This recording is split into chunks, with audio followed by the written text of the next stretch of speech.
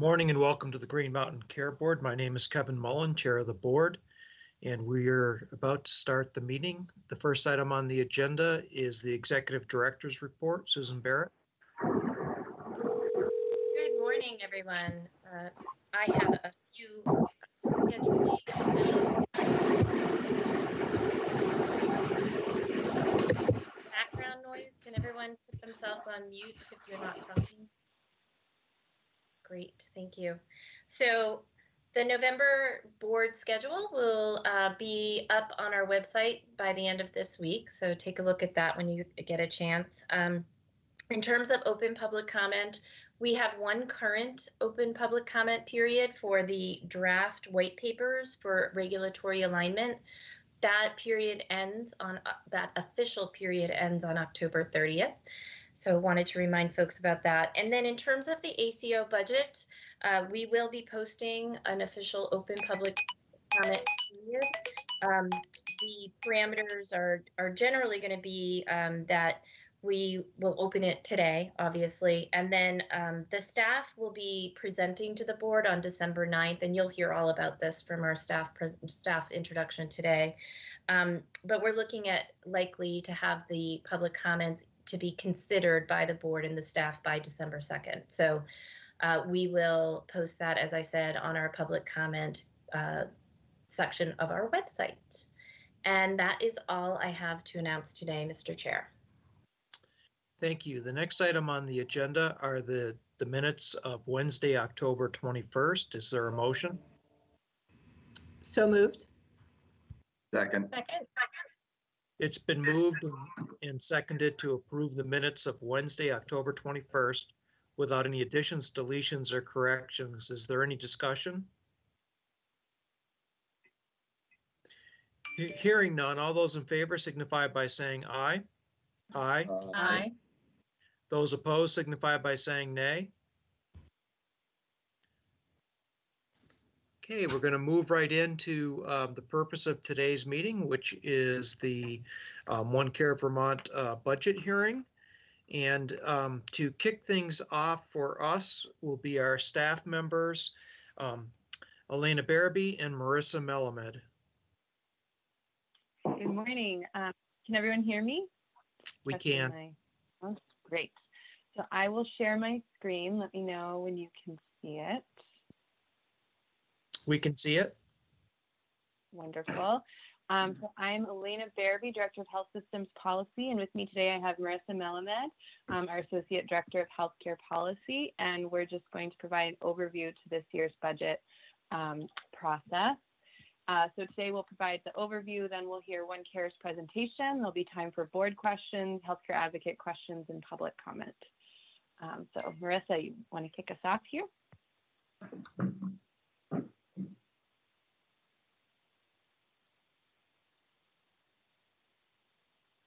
I don't know if Oh, we can sorry. hear you. I don't. Thank, Oh, thank you. Sorry, Lena. Can everyone hear me okay now? Yeah. Yes. Yep. Thank you. Good morning. Um, so this morning, uh, as Elena said, we're just going to provide an overview of the um, ACO oversight process, um, just to set us up for the hearing today and go over um, what the board needs to consider as they hear about and review the budget. So the ACO oversight process uh, is governed by 18 VSA 9382 and G Green Mountain Care Board Rule 5.0. Um, there are two parts to the process. There's certification, which is a one-time uh, certification that's done um, following an application, and then there's an eligibility verification that is done annually. Uh, so we will review uh, OneCare's continued eligibility for certification um, as part of the budget process as we have done um, in past years since they were initially certified in 2018. Um, the budget review occurs annually during the fall prior to the start of the program year, which is a calendar year January 1st start date. Um, however, uh, payer contracts and attribution is not finalized until the spring of the budget year. So it's um, they will there's a budget review and approval um, now prior to the end of the year, and then um, we have the ACO come back in the spring with final contracts and attribution to review and finalize that. So it's an ongoing process, um, which you can see in the next slide here. Um, so today, October 28th, we're at the budget hearing. Um, the guidance was issued over the summer in July. Uh, we received a response to the certification form um, September 1st, and we received and have been reviewing the budget since October 1st. Um, we have also submitted an initial round of follow-up questions to the ACO, which we're in the process of reviewing, um, as well as uh, all monitoring and other reporting that's that's uh, submitted to us. Um, in preparation for a staff analysis presentation with budget recommendations for FY21, which will be December 9th. Um, we then have uh, other meetings in December as needed to review those recommendations, discuss them in the public forum, and the board would be scheduled to vote. Um, ideally or tentatively, we have by December 23rd, but it does need to be done by December 31st. Um, the board then issues a written budget order, which will be finalized um, late January or early February. And as previously noted, in March or April or in the spring, there's a review of the final attribution budget and contracts. And we do ongoing monitoring and reporting um, against actual performance uh, throughout ongoing in 2021. So um, the other thing to, to mention is that this process, of course, is still ongoing for 2020. So um, at the same time, we're, reviewing 2021 information that's come in for the upcoming budget. We're still reviewing um, information that is coming through 2020, which, um, of course, because of the public health emergency, some of that has been uh, extended as well. So um, everything ends up rolling into each other. Um, also to note, uh, as Susan said, there's a public comment period, which uh, we accept public comment throughout this process. Um, however, it's important to note the dates that Susan mentioned. If you want a comment that can be uh, um, uh, included in our remarks or considered in time for our remarks on the 9th, you need to submit that to the board by December 2nd. Um, and again, if you have additional comment or uh, comment at a later date to be considered in the board's final decision, that should be submitted by December 21st. And that will be posted on our website. As well, all the materials are posted on the Green Mountain Care Board website at the link um, that you see on the slide. And of course, if you have any questions about materials or need help finding things, please contact board staff because there's a lot of things that are submitted and um, we want to make sure people can find what they're looking for. Next slide. So just as an overview and a reminder, since we've been through this process a few times already, the board, um, in deciding whether to approve or modify the proposed budget of the ACO, um, needs to consider the following that are in Rule 5, um, any benchmarks established under Section 5.402 of the rule. There are 16 criteria listed in the statute, which I'm going to do a brief but not extensive overview of, um, and as well as any um, you know elements um, that need to be considered under Vermont's all-payer accountable care organization model agreement between the state of Vermont and CMS, uh, as well as any other issues of discretion of the board. In addition, the board considers all public comments, this hearing, um, or any other um, meetings to collect information with OneCare. Um, as well, the Office of the Healthcare Advocate has a role in this hearing. Um, we will hear questions from them today, and they have submitted written questions as well, so the board takes their input into consideration. And you can go to the next slide.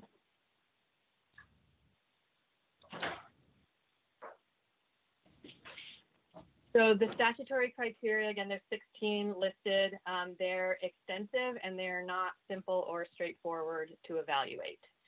Um, so just some examples from last year of conditions that are tied to that criteria. Um, these are the, when the, as the board is considering the criteria, Um, the conditions that end up in the budget order are the things that uh, the board has asked us to monitor in order to allow us to evaluate whether that criteria is being met. So um, here are some examples of some things that we had in last year's budget order. Um, their network development strategy, um, scale target initiatives. We have them report on program alignment, uh, the effectiveness of their population health investments, um, how to make decisions about scaling up projects or sunsetting projects. We're in the process of working on an ACO performance dashboard. The ACO has submitted a prototype to us, um, which is under review, um, and we are also um, seeking comment or input on uh, to look at variations in cost and quality, trends and impact of the care model and utilization um, to help make some of these metrics more uh, visible and, and available. Um, other aspects of the budget order have been measuring the value of the ACO investments over the term of the of the agreement. Um, that there there's a budget order condition that has one asked OneCare to fund the SASH and Blueprint for Health at a certain dollar amount. And again, there are others. There are 22 in total in the FY20 budget order. Um, and some of these things um, will probably persist and live on year over year or can be con- um, incorporated into our guidance. Um, some of them are one-time things that the board may ask us to look at. Uh, you can go to the next slide. So the, the duties and obligations of the ACO are also in the rule uh, 5.403. There are 22 reporting criteria as part of the annual guidance to help us collect everything.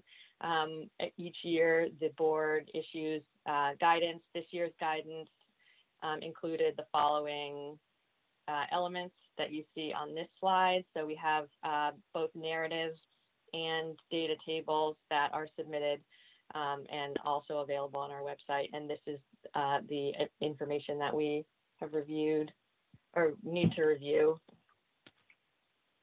to check against the criteria. And I think uh, the next slide is to you, Elena. Yeah. So thank you, Marissa. Um, so, you know, it is a very extensive process. And as you mentioned, all payer model is one of those considerations. Um, so just as a reminder, you know, some of the key goals of and requirements of the all payer model agreement.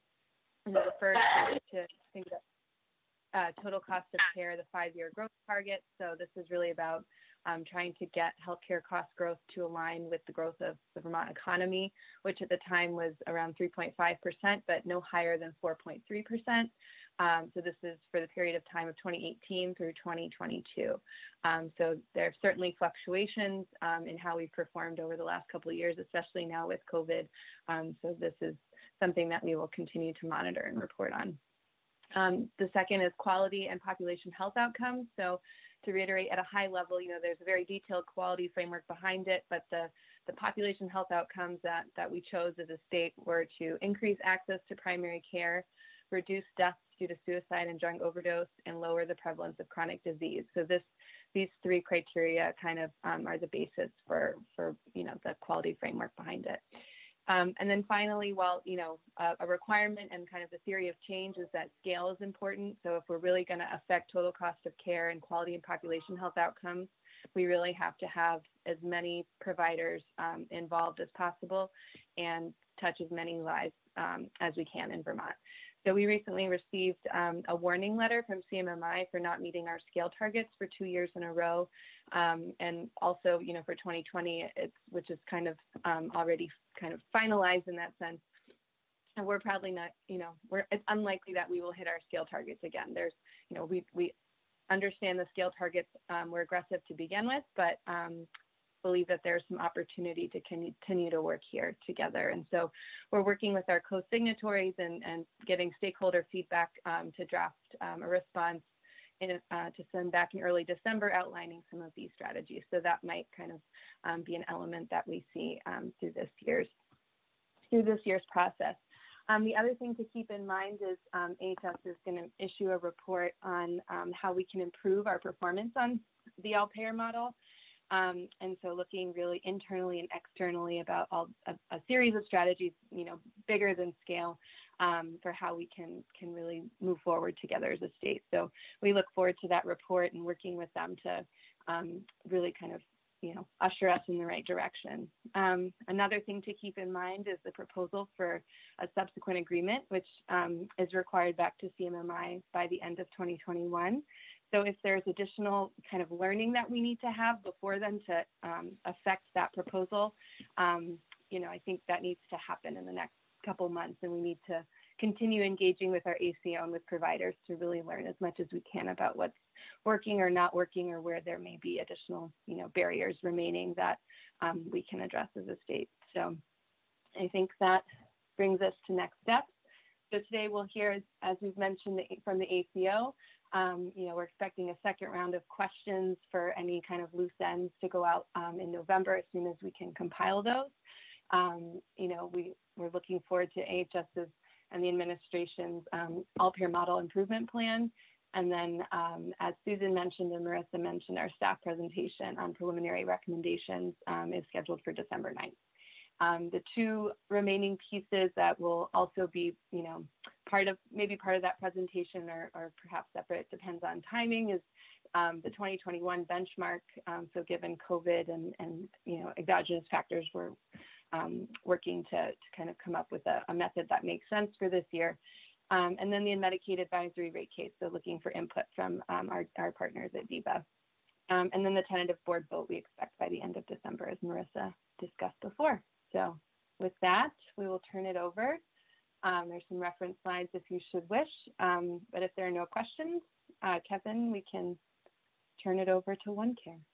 Before we get started with the budget presentation, does any member of the board have any questions for staff?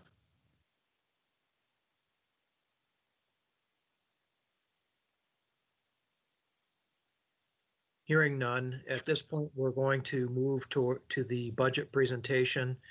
Before we do that, we'll need to have um, Sunny, the court reporter, swear in the uh, witnesses. Vicki, who plans on uh, testifying on your behalf today? I do. Anyone else, though? Oh, Sara Barry and Tom Borys. Okay, if you could all be sworn in together, that would be great. Sure.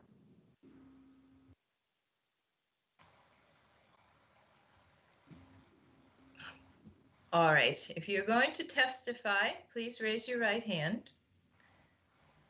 Do you solemnly swear or affirm under the penalty of perjury that the testimony you're about to give will be the truth, the whole truth, and nothing but the truth? Yes, I do. I do. Okay, thank you.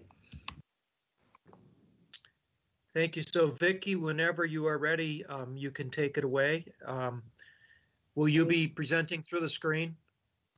Yes, Tom Borys, our Vice President of Finance, will be putting up the screen, so just give him a minute to do that.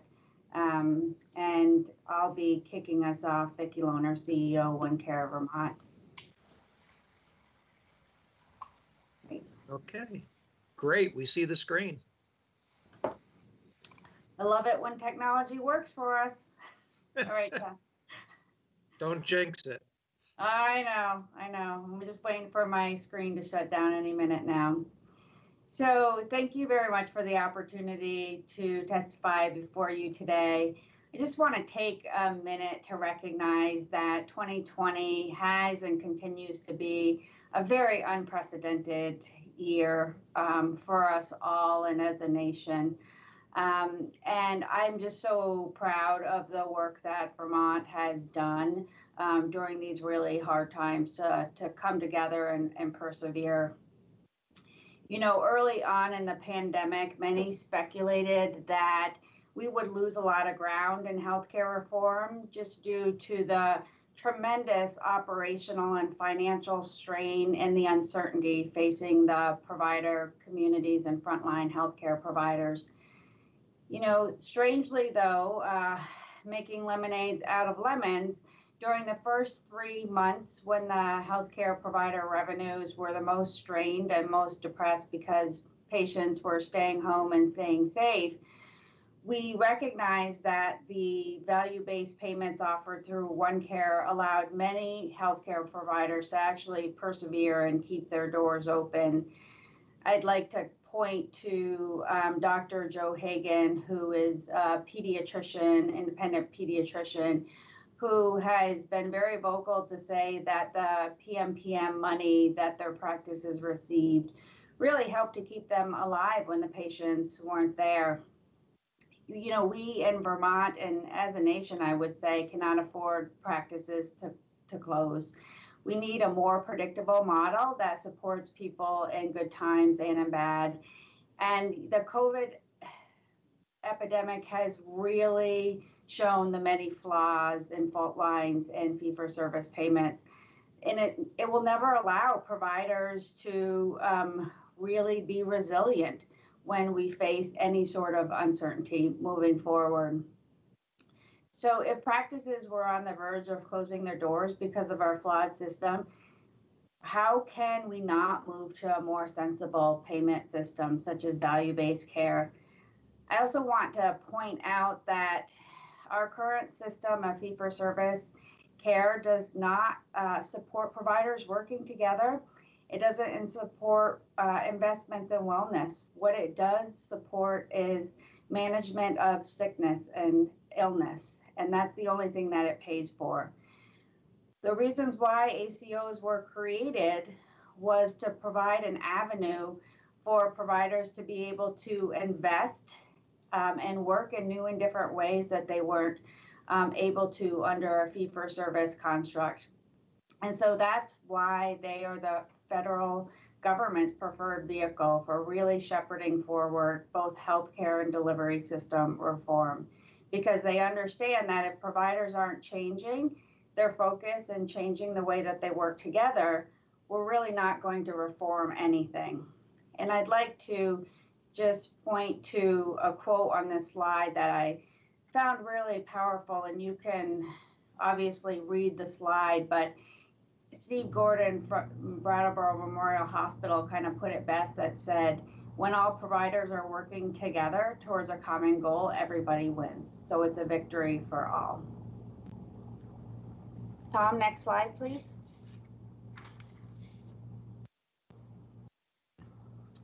ACOs like OneCare really do offer the best opportunity for all provider types to be able to participate in value-based care you know, having a shared infrastructure to be able to support providers because as we know, this is the way that the federal government is moving. And so providers really have to have the tools and resources needed to be able to operate under a value-based care system. And when Rutland was thinking about entering into the Medicare contract for next year, really this was one of the things that you have to look look at is do you have the resources and tools that you need as a community to be able to operate um, under these value-based programs and share financial risk with payers? And the providers that are part on form one care have really decided that having this shared infrastructure having one single aco provides them the best opportunity to really achieve that meaningful healthcare payment and delivery reform in Vermont. We have a lot of conversations about what One Care is um, and what it isn't, but at its core, One Care really is the sum of all of its parts. Vermont healthcare providers coming together to invest in a better future for Vermonters. Tom, next slide, please. So in terms of provider commitment, I would encourage you to really look at the numbers for next year. We did not decline. We did not fall back. Um, providers are very committed um, to the, the reform efforts in Vermont. We're anticipating, and of course, as you know, the numbers won't be solid until the first quarter of next next year, that we'll have about 288,000 Vermonters cumulatively covered under ACO value-based programs, with about 28,000 new Vermonters coming in that would meet those scale target eligible um, markers for the state. Now, of course, we do have other programs, but they do not um, operate under the all payer model to be able to meet those scale targets.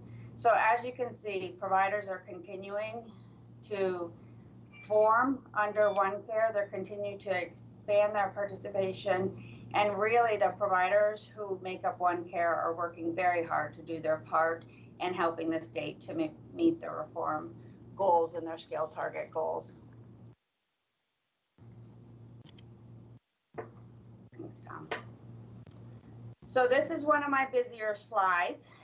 I had a lot of information I was trying to show here, but really at its core, what I want to say is that reforming decades of payment systems that reward um, volume over value and changing the way that care is delivered is a big job. And it requires all parts of the system to play a role.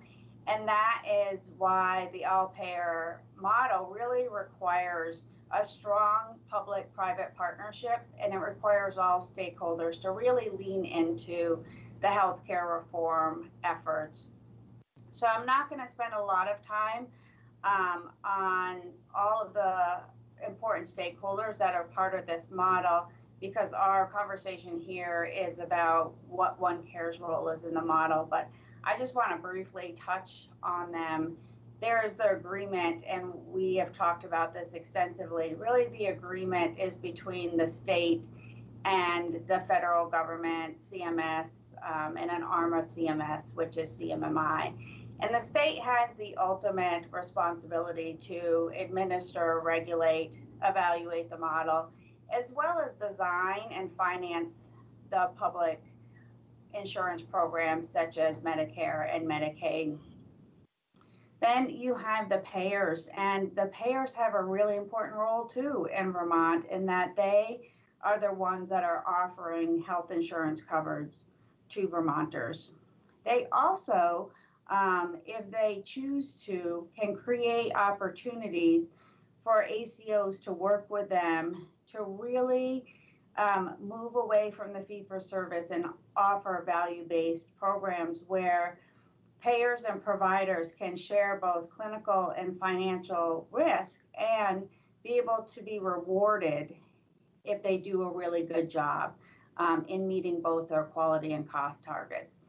And currently in Vermont, the two major commercial insurers who have agreed to create such opportunities and work with the state and the ACO are MVP Healthcare and Blue Cross Blue Shield of Vermont. And of course, the public payers, uh, Medicaid or DVHA, and the Medicare program. if you go down to this is what we're really going to talk about. The all payer model requires that there be an ACO and that um, or ACOs. You could have more than one ACOs, and really um, they are the ones that the federal government has kind of sanctioned um, to allow providers to come together in new and different ways um, to be able to deliver on um, the metrics that are in the all payer model. In Vermont, OneCare Vermont is the single ACO that has stepped forward to be part of Vermont's one uh, reform efforts. So our discussion today, of course, is to talk about OneCare Vermont. There many more people in the room that are more qualified than me to talk about um, the role of the state and the payers. So what we're going to talk about today um, is our budget, um, how it was created, to really support providers in operating under value based care contracts and to do the hard work that is necessary to really make those investments and change the way that health healthcare is delivered and paid for in Vermont. Tom, next slide, please. So I think we had this slide last year, but um, it's a really important slide, and I just want to take a, a, minute to to really break it down. When whenever our budget is talked about, it's really this big number at the top of the screen, which is the $1.45 billion. And really, that's not OneCare's budget, that's OneCare's accountability. Um, it's our accountability plus our investments plus our shared infrastructure costs in that. If you go down to the next line, the $1.4 billion or 97% of that total accountability is really what is projected to be spent in healthcare in 2021 for the lives that are Care of Vermont. And if we're doing well and, and providers are still excited about healthcare reform and participating, this number will grow. So you want this number to grow over time because that means that more providers are participating in value-based care opportunities that are offered through the through the payers. If you go back down one more line, One Care Vermont's budget, this $46 million. And so that's really broken down into two components that we're going to spend a lot of time talking about today. The first is the network investments. So that's about 2% um, of our overall accountability or $30 million. And these are really the dollars that hospitals and insurers are investing in healthcare programs to support better patient health outcomes in order to meet those goals, um, both under the all payer model and the goals that are very specific to the ACO and the payer programs underneath them. OneCare um, is accountable for really um, looking at this, um, the money that comes in, how it's dispersed, for what programs it is dispersed, evaluating the programs to make sure that they're successful, and then working with its provider network to make some decisions around whether or not um, programs will continue on because we've seen the value proposition in them or whether or not um, they will sunset for the next year. The next number is operating costs. So this is probably more true to what you think about when you see a budget. And this is really the cost of that shared infrastructure to be able to support providers um, who would like to participate uh, in value-based care contracts. So this is about 1% of our total accountability for the ACO. And if you think about it, this um, operating cost really is supporting a statewide infrastructure. The federal government, as we have said, this is the way that they're moving. They're going to be expecting providers to participate uh, in value based care contracts. So rather than every community setting up their own system and infrastructure, they've decided to come together to form one care to really um, be able to work together as a state um, to be successful moving into healthcare reform efforts. And so the very last line here um, is a really important one because there's always a question about our um, for-profit versus not-for-profit status. OneCare operates um, as a non-for-profit organization in support of the mission of our founders because they're both nonprofit organizations. So at the end of the year, it's always a break even budget no profits, no loss. Next slide, Tom. So I just want to really emphasize that the ratio of the OneCare operating expenses, when you look at it as a total of our overall healthcare accountability, has really declined significantly as um, we've increased scale in the program. And this is a really important um, indicator of why you want to have a shared infrastructure and why you don't um, want every community setting up their own individual infrastructure to be able to support that. Because then you'd be up here at the higher number, 11.7% when we started off this initiative and only had about four communities participating. Next slide, Tom. So I think Elena um, really teed up for us at the beginning that the all payer model has some pretty lofty goals. Um, And the providers also need the tools um, to be able to be successful in that, and they need to be able to make the right investments. So, really, our budget supports two things uh, those investments in population health management so that Vermonters um, can do better and have better outcomes, as well as that shared infrastructure, which is the data and the tools, the risk mitigations that's necessary to be successful under this model. Next slide, Tom. Want to take a second to really focus on the population health investments. So as we said, pretty lofty goals over a five-year period. And then really important to understand is the all-payer model has goals that the state, remember, in that agreement is responsible for. And then the ACO has specific goals and measures that really tie up to those overall um, goals of the all payer model. And so, you know, they're in things like prevention and chronic disease management and mental health and substance use, um, but they're not the same as the ones under the all payer model. But really, what we need to do as an ACO and as a provider group is look at what those measures are, how we're doing, and then make some decisions about the programs and investments that the providers need in order to be successful under the metrics that are defined for them. And so when we look at that, and we also look at, um, you know, we're, we're all under some pretty hard economic times right now. And so we have to be really thoughtful um, about the programs because, you know, providers who are investing in these programs have less and less revenues. And so they have to make sure that the investments that they're making are really going to help drive um, better outcomes on those metrics.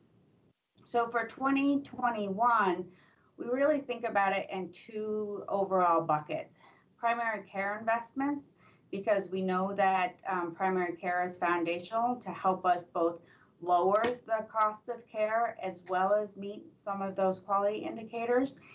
And we also need community health um, and the providers in the community health, such as home health designated agencies, skilled nursing facilities, to be really be working um, in tandem with primary care providers to meet the needs of the patients.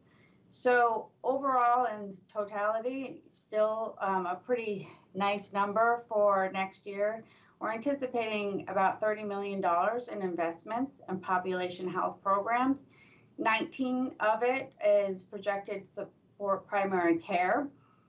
You know, we, we've talked a lot about the program specific to independent primary care and um, I believe we presented to this board, really looking at what those opportunities are in addition to the fee for service revenue that they receive from the payers.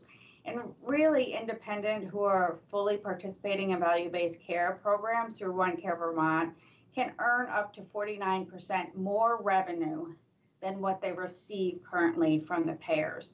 So that's significant for those providers. And you can see back to the first slide, why um, physician practices like Joe Hagan really think that this type of payment is more sensible for them as they move forward. It also means, though, that they have to take some risk and accountability in it. And so, providers of One Care who are signing up understand that risk and accountability that is really tied to changing the way that healthcare is delivered. We had population based payments that help us to meet um, overall goals under the model as well as the total cost of care targets. Because if we're not meeting those targets, then we cease to exist as an organization and as healthcare providers under value based care. So, very important to be able to meet those targets. We're also um, providing some payments to make sure that individuals are connected with primary care providers um, to make sure that they have a, a, medical home. Not all Vermonters are readily connected with the primary care providers, and we think that's really important. Care coordination, which I'm really excited. We're going to show you a video if technology holds later on in the presentation. about um, an individual who has really um, benefited from the care coordination programs that are designed um, by One Care's providers and carried out by the providers who make up One Care Vermont. So um, that's some pretty exciting stuff where we, we hope you'll enjoy the video.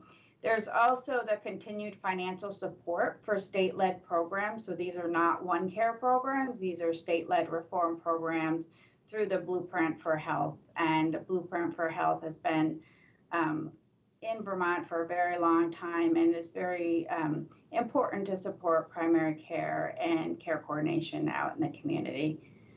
As we move over, uh, community health investments, again, care coordination, because it's important for the team to be working together, as Steve Gordon noted previously, to, to stop working in silos and everybody come together around the patients to ask them what they need.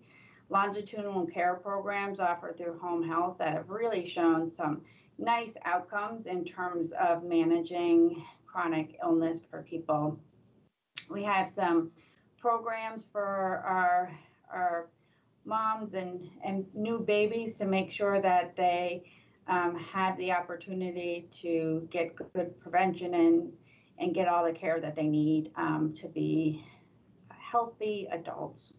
Uh, work in primary care prevention and thinking about doing some new work with the blueprint along um, the self-management programs and of course still testing some pilots around uh, mental health. Mental health is really important, has really shown that um, mental health um, conditions are really on the rise, especially during the pandemic. So want to make sure that we continue support supporting both SASH and the DAs that are doing some good work around these programs. And then again, um, continuing the financial support of these state-led programs such as the community health team and SASH. Next slide, Tom. So I think this is my last slide and, and this is really looking at our overall operations budget and what it supports. So our operation budget, again, is supporting a state shared um, infrastructure um, so that providers can participate in value-based care and not every community has to um, do that on their own. I don't think that we'd be better off if everybody decided to go at it on their own and set up their own infrastructure, not to mention the fact that it would probably be rather costly to be able to do to do that. So the two ways that we are really looking at supporting providers is to make sure that they have the tools that they need to be able to um, deliver on those delivery reform goals and also be able to participate in payment reform programs with the payers, um, which means that providers have risk, financial risk, as well as some, they've always had the clinical risk, but the financial risk that's transferred over to them. So, in terms of what are the tools, the tangible things that One Care is providing in the delivery care um, reform space, that's really the data and analysis. So, taking the clinical and claims data that would not otherwise be available to them unless they participated through an ACO and really combining those data sets to show um, providers where there's opportunity or where there's variances in care. A lot of the quality reports to show how um, we're doing in terms of overall quality measurement. We also um, are responsible at the central ACO for looking at the benefit and payment waivers um, that are available to ACOs only to be able to provide better flexibility and a better patient experience, such as the three day stay waiver. And then, of course, um, really being housing those best practices and care coordination programs that will deliver on better patient care. In the payment reform space, as we've discussed, uh, the federal government has essentially decided back in the Affordable Care Act that ACOs would be the vehicle by which providers could come together and be able to share risk and rewards with payers as long as they do um, a good job. Um, And then also allowing ACOs to offer value-based payment programs that incentivize value over volume and take some of those fee-for-service dollars that are flowing through the system already and converting them to value-based fixed payments, which essentially provide um, the providers of one care with a predictable payment stream. Lastly, um, the way that we're able to do this is that we have to invoke certain payment waivers to allow for these investments um, in other organizations, both inside and outside um, of the ACO, such as the state-led payment reform initiatives. So I believe that's my last slide, and I want to turn it over to my colleague, Tom Borys, who's the Vice President of Finance for One Care Vermont. Thank you, Tom. All right. Hi, everyone. This is Tom Borys speaking, just to orient you to my voice if you're not on video. The upcoming finance section of the presentation today has been broken down into two parts. The first section will be in regard to the 2021 ACO programs. And these are the, the arrangements that OneCare enters into with its payers to convert from a volume-based system to a value-based system. And we'll talk about components such as attribution, total cost of care, and risk and reward. The second section of the uh, presentation here will then shift to the OneCare budget as it uh, pertains to OneCare as an organization facilitating these programs uh, for our network and for our state. The quote here from Claudio Fort, President and CEO of Rutland Regional Medical Center, is very uh, poignant and related to the ACO programs here. The pandemic has made clear that fee for service is unsustainable, and we're fully committed to value based care as the solution to stabilizing Vermont's increasing healthcare costs. I think this points out um, a really important uh, factor here, which is that moving into the value-based care is the beginning of and creates the purpose for all the work that we we do at One Care Vermont and is the, the reason that we exist as an organization.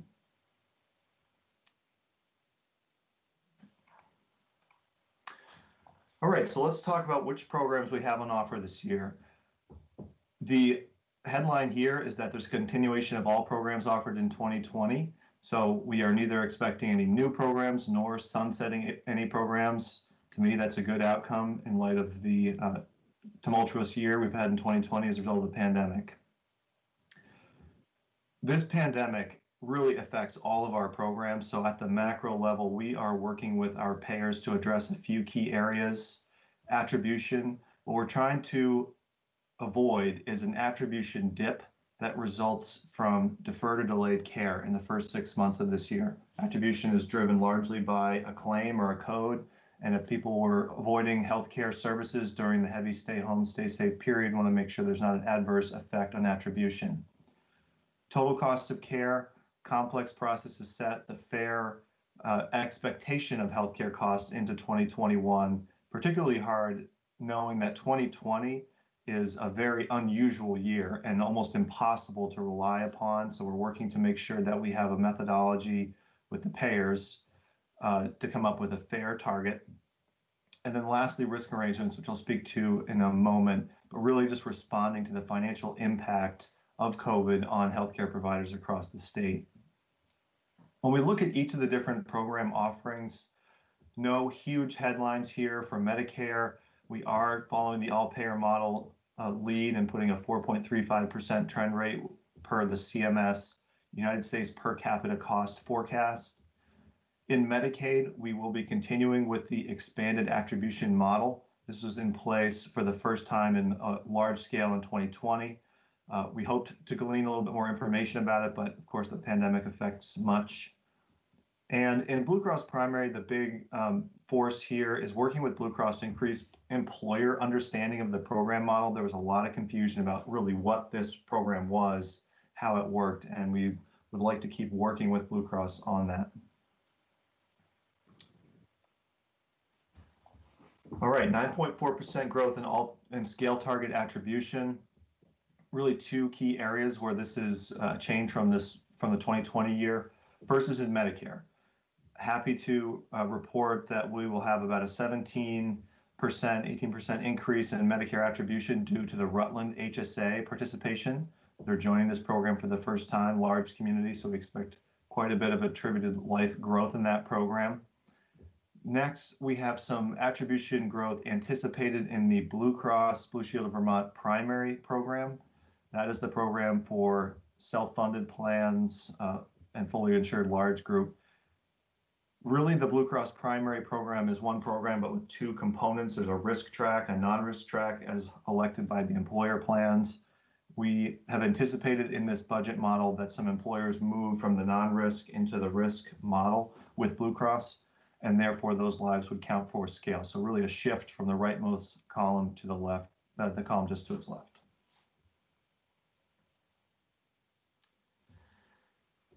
As Vicki mentioned before, the $1.4 billion uh, number is the total of our healthcare costs and value-based contracts. Again, a bigger number here doesn't represent more spending. It means more accountability for Vermont providers.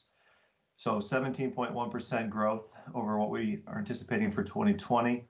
The big area, again, is Medicare, largely driven by Rutland's participation for the first time. Also important to note, the other growth factors for particularly the commercial plans uh, are based on attribution and uh, insurance rate rates as approved in the rate filing. So we, we link back to those filings as a source of information for how much the trend rate will move uh, there's ultimately an actuarial process that the payers go through to determine the fair target, but that's what we use for our source data points to project the total cost of care for each of these programs. So despite the fact that the prior slide had our best estimates of total cost of care, and they will move once the actuarial process and the attribution comes, comes through, they are important estimates in that those total cost of care numbers give us a, a sense or an idea of how much risk or reward the providers have and OneCare has in this uh, budget model. The big change coming up in 2021 is really significant reductions in risk. And why are we doing that? There's really two, two reasons. One, we needed to respond to the financial impact of COVID on the provider community. I think the providers, as well as many of us personally, are a little bit risk averse right now with some uncertainty in the future in terms of what this pandemic means for us all economically. So, everybody really a little bit of risk aversion at this point in time. So, the goal was to balance that pressure with the desire to stay on the value based care path. And by, by that, I mean continue to have some two sided accountability, uh, as we think that's very important. So, it's a balance between those two different pressure points I can say there's a lot of momentum within the provider community right now, and finding that balance is really important to help keep this network together for 2021. And uh, we've largely done so with these budget uh, modifications.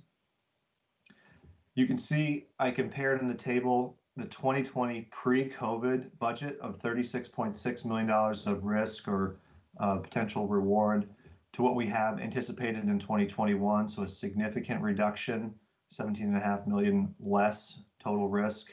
That was a really important uh, change for us to build into this budget model and negotiate with payers to keep the network at the table uh, in these unusual times. The budget does not include the Medicare risk protection arrangement we've had in the past. I can speak that in more depth if you like, but simply put, with a narrower risk corridor, the cost of a policy relative to the protection it, it buys uh, doesn't make a lot of sense. It becomes expensive for relatively little protection overall, so we've not budgeted that expense in this uh, year's budget model. I'll also note that the MVP program is upside only uh, in this budget model and has an additional 1.5 million of upside opportunity with no downside risk.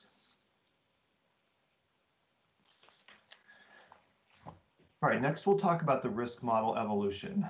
In 2021, savings and losses will be distributed differently amongst one care providers. At the highest level, the OneCare aggregate results, so whatever the shared savings or shared loss result is between OneCare and its payer, contracted payer, will be allocated proportionally to the health service areas.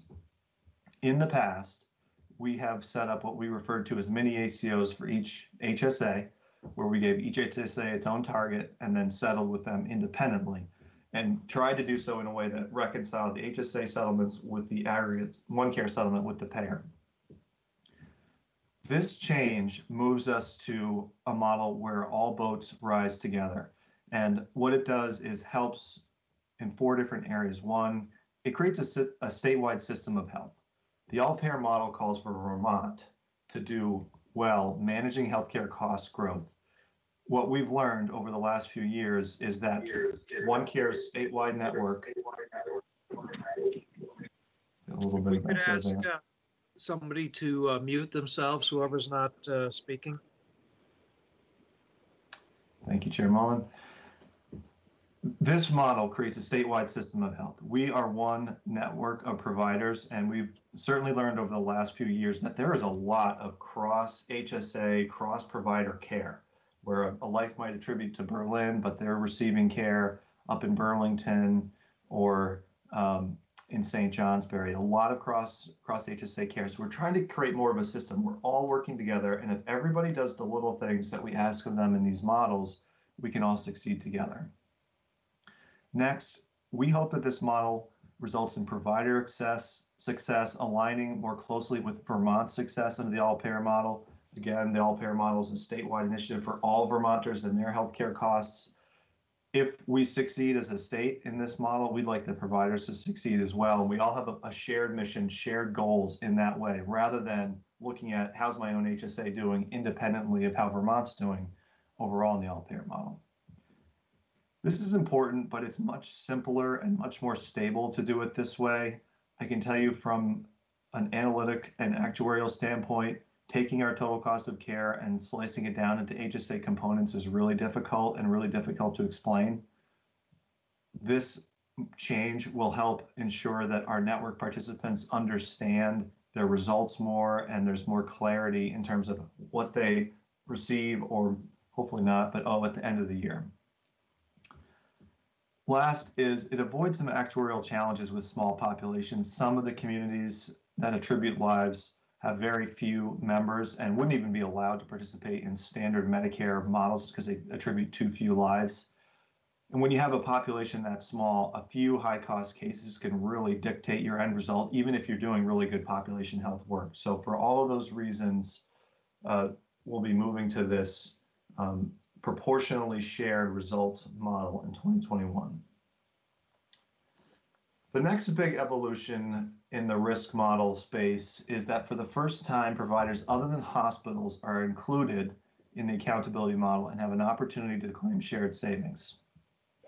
So for two-sided risk programs, what this means is that the one care primary care investment will start at a base amount and increase from there based on performance. So looking at the, the chart here, it moves from left to right. We'll start at a base of $1.75 PMPM, so still additive. If the program breaks even, we restore the $1.50 PMPM up to the 325. That's the historical amount received. So that's if the program were to absolutely break dead even and um, have no shared savings and no shared loss.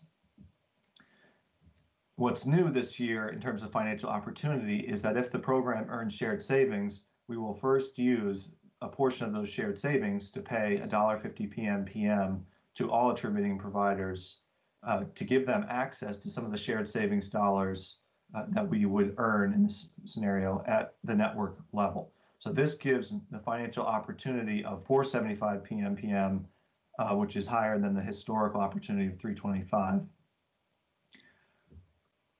The reason we decided to do it this way, where we change this base PMPM investment to a variable performance-based model, is that it avoids the need to invoice primary care at the end of the year. Having spoken to primary care practices for a number of years uh, in regard to their decision to participate, the specter of a downside risk payment at the end of the year, I think would have prevented a lot of participation. So we wanted to come up with a model that included all primary care, hospital, FQHC, independent in the accountability model without the potential for year-end invoice. Last bullet on this slide, expanding accountability more broadly across the provider uh, spectrum, we believe is a strategy to encourage increased engagement. Certainly, the hospitals have been engaged because they have financial stake in our results, and we hope that the same happens more broadly with the FQHC and the independent and hospital employed primary care as well, so that we're all driving towards the same shared goals of success in these programs. I'll also note we have a couple of different program designs. Some are upside only, some are two-sided risk, some we're planning to hold risk centrally at one care. This model, where the base payment is $1.75 and goes up from there, applies only to two-sided risk programs where the network has downside risk. If it's an upside only program, we'll keep paying the base PMPM payment at 325. There's no need to start at that lower level. And we'll still offer the $1.50 of shared savings opportunity. If the program is such that we're holding the risk centrally at OneCare Vermont, we'll pay the 325 uh, out. There'll be no opportunity for the $1.50 in that model. So that concludes the summary of the ACO uh, program terms. I uh, wanted to hit on the high points. There is a lot more information in our submitted budget documents. I invite you all to look at those. Um, as you can just see how all of these numbers break down, and there's many more year-over-year comparisons to, to see in that uh, in those documents. So next, we're going to shift to OneCare Vermont uh, budget. Again, this is the budget of the organization of OneCare. What do we do as, a, as an entity? First, I'm going to start with an overview. $46.7 million budget. Vicki referenced this at the beginning of the presentation on that total accountability slide. Again, balanced budget, no profit or loss built into the model, no additional contributions to reserves. We're comfortable with the number that we uh, have at present. Key strategies in this budget build enhance sustainability of Vermont's healthcare reform efforts.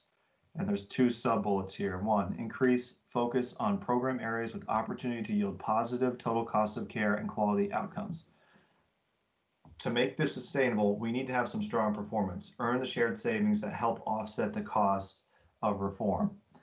And then next, speaking of the cost of reform, do our part in reducing healthcare reform costs placed on dues paying hospitals. I want to pause on this for just a moment and say why it's important to reduce the dues for hospitals. The hospitals are really important players in our model. Not only do they bear the bulk of the risk, which somebody needs to hold in these two-sided risk programs, they also invest in the payment reform programs and initiatives. Based on both COVID and its, its financial impact on the network, we needed to reduce dues to hospitals to allow them to stay in.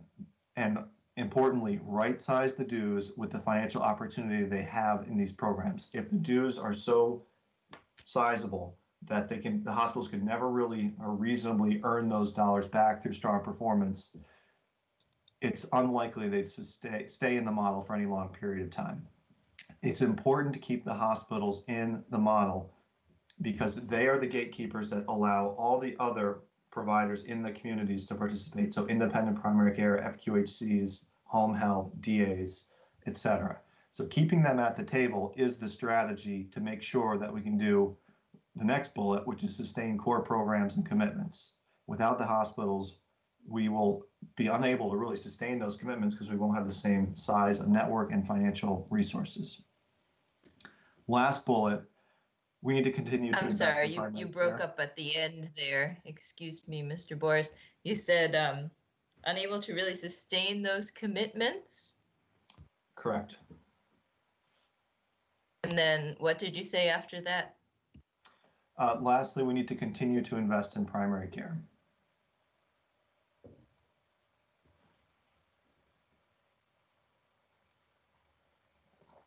All right. As Vicki mentioned earlier in the presentation, the $46.7 million budget has two main components. 30.6 is earmarked for population health management investments. These are investments that give the providers the financial resources to engage in these ACO activities and value-based care activities. And then we have our 16.1 One Care shared infrastructure costs uh, to facilitate these programs, work with the provider community, and uh, help us all succeed in this model.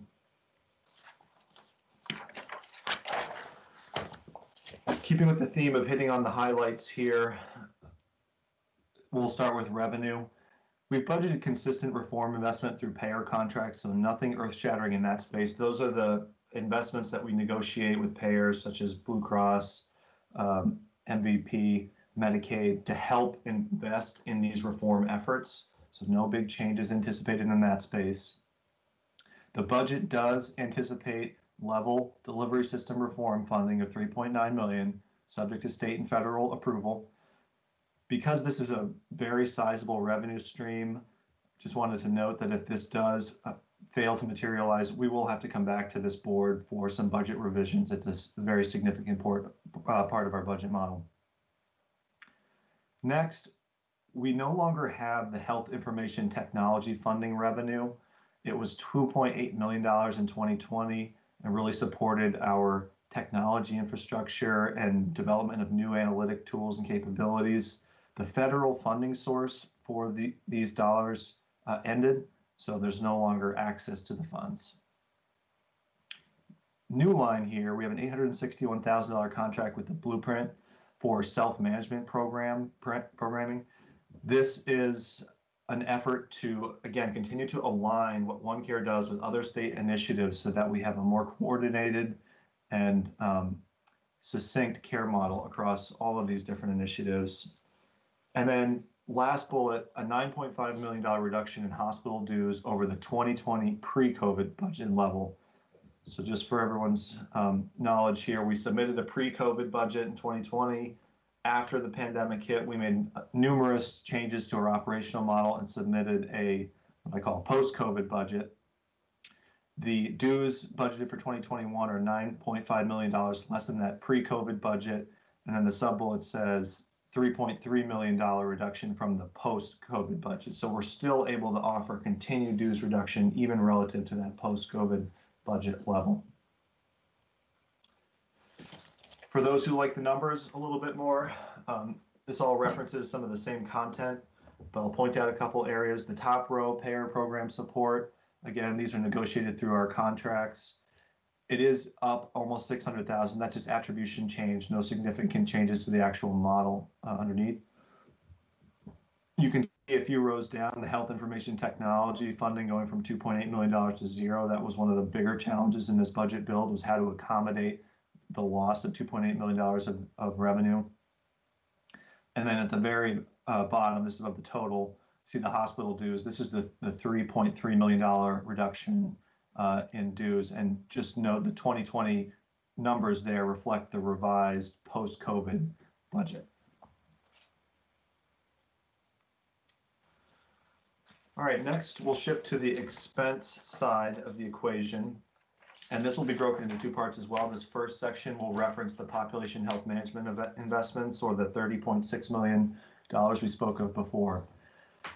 First, continuation of longstanding population health initiatives really to protect the established revenue streams. We've been investing in the provider community for a number of years now and really asked them uh, to do something with those investments. And one of the challenges is we don't want to pull the rug out of any from any of those funding streams uh, so a key goal here was to make sure we could sustain those long-standing initiatives. Comprehensive Payment Reform Program, again, in short, this is the program for independent primary care where we're able to move them off of a fee-for-service basis and now pay them under a capitation model. Continued program growth at a number of practices in 2021, which is exciting. And in that model, there's a $5 PMPM uh, enhancement for participations to help them really in this transition afforded by shifting off of fee for service and onto a fixed payment model.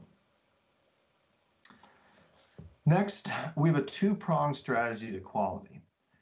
What we're trying to do through program negotiations is align the quality components with the way Medicare and actually many of the commercial uh, programs incorporate quality into these programs whereby the quality score affects the amount of shared savings you can earn or the amount of shared losses that you would owe.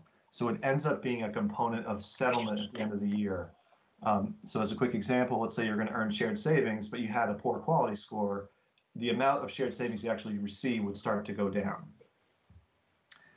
In tandem with that, we would like to separately fund a value-based incentive fund in similar form but in a way that allows for more targeted focus and timely rewards for strong performance. We have certainly learned over the last few years that the value-based incentive fund is a nice concept, but the payout was very far after the program year. And I think, in my opinion, diluted the impact of it. So what we'd like to do is have a little bit more of a nimble value-based incentive fund with more targeted uh, measures and being able to pay out rewards for strong performance much more promptly to keep quality and the quality measures on the forefront of everyone's mind rather than this back end that comes many months after the program year is over. Uh, last on this slide, we have that new Blueprint Self-Management Program initiative. So there's some expenses associated with that along with the revenue. That's a pretty common theme in our one care budget. If there's a revenue stream, there's often a network expense that goes with it. Again, creates further alignment between Blueprint and OneCare programs. So looking again at numbers, uh, two different views of the same numbers. You see the $30.6 million number at the bottom of this table here. This shows the population health management investment areas. So really the, the function or the source of the investment. So on the top, we have primary care services, included in this row, things like the 325 PMPM. Uh, we have primary care engagement payments where we pay primary care to engage in those geographically or uh, expanded attribution lives to enhance primary care access. Next, we have care coordination efforts really designed to enhance the coordination of care across different providers.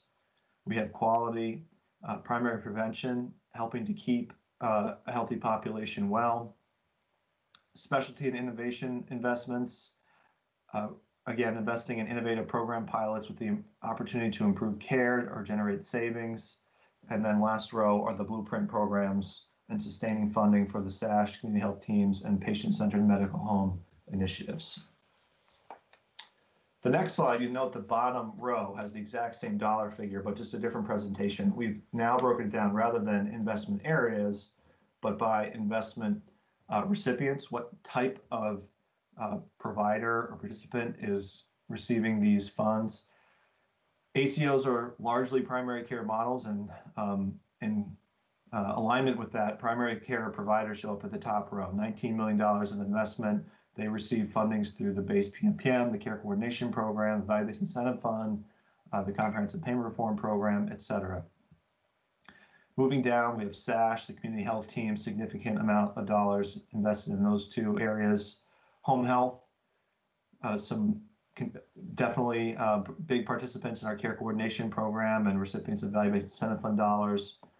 Community investments, largely in line with the primary prevention initiatives such as Rise Vermont, getting the community involved in healthcare and through things like Amplify grants, helping to improve the health of our population um, is now going beyond just what you would call a traditional healthcare provider. Specialty and acute care, we have next uh, designated agencies in mental health, followed by area agencies on aging is the last row.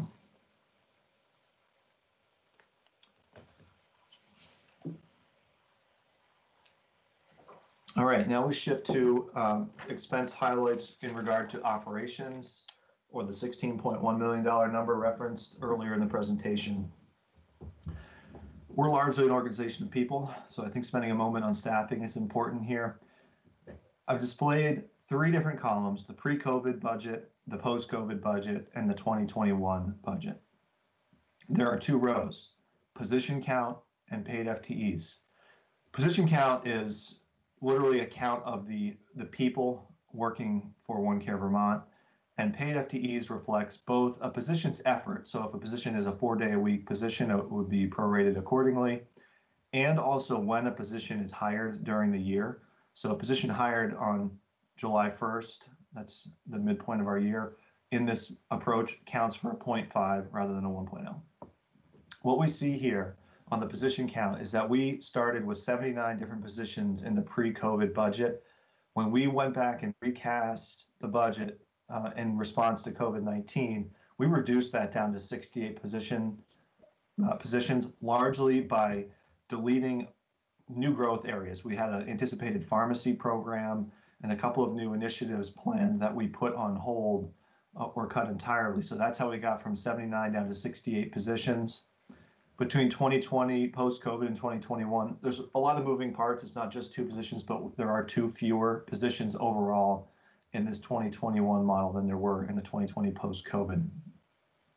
Paid FTEs is important to note, um, particularly in the 2020 post-COVID column. We implemented a hiring freeze in 2020 uh, in order to offer dues relief to the hospitals. So the actual paid FTEs in 2020 is down substantially, uh, 59.03 relative to the 68 positions that were actually included in our model. What we see when we move from 2020 to 2021 is a restoration of many of those uh, positions held vacant during the hiring freeze.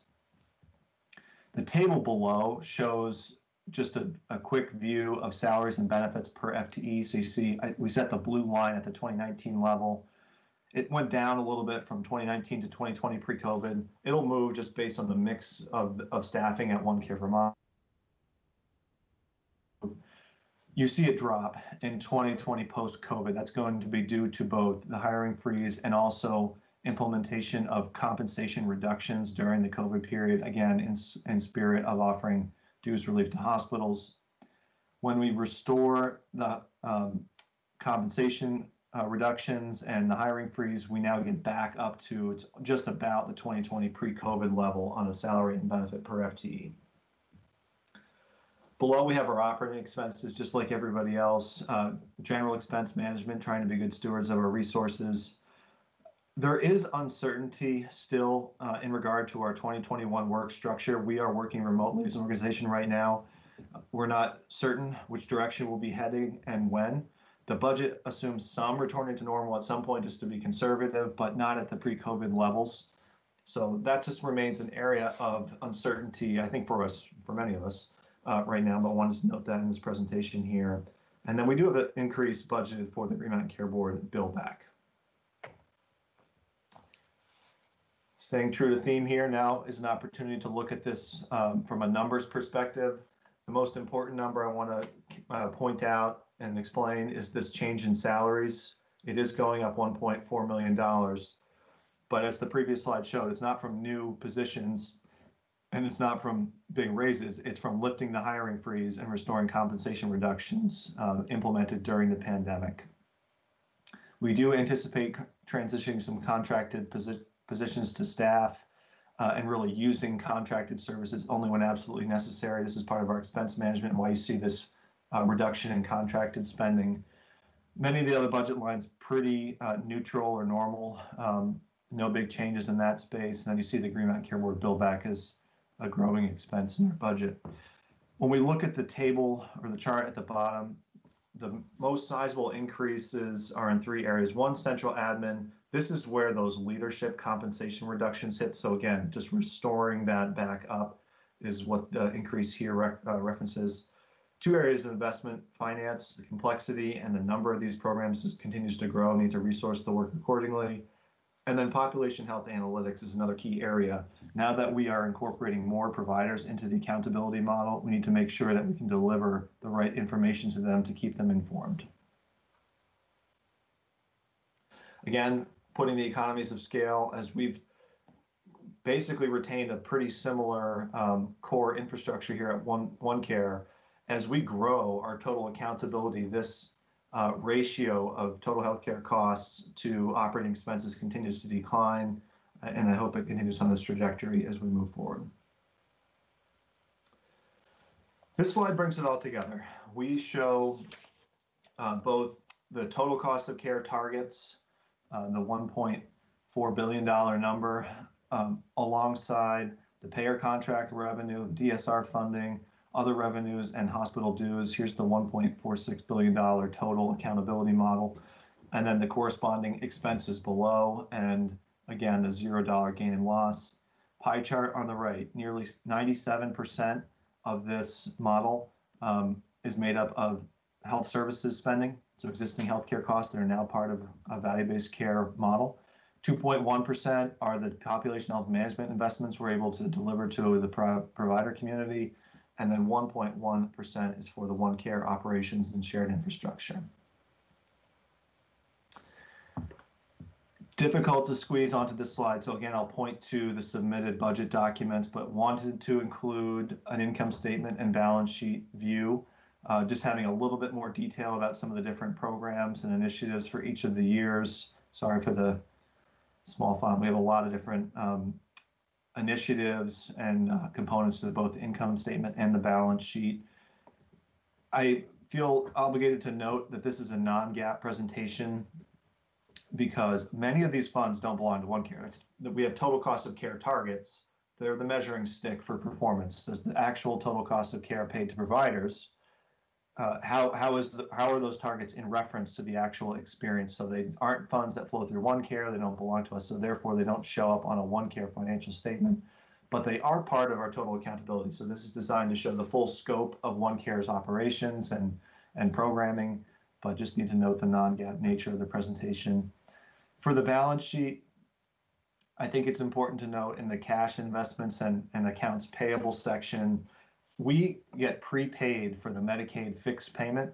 So they pay us in December for January's fixed payment. So that large number there reflects the amount we're paid in December that will be paid out to hospitals and primary care participants in the CPR program in the following month. So there's always in my estimation, inflated view of cash um, on the one care balance sheet because of that prepayment model. And that is it for the finance section. And I'll turn it over to Sara Barry from here. Thanks, Tom. Good morning, everyone. This is Sara Barry. I'm the Chief Operating Officer for OneCare Vermont. And I'm just going to highlight a couple of key areas that we're focused on in our population health management programs and share with you some of the progress that we're making. So Tom, if you could advance the slide. Hopefully by now, this uh, general graphic is quite familiar to most, if not all of you. Today, I really want to use it to highlight some of the core activities that we have underway to improve care and outcomes for Vermonters that are served by the ACO. And so I call your attention to the bullets within each of the boxes as I touch just briefly on some key activities in each one. So starting at the top left, uh, here we focus on the health and wellness across the lifespan. And really central to achieving and maintaining health are access to preventive services from healthcare providers. While the majority of individuals have a relationship with their primary care provider, where they don't, uh, such as in our Medicaid expanded cohort, uh, where individuals are attributed based on where they live, we're working really hard with our providers to promote creation of that relationship and develop a, a long-standing trust to help facilitate not only preventive care, but any other acute needs that might come up over time. In quadrant two, a new area of focus for us is on the collaboration between OneCare and the Blueprint to evolve self-management programmings to really be reflective of today's best practices and individual preferences about how individuals want to access services and supports. As we move into 2021, OneCare will assume oversight for the self-management program, and we've been working very hard with the Blueprint and the Health Department in evolving those programs and the vision together. The initial focus uh, areas will be on developing programs to support Vermonters who experience hypertension uh, and or diabetes. Because we know together they impact more than 50% of our population. And to earlier points made, they're very much in line with trying to improve chronic disease management under the state's all payer model goals. In addition, uh, we're not only focusing on those individuals that currently have hypertension or diabetes, we're also looking at some new ways to move upstream and identify individuals who are at risk for full blown disease and try to help them intervene early by making different lifestyle choices, um, receiving information and supports to help hopefully prevent that disease from happening. In quadrants three and four, we know that 95% of the high risk individuals in these two cohorts have multiple chronic conditions, and more than half of them have a combination of physical and mental health concerns. In these areas, OneCare's focus continues to be on investing in care coordination through increased engagement and specific actionable data, such as our COVID 19 application that we launched in early April this year and is described in more detail in our narrative. By early September this year, we had achieved an over 600% increase in our number of individuals, our number of Vermonters who are engaged in our care coordination programs, moving to more than 4,000 individuals. So we're really excited about that because as we move through 2020 and into 2021, it'll give us the opportunity to understand in more depth and sophistication really the impact these care coordination interventions are having, not only at the individual level, but also at more of the systemic level. And so I'm going to pause now and ask Tom to turn us over to a very brief video. This is um, an example of an individual, uh, a real Vermonter, who has experienced our care coordination and a bit of his story about what's happened during the last year.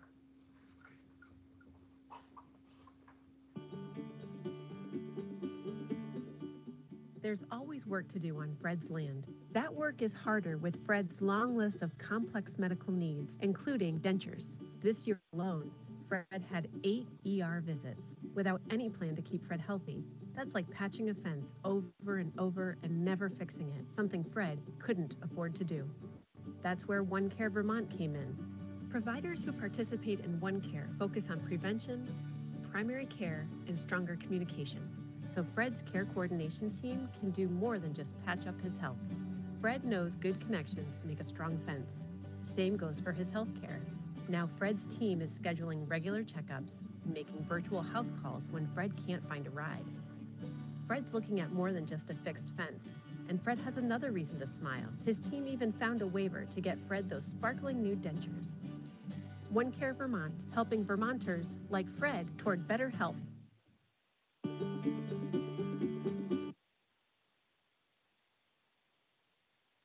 Thank you, Tom. So I think that was a great, just brief example of the types of impact this community-based care coordination program can have on individuals. And we're really looking forward over the next months to continuing to work with these community-based care teams to gather additional case studies and examples, as well as really look at the outcomes that we're able to see at more of a population level over time.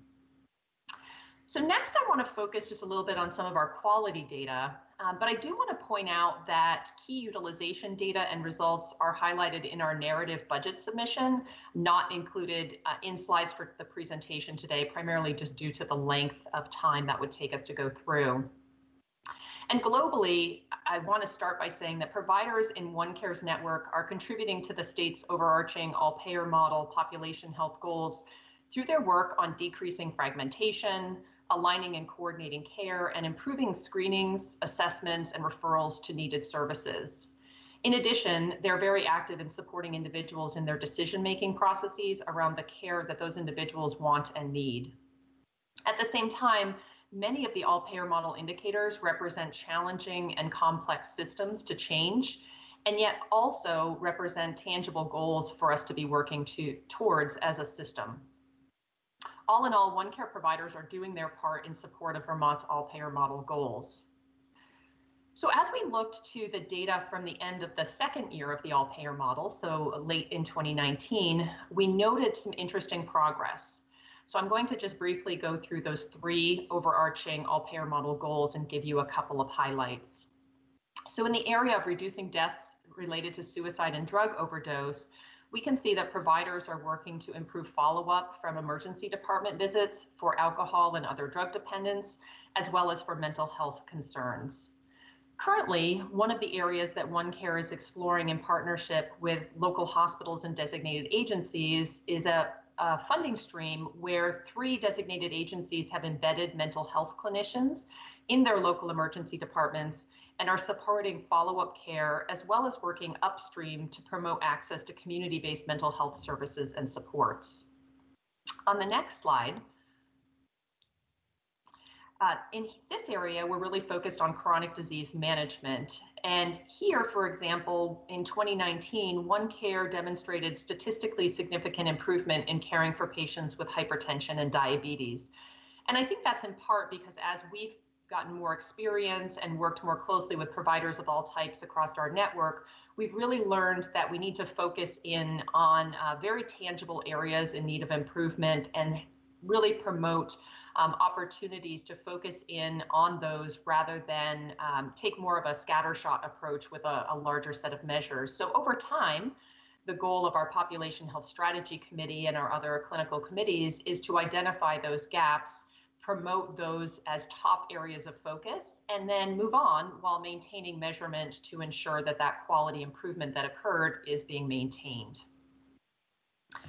In the area of chronic disease, um, we are also really thinking about how to make changes to our quality incentives to drive that focus on specific areas of opportunity and really provide more timely or proximate reward for the organizational improvement activities this is done to really try to right size our quality incentive pool um, while our scale is growing, while the number of Vermonters increases, and also respond to providers' uh, voiced desire to focus on these specific initiative with very focused and intentional change. And so Tom described this a little bit earlier as our two-pronged strategy to quality we're really excited to move that forward and have been working hard through providers in our population health strategy committee to really set the structure of that for 2021. I'd also call attention on the bottom of each of these slides that there are a whole host of investment strategies that OneCare has underway to help support the improvement or maintenance of high quality care in these areas. Next slide, please. With respect to access to primary care, this is a statewide measure uh, where patients are asked to complete annual surveys. And what we found is that 82% in the more recent survey had reported receiving timely care, appointments, and information. Um, while this is good when we look at national benchmarks, we do continue to work on this by investing resources in primary care through population health management activities, our incentivizing quality, and by testing new payment models to help primary care deliver optimal care in these types of value-based care arrangements. Next slide. As part of our learning healthcare system, in 2021, we're taking a very focused approach to our core programs and our investments. Within the area of care coordination, we are continuing our community team-based approach to supporting individuals with high quality care management interventions to achieve improvements in their care and in their outcomes. And in 2021, the core uh, focus areas that we've identified are on refining the identification of special high-risk populations to prioritize for outreach, on conducting quality assurance monitoring activities to ensure fidelity to the model, and on advancing our knowledge of best practices around care management. As you heard Tom describe earlier, we're evolving our approach to quality and really have a laser focus on key metrics as directed by our Population Health Strategy Committee. We're moving our financial incentives earlier in our performance cycle to align them with this very focused uh, approach to improvement. We continue to evolve our provider accountability model to create a statewide system of health and ensure that providers are actively committed to and engaged in reform efforts.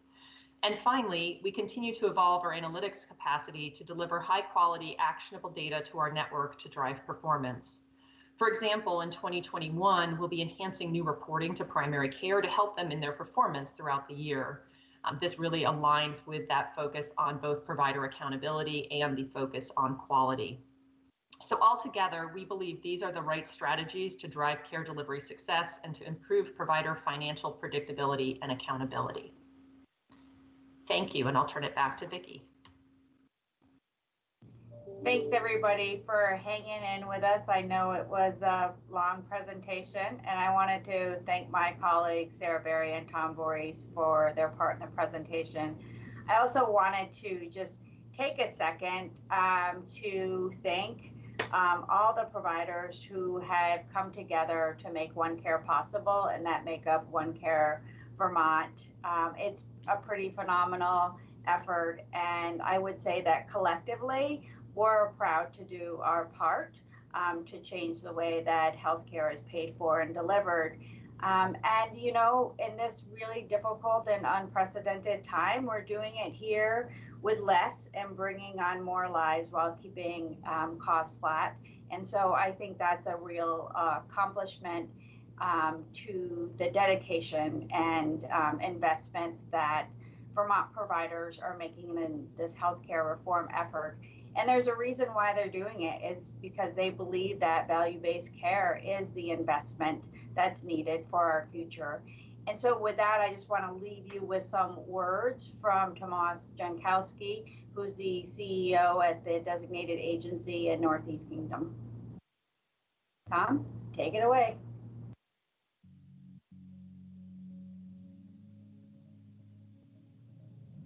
OneCare Vermont is not really, in my judgment, uh, it's not really a company. It is investment in movement. It is investment in movement that may not produce results in a year or two years or, th- or three years. I view it as a future that we can offer to Vermonters.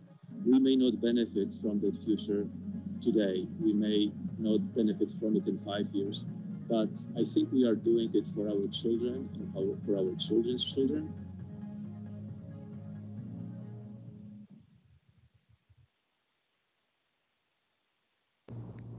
That concludes our presentation. Thank you again to my colleagues and Chair Mullin. I'll turn it over to you. Thank you, Vicki, Tom, and Sara. At this point, um, we will take a short uh, bio break to 11:15, at which point we will come back and go for another hour to an hour and a half, and then take a half hour lunch break. So um, this meeting is in recess till 11:15. I see all four board members uh, appear to be back. Um, Sunny, are you back with us?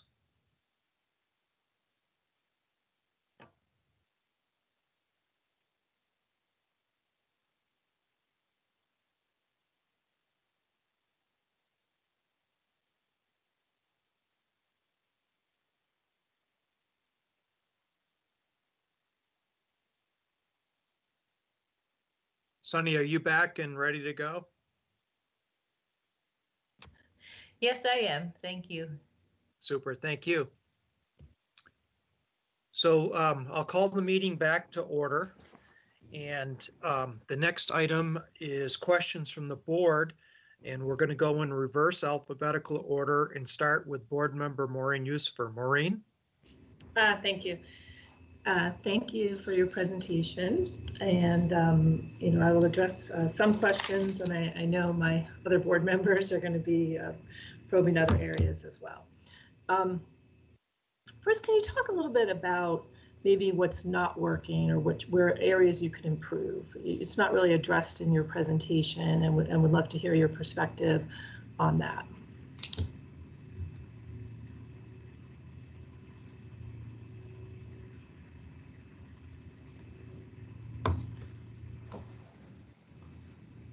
And I'm still, I'm still on mute. Yeah. I'm gonna get a t-shirt that says, I'm on mute, you're on mute. So I would say that um, one of the opportunities to improve is really um, starting to show at a health service area level or community level where there's some variations in care and where there's some real opportunities we focused at a high level on where there's opportunities um, at the ACO, but there's also an opportunity to really drill down um, and see where communities might um, need to make some changes or adjustments um, in their overall approach. And so we're planning for next year. We've rolled out um, a series of more easy to digest consultative reports for the individual communities and we've um, kind of trialed them and got some feedback uh, this year to say here's your major areas of um, and how you're doing in terms of utilization and quality. Here's where you look same or similar to the ACO um, and here's where your specific community has some opportunities. Could we talk about um, what you could do in your particular community? And you know, that has to be done um, in tandem with the communities because they know their communities the best.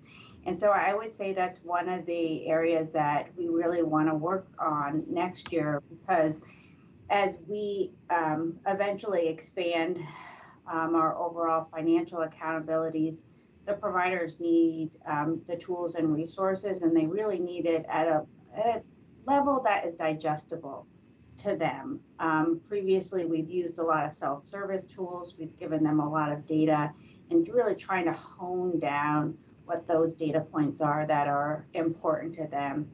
And I mean, I can't underscore that this healthcare reform movement is new. And so some of the things that really need to come together when we talk about this private public partnership is the data that we receive is only as good as the data that we receive from the payers and from VITL. And so really making sure that we have complete and robust data sets to be able to um, provide to the providers that need it um, and need it to deliver care better and differently.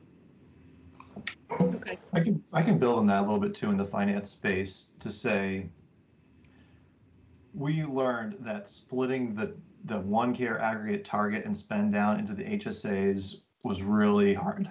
There are some data blind spots we have around confidential claims, or sometimes there's end of the year adjustments that occur that we have no ability to model, and in particular have no ability to model at the HSA level, sometimes until after they've occurred. So that's really one of the reasons for this different risk sharing strategy is to address that challenge that we've had in, in taking our overall one care uh, performance and splitting it down to the HSAs. It's, it's just been really hard. We've, we've learned that for sure over the last couple of years. Okay, and since you um, touched on the risk sharing, I think I'll skip ahead to the risk sharing question that I had. So um, you've done several things, it looks like, on the risk corridor, right? You, you've reduced the risk corridor um, and you're now allocating it proportionately to the HSAs. Um, first, do you know how much of a change this is from the prior methodology by HSA? So if, if we looked at an HSA, what their what their risk corridor would have been under a like risk corridor, if it was 2%, obviously the risk corridors have changed, but um, what that would do? Yeah, we absolutely uh, have done that. We looked at it with our finance committee. So changing the risk corridor down limits the risk for everybody. But what we did was compare at a similar corridor the old HSA accountability model to this new proportional model. Very similar in overall magnitude. Basically, what happens is any HSAs that have a historically high uh, total cost of care relative to the average ended up in this new model with a little bit less total risk and reward because they're going from their individual HSA high PMPM down to the average. And somebody with a low PMPM historically ends up with a little bit more risk as they're brought to the average. But in terms of the overall magnitude and materiality, it was pretty low. Um, and then, you know, how is this incentive going to drive change in, in like the smaller HSAs? So if everybody's now all, all tagged in together, under this performance. Um, it, you know, what, what are the incentives really in an individual HSA? Um, because it could be like, well, you know, I'm only a really small percent and whatever I do isn't really going to drive the needle potentially. I mean, obviously the intent is there for everyone, but, you know, how, how is this going to drive incentives? It's a great question. I think when we were discussing this internally, we recognized that this new approach has many advantages, but one aspect you lose is that individual community accountability that that you reference. I think the strategy that we're trying to push forward is a little bit of a both, where you do this allocated risk at the end, end of the year, but then we build in measures, specific targets for individual HSAs to basically retain as much of that HSA local incentive as possible. This is a little bit more technical, but in the actual settlement policy, there is a 10% pool of shared savings that will go to communities that um, have outstanding performance in the year. So there remains some uh, financial incentive at the HSA level. Those specific measures are in process through our governance of being finalized, but we want to have a couple really important measures focused around spend, because that's what the shared savings uh, really is for, that would reward the communities who just perform excellently relative to the average. And have you, cons- oh, did you want to go ahead, Vicki? Oh, yeah, I just was going to add a little bit of that. When we were at, to that, when we were looking at this, we asked communities, you know, would you be going into a risk-based model with payers on your own? And the answer is no. We wouldn't be building 14 separate ACOs. And the reason for that is the numbers are small and there's a lot of volatility in the numbers too. And what we're trying to do here is create a system of care. And we see that there is a lot of collaboration and referral patterns around the state. So if we don't start acting like a system of care and being financed as a system of care, we're not going to change. We're going to continue to do things within our communities and not kind of cross um, community borders in that aspect. So I think those were two other things that came out of this was no one would do this alone. You wouldn't have a Brattleboro or a Bennington or Morrisville go into these arrangements alone because their numbers are just too small. And secondly, we need to start acting like a system of care in order to be successful under this model. And just just um, adding on to the system of care piece, one of the concerns I've had with the old risk model, and it would continue with this risk model, is that in some of the smaller HSAs, um, the care that they're providing at their hospitals is still relatively low to the total cost of care that are attributed to their lives. So um, I'll just throw out numbers, and these were examples from before, but you know, a hospital might have 20 million uh, uh attributed lives that equal to 60 million dollars worth of spending, but 20 million is in their specific area. 20 to 25 are in other hospitals within one care, and then the remainder is outside. And so when, when we looked at what that percentage of risk was on their actual money that they were getting, it was high. You know, and, and this was under the old model, right? But it could be as high as 10%. So so they could have uh, in that model when you're at 60 million, they, they could have had almost a $2 million risk corridor, a little under, under onto their 20 million. So, you know, one potential alternative is is a lot of that care was done um, at UVM. You know, just throw out there that that's where a lot of that care was being done. So, so they had the opposite effect. They had their attributed lives, their percentage of risk to their attributed lives, and then they did service for a lot more of the patients. And so, on a system wide, right, we want everybody rowing in the same direction. And even though those people are from outside their area, um, I'm just not sure why we, you know, one way would be to align the risk with where people are getting things done, especially now that we're kind of taking out that individual hospital performance per se. So just just wanted to know if that came up at all. And um, you know, I know it's a tough decision where you do things, but there's still maybe a concern that should we I guess another question I'm going to ask, which you could add into this, is, you know, once part of the reason we reduced the risk corridors was with pandemic and everything else, do you see us going back to higher risk corridors at some point, and that would become more of an issue then, right? lowering the risk corridors has obviously reduced a lot, but um, just can you talk to that about alignment? Sure the points you raise are, are right on. Each community is structured differently. In a more rural community with a smaller hospital, just naturally more of the care is delivered out of that HSA. We've talked about this a lot uh, at OneCare. We hosted before the pandemic um, a series of finance retreats with finance committee members and other financial stakeholders and discussed a, a number of different options. There are some interesting options out there. But generally, the sentiment is this is a population health model, and all of these people reside or receive their primary care in a community, and that's that's really the important attachment point. And there wasn't a huge desire to make a shift, but I absolutely recognize that uh, kind of dynamic of community A has a different proportion of their care delivered at their local hospital than community B. Um, but still, I, I, just about everything about our programs focus on the population and where they attach for their main healthcare services. And if we're working like a system, as Vicki said, I think the downsides of this end up becoming smaller. Uh, if we're all working together to make sure that this all the care is coordinated well, whether delivered locally or at a neighboring HSA, um, we still think we can have the right results and kind of balance that equation a little bit. Okay.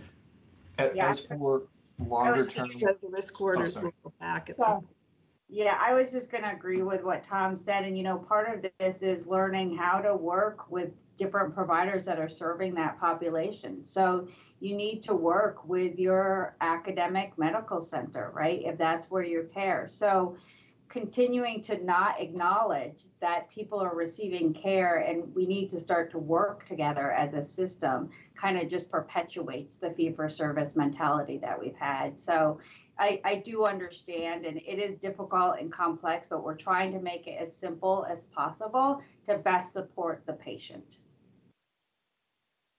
Okay. Um, and then when you when you talk about, and I like the fact that you do have the incentive for providers, and you know they could go up to, uh, I'm, I'm talking the upside, right? So they could have another dollar fifty upside, and um, you talked a little bit about in the in the book where that's funded. Um, but just wondering, is that taking away somewhat from from what the hospitals could receive, right? Because you're you're kind of taking one of the payers, taking taking that and not allocating that out, and and how did that go over? Because if if that expands, I, I think it's a good thing to incentivize. I, I just know you're balancing a lot of things, so wanted to. Yeah, you're you're absolutely right again that by offering some of the shared savings opportunity to attributing primary care across the uh, network. It does take that opportunity away from the hospitals. Uh, I I don't want to underscore like the magnitude of this because different side, you know, if one number is big to one person and small to another person, relative to the hospital risk, it's a pretty small proportion overall, but still an important um, an important part of ex- of expanding accountability across the network. On the other side, it al- it also reduces their downside risk. I mean, again, not a lot, but it does contribute on that side as well. Uh, in that we'd use some of those um, dollars that we didn't pay out to help fund downside losses if we're earned. So that shields the hospitals a little bit. Okay. Um, and I know there's really kind of a lot put on one care shoulder because you're the only ACO in the state, but you know, how do we drive more growth and scale um, you know, for, for attribution. So I know you're doing a lot of things and you've had some growth, but we know we're still not at the scale that we'd like to be. So what other programs do you have to drive scale? I, I would say, Maureen, that it comes back to that public-private partnership. You need to have payers that are willing, right, to be able to offer these programs out to ACOs and in Vermont, we have essentially two um, payer groups that provide services or insurance to Vermonters, but we also have a lot of national players out there who have not wanted to participate in Vermont's healthcare reform efforts. And, you know, they have reasons for doing that. And so um, I think that's something that needs to be looked at um, as a state to say, is it practical? To be able to bring in those lives. And our particular focus at the ACO, I, I know that the state has um, scale target goals, and I think that scale is important to the providers as well. But really, our push and thrust has to be around accountability. Because if we continue to grow um, and we don't have any significant changes in the way that care is delivered or providers taking accountability for it, that's not a good plan for an ACO when risk is being transferred over to the provider network. So our focus it has to be around increasing those accountabilities, providing the resources that are needed to um, make the changes, and to continue to create some attractive programs that providers will want to participate. But it's you know, a, a multi-pronged approach. I think all stakeholders, not just the ACO, has a role to play in what some of our policy decisions, payer decisions has to be made in order to increase scale.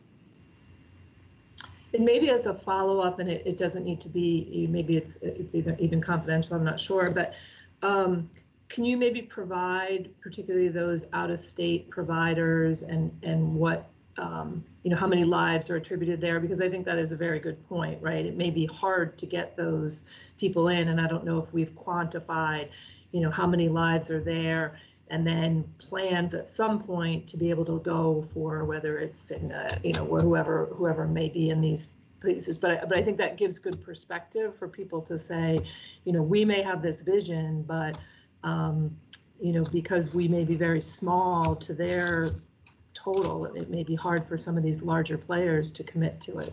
And uh, it would be good to have that as a follow-up. I, I do think that we probably have some estimates. Uh, I don't know that we have the perfect numbers, but we could certainly provide you with the information that we have.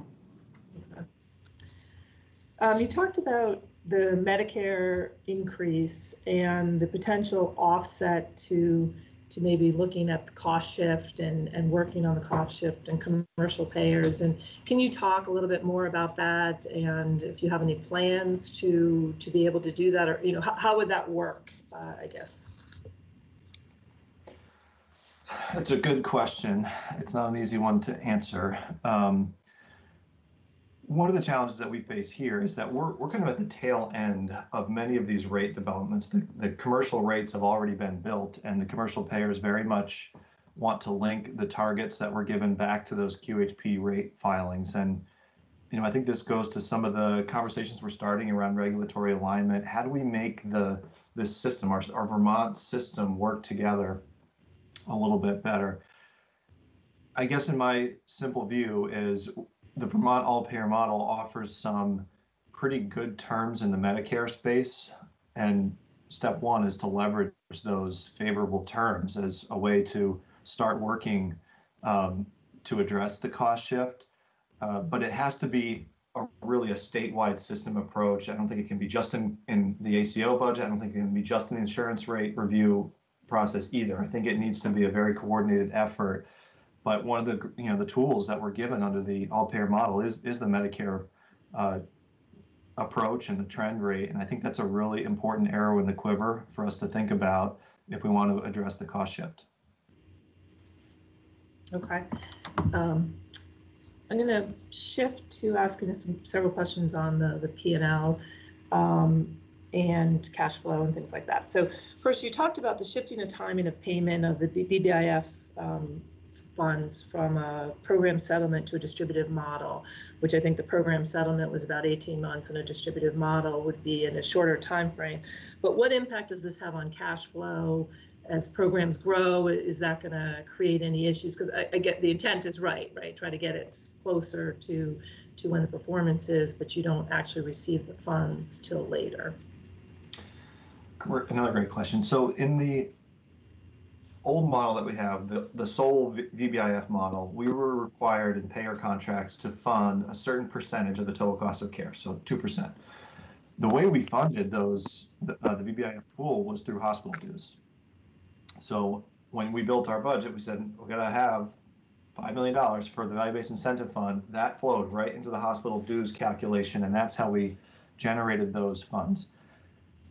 The with our growth over the last few years, more lives, um, just increased uh, programs overall, the amount of the value-based incentive fund landing in the dues calculation became very significant, and it was driving up the dues in a big way.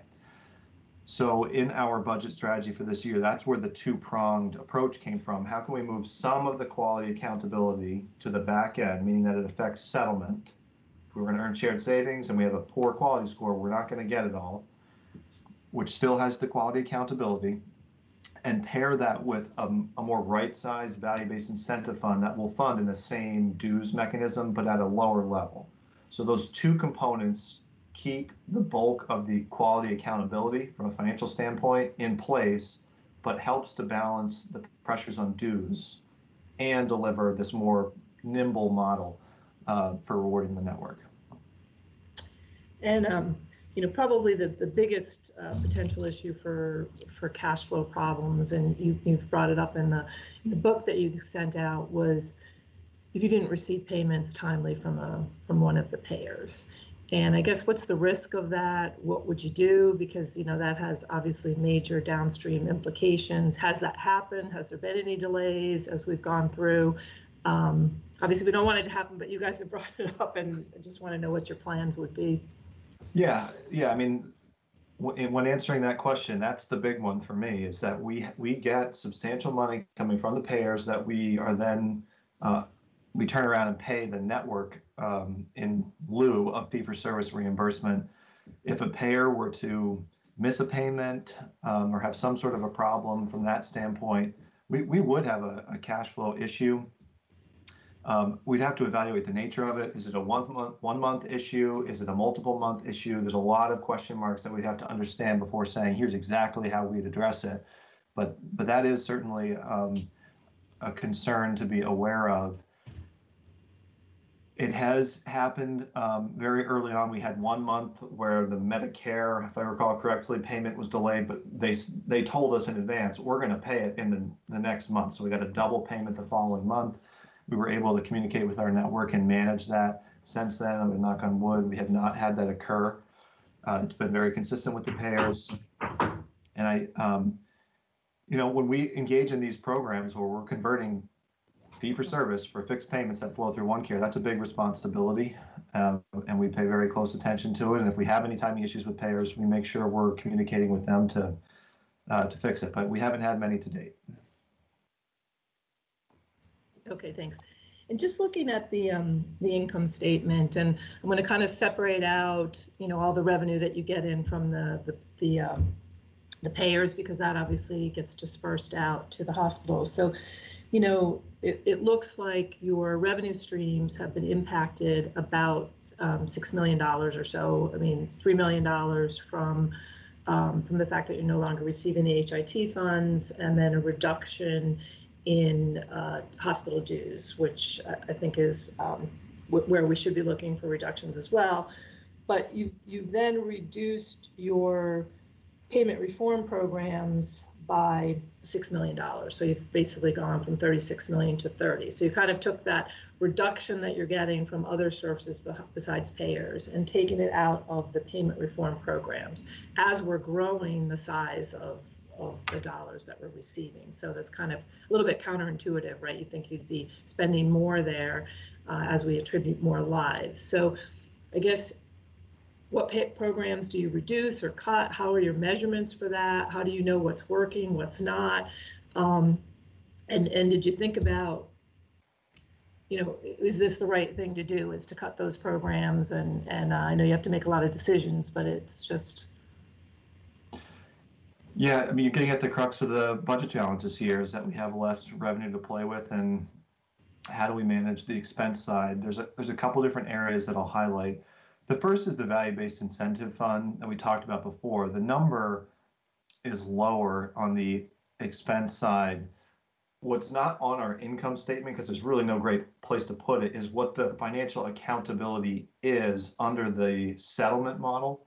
So we can lose those shared savings dollars or more it doesn't have a great home on this illustrative income statement, so it makes it look like the quality component is smaller than it really is if you aggregate how much we have at stake for quality. So that's that's one piece, but it also helps to alleviate the hospital dues to do it this way. So there's that that's probably the most material piece.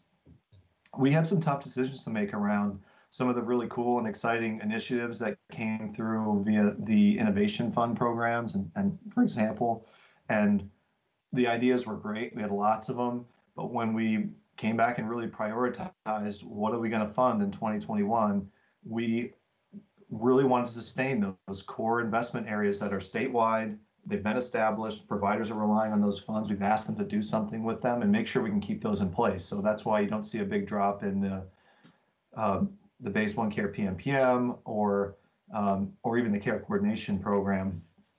So not easy decisions, but we just like every other um, entity out there, you have limited resources to play with, and we establish what can we get from revenue through our contract negotiations, the hospitals, et cetera, and then what's the best way to use those funds. And um, like you said, not easy decisions. And I, I just wanted to emphasize um, for the group is that OneCare is a provider-led organization, so none of these decisions are made just by the management team. Um, we have clinical committees, we have population health committees, we have finance committees, um, which represent providers from every sector of OneCare Vermont who are looking at what our revenue streams are, what our expense streams are, and making some decisions about where to focus um, moving forward with declining revenues. Like what what do they need to be successful? And I think they have helped to shape what the core programs and focus areas need to be for OneCare moving into the future. And you know, in the early stages, we did a lot of innovation. We looked at a lot of things. Um, and when we look at the overall return on investments and how they really fit into the role of an ACO, they're great things to do. They provide individual value, but they're not sustainable under the current environment. Okay. Um, and then the, another thing on the income statement was the increase in salary and benefits, um, which are going up by 1.5 million. Um, and what what I don't see on the balance sheet that was provided was what what your original 20 projections were. So you, you gave that on the FTEs and things like that, right? And so we saw a pre a pre-COVID and we saw that decline. But the when we look at the actual the approved budget because it was done so late really really ties into your current projection. So you know if I go back to you know 2000 2019, you had about 8.2 million in the salaries and benefits. Our budget submitted was 8.4, and that's was your post-COVID, but there was a, a, an extra step in there, right, where you were originally anticipating you were going to have higher staff and higher expenses, um, because you know we're actually seeing from a 2019 actual and a 2020 budget and projection um, are about the same. 2019 and 2020 are going to end up about the same, but then we see a relatively large increase, the million five, which I, I know you did discuss some, but I want to give you the opportunity because part of it is contracted services have shifted.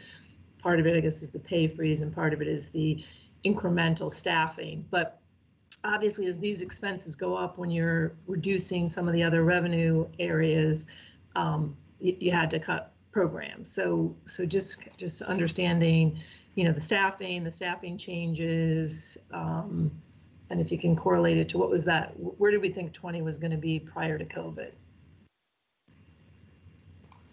Yeah, a lot of moving parts in here is the first thing that comes to mind. We really did a lot of work over the last few months to evaluate what OneCare has for staffing resources and make sure it positions us for success in the future in terms of addressing our priority areas so we, we have made some shifts in terms of uh, just organizational structure internally.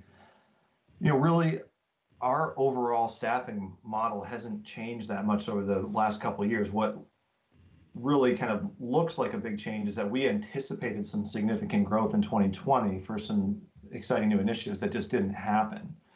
Uh, in response to COVID, went back and took out things that we just had to to make sure that we didn't, you know, we could offer that dues relief to hospitals. So when you look at year over year what our real salary and expense was on a per FTE basis, it stayed really consistent. So we haven't made many changes that um, adjust. But in terms of the work that OneCare does as an organization, we do a lot more now, or have to do a lot more now than we had to do three years ago. When we had just a Medicaid and a Medicare program and an upside only or maybe even upside only programs, that requires much less effort than it does now to have five programs that are very complicated. The commercial programs, the Blue Cross Primary um, is one, has a lot of components within it. And the financial demands and the analytic demands and the, the need to meet the network's needs uh, has grown tremendously. And we're just always faced with this balance of how do we resource OneCare with enough staff to manage these super complex programs, support the network, support the Vermont um, statewide partnership. There's just a lot of demands, and the fact that we really haven't grown our uh, staffing, I think is telling. I, I think it's it's we're doing a lot with not a lot of staffing resources right now, and and that's not easy. Okay, and just a question on, I know you lost the HIT funding, um, but it does look like your software expenses are are staying consistent year over year. So um, I, guess, you know, there has been some concern of losing those funds. are you cutting back at all on your deliverables for analytics and data? Um, and you know, I'm looking at your software expenses are fairly flat, so I'm thinking it's it's that you're not, but would like to hear that from from your perspective.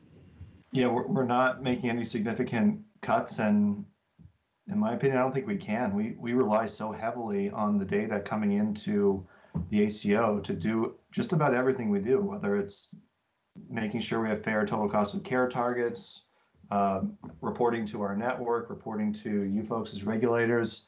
We need that data uh, and to inform inform the care. More importantly than anything else, to make sure that the providers have good clinical information. So uh, we we had to find a way to build this budget model absent the HIT funding that didn't erode our analytical finance capabilities uh, in order to be successful.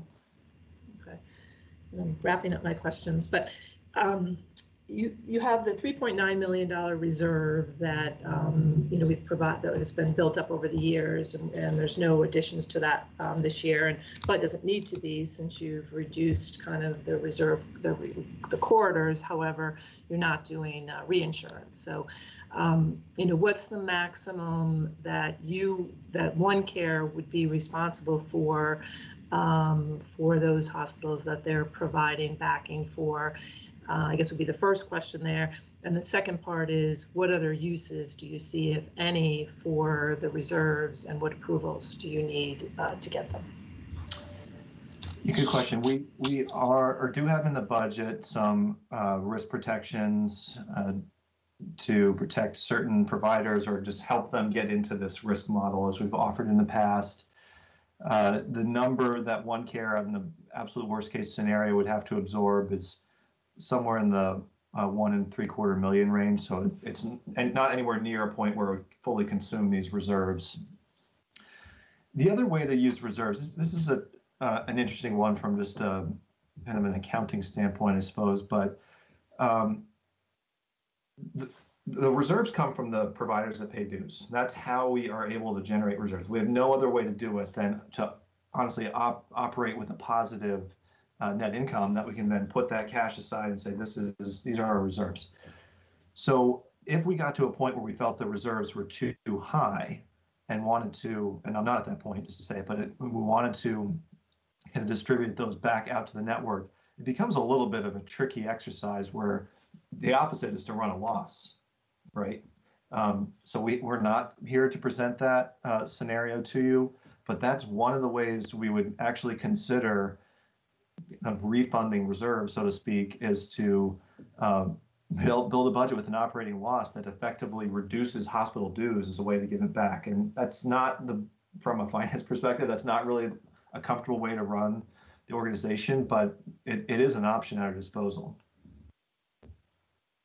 Okay, one last question, just on the on the cash flow, you're showing a negative 5.1 million dollar change in 21. Um, help me out with that because the other years you've actually been a slightly positive with cash flow. Is that you know reimbursing the loan um, or you know what's what's driving a negative cash flow um, in 21? Sure. Yeah, we do anticipate paying. We took a loan out from the UVM Health Network to help fund the financial guarantee required by the Medicare program. What we've done since then is get a, a, line of credit with the bank that allows us to issue a letter of credit to CMS to satisfy this financial guarantee. So we are paying off a $4.2 million loan uh, that we had with the health network. I can look in more depth and get back to you on any other details in there, but that's the one that comes to mind as the, the most material. Okay, thanks. And there are many, many more questions and a bunch of questions on quality and things like that, but I'm going to let my colleagues ask ask those. So I am I'm done, Kevin. Thanks.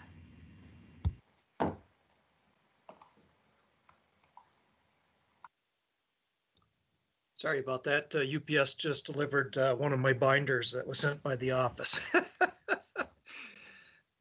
you might have heard the dog barking. Um, we're going to move to uh, Tom.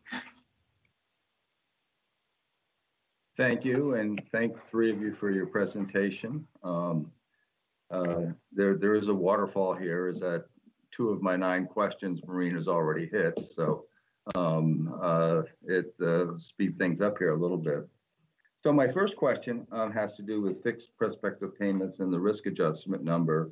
And on Appendix 6.6, uh, 6.6, you profile that at $460 million in, in, across all hospitals in terms of, uh, of that. And uh, the approved NPR for 2021 for all those hospitals is about $2.8 billion. And so that's about uh, what that is um, a 16.5% of revenues coming in through the fixed, pro, uh, fixed prospective payment. And so uh, I'm just wondering where does that number fit, that 16.5% um, is relative to um, you know, inducing the reforms at the level we'd like to see them in, in Vermont? I, so the way the way we get that number is we look at the attributed lives and then how much care they receive at the hospitals participating in a fixed payment model.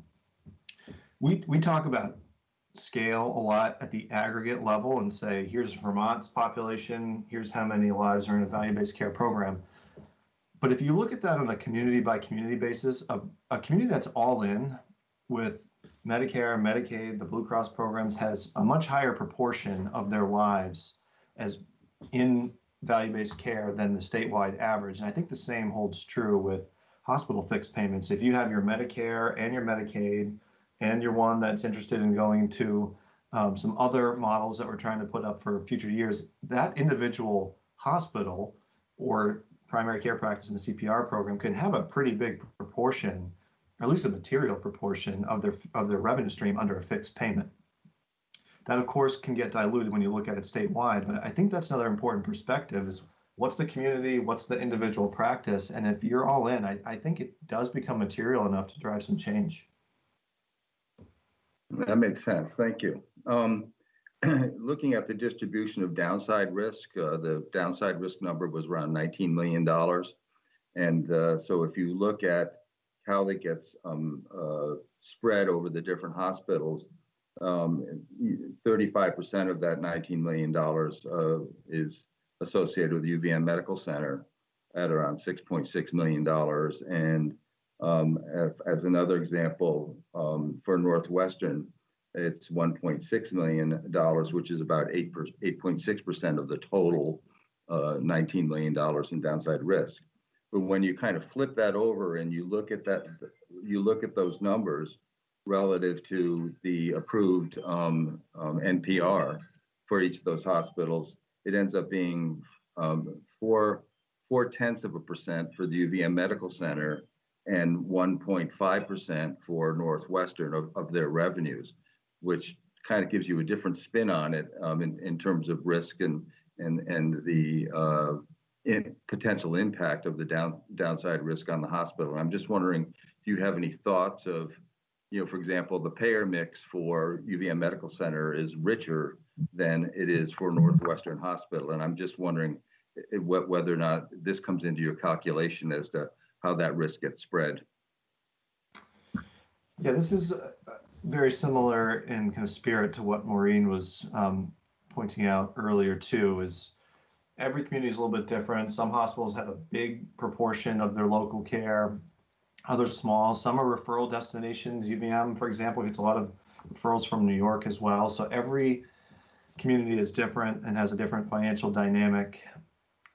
At the end of the day, though, we go back to this is a population model and keeping in line with that uh, has been kind of the aim thus far. Uh, but you raise a good point, and, and, certainly one that we've talked about internally, not only with OneCare Management, with our committees and our stakeholders of is this right?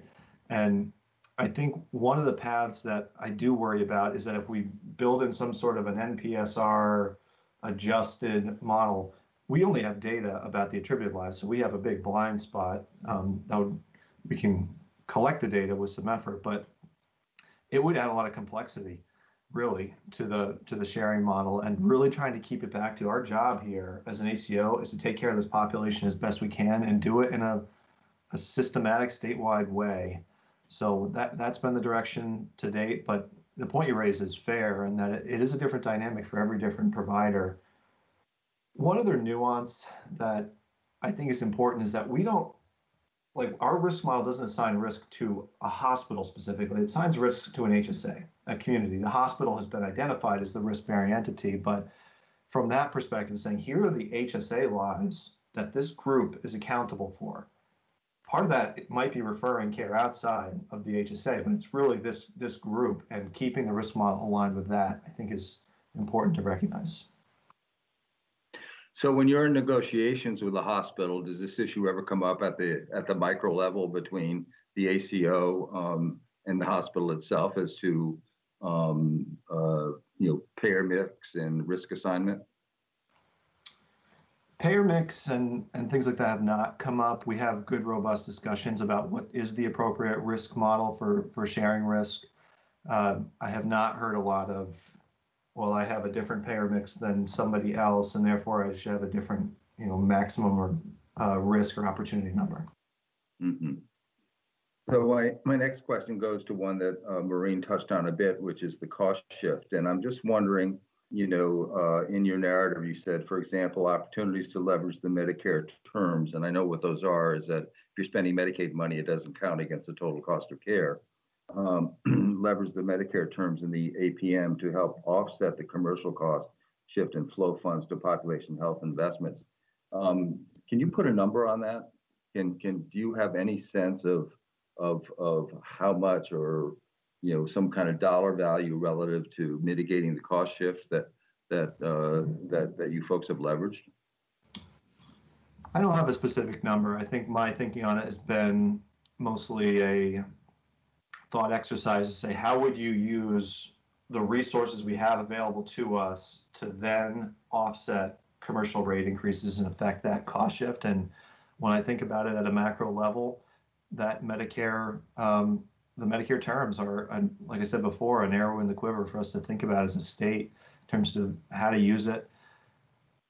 While I don't have a number, I, I definitely think it's material and that the Medicare spending is significant, especially as we have an aging state. And any increase, percentage increase you can get in that space is going to go a long way. Mm-hmm. So um, when the uh, when DVHA presented its budget to the legislature in the, in the last session, you know they uh, made the announcement that that they would not be increasing any of the reimbursement rates for 2021 um, except for those that are federally mandated. So I'm just wondering, kind of going to your appendix 4.3, um, where you have your expected growth trends. Um, does that uh, is is that something that's calculated into those, or is that um, you know obviously we still have to go through all the actuarial process with with the Medicaid rate, but uh, uh, does that does that affect your thinking at all? We when we set the trend, we're trying to come up with the the best estimate to go from a base year where we have some experience data to rely upon to the performance here.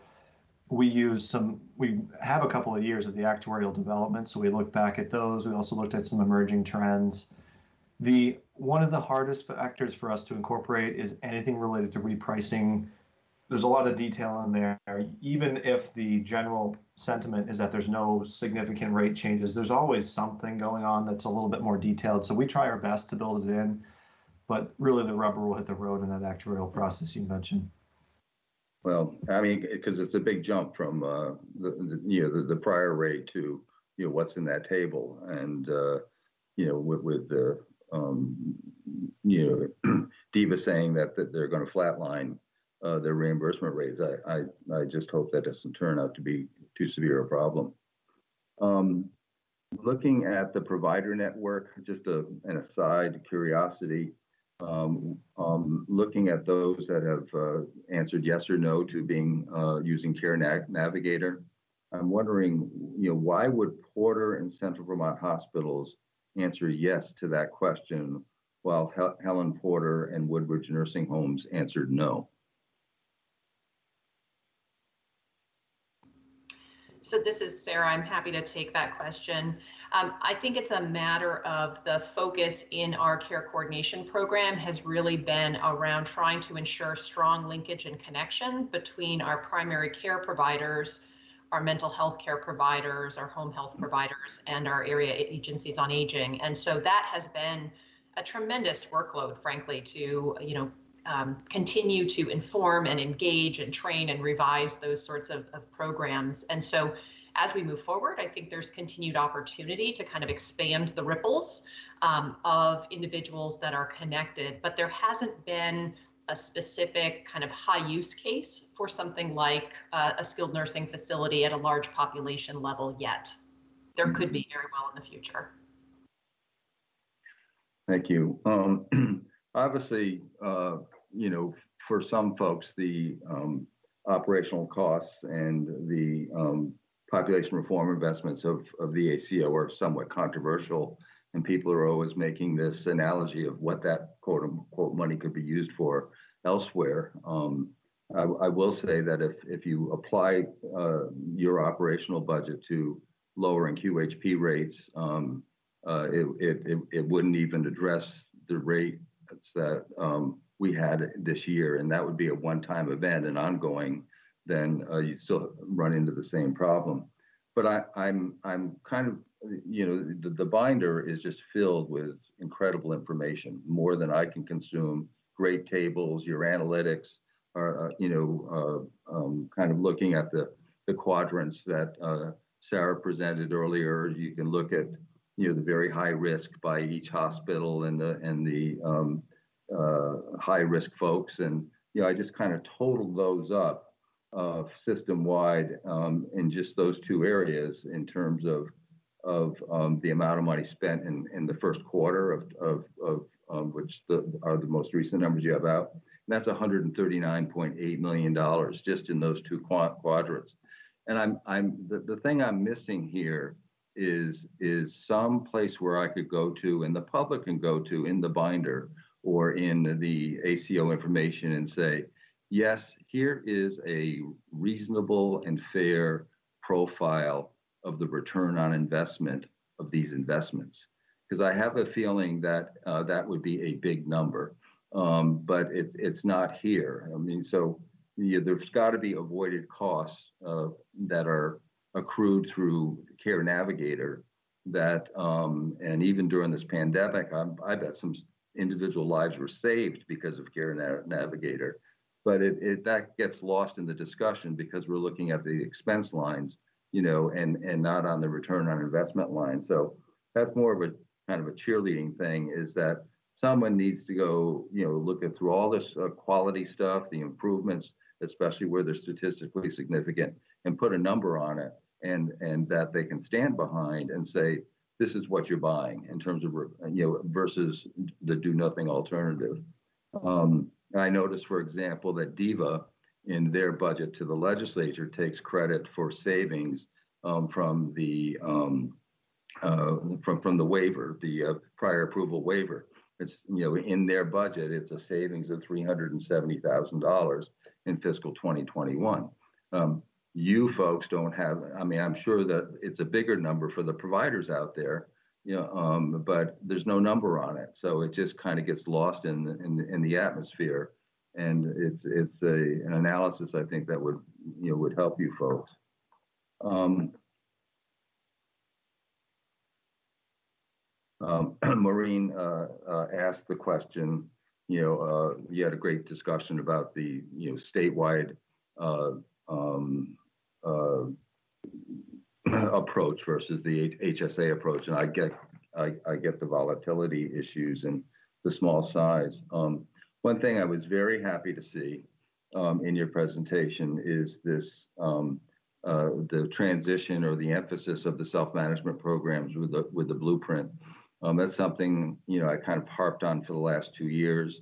Um, you know, uh, and one piece that I think is missing in your approach is aligning that work with the benchmark plan supporting the QHP um, benefits. Uh, you know, they uh, they don't support pre-di- a pre-diabetes approach similar to the one that the blueprint operates, which is you know aligned with the CDC, which is supposedly the best there is, and um, so you can get some help on a nutrition counseling through the Q, through um, Blue Cross Blue Shield. I don't know about MVP, but you can't get any help in terms of fitness.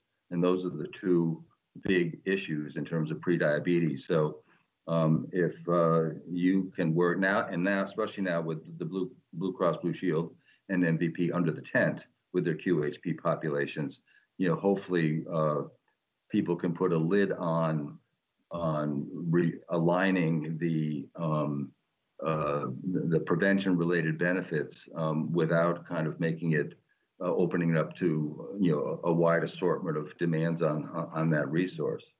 Um, uh, Maureen hit the salaries and occupancy. is the same. And so this is one, um, my last one is just because it's such a big number. Um, and I, I, I just kind of want to ask it and get it off, get it off my chest. So um, the ACO is, is owned 50-50 by UVM Medical Center and Dartmouth, as I understand it. Um, and when you look at the UVM Medical Center's budget, they uh, that that equals about 25% of the total healthcare spend in Vermont, which is around a little over six million dollars. The total hospital spend is three million dollars, and the UVM Medical Center is about 1.4, 1.5 of that. So they're about 25%.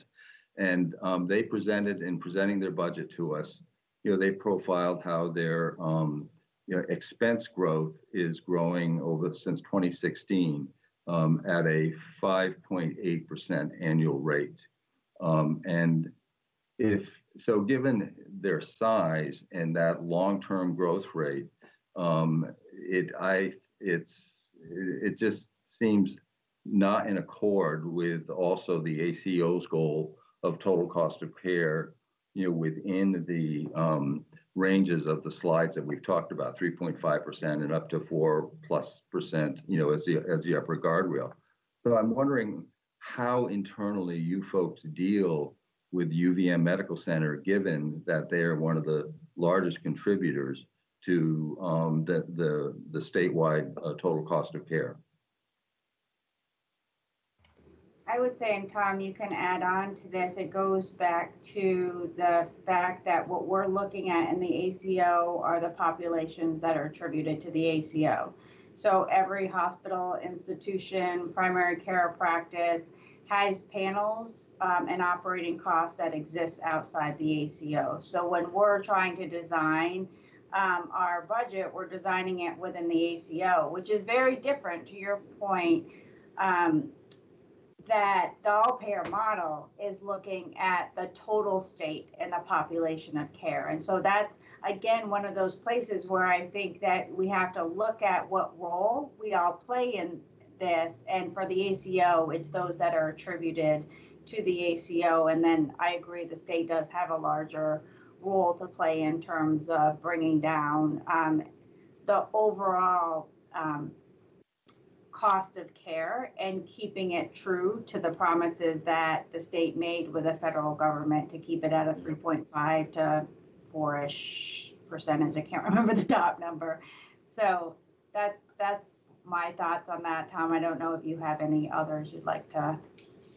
Just one, just one simple one. That the very first step is to install value, a value-based care paradigm, and does that solve every single problem underneath? No, but it starts to build the framework where providers and UVM is an incredibly important provider in this state in terms of our overall success, but start to have the incentive to focus on population health, focus on prevention.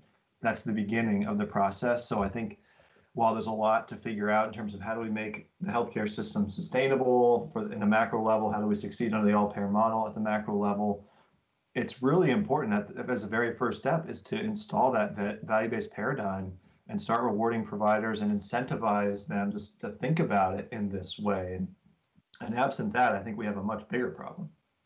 Yeah. Well, I, I appreciate that that you know you folks are looking at an attributed lives population mostly, you know, and the APM target is a statewide target. Um, but it just, you know, it worries me that when that the bigger player, that's like 25% of the total pie, is growing um, at a rate that is well in excess of what the target is in the all-payer model. That we're not going to get there in, unless, uh, you know, something changes, and I'm not quite sure what that is. But thank you, thank you both for your time, and I'll turn it back to Kevin. Thank you, Tom. Um, Member Lunge, Robin? Thank you. Um, so I'm, I'm trying to kind of frame my questions into three buckets uh, because when I think about delivery system reform, I go back to the lessons that we learned from the decade implementing the Blueprint for Health uh, primary care medical home program and the community health teams. And that is that for payment and delivery. I think someone needs to mute. Oh, that sounds better. Uh, for payment and delivery system reform to actually be successful, I think there are three uh, kind of legs of the stool eh, that we really developed through the SIM grant program as well. And those are payment changes themselves, uh, providing actionable data, which is a combination of health information technology, data, and the ability to use the data, and providing tools for actual care redesign at the provider level. So I'm going to, that's, I just wanted to say that out loud so that you had the framework for where I was coming from.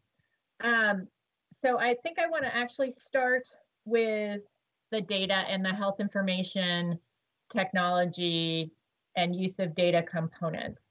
Um, I think one of the areas that we as the state have struggled for a long time is making this transition from uh, data to actionable data. And I know that you mentioned, Sara, that uh, you've, you're focusing on that for 2021 in terms of moving from providing tools where providers themselves can go into the tool and come up with different reports and whatever to um, more usable sort of pre-packaged data elements. And I wonder if you could provide a little more depth there because I see that as a potential failure point with any delivery system model. Thanks for the opportunity to talk about that a little bit more. I, I think that we've learned that you know the data, unless structured appropriately and in bite-sized pieces appropriate for the audience, really can be meaningful or uh, meaningless. So as we've learned and every year kind of iteratively tried some new things out, received some feedback, um, we focused on a couple of areas. First, I would say is data transparency within our network. And that started at a policy level um, and now has really gotten to more of an implementation um, perspective. So getting people used to not only having their data shared within the network, but sharing it with the others and benchmarking against one another, not only just kind of opaque national benchmarks.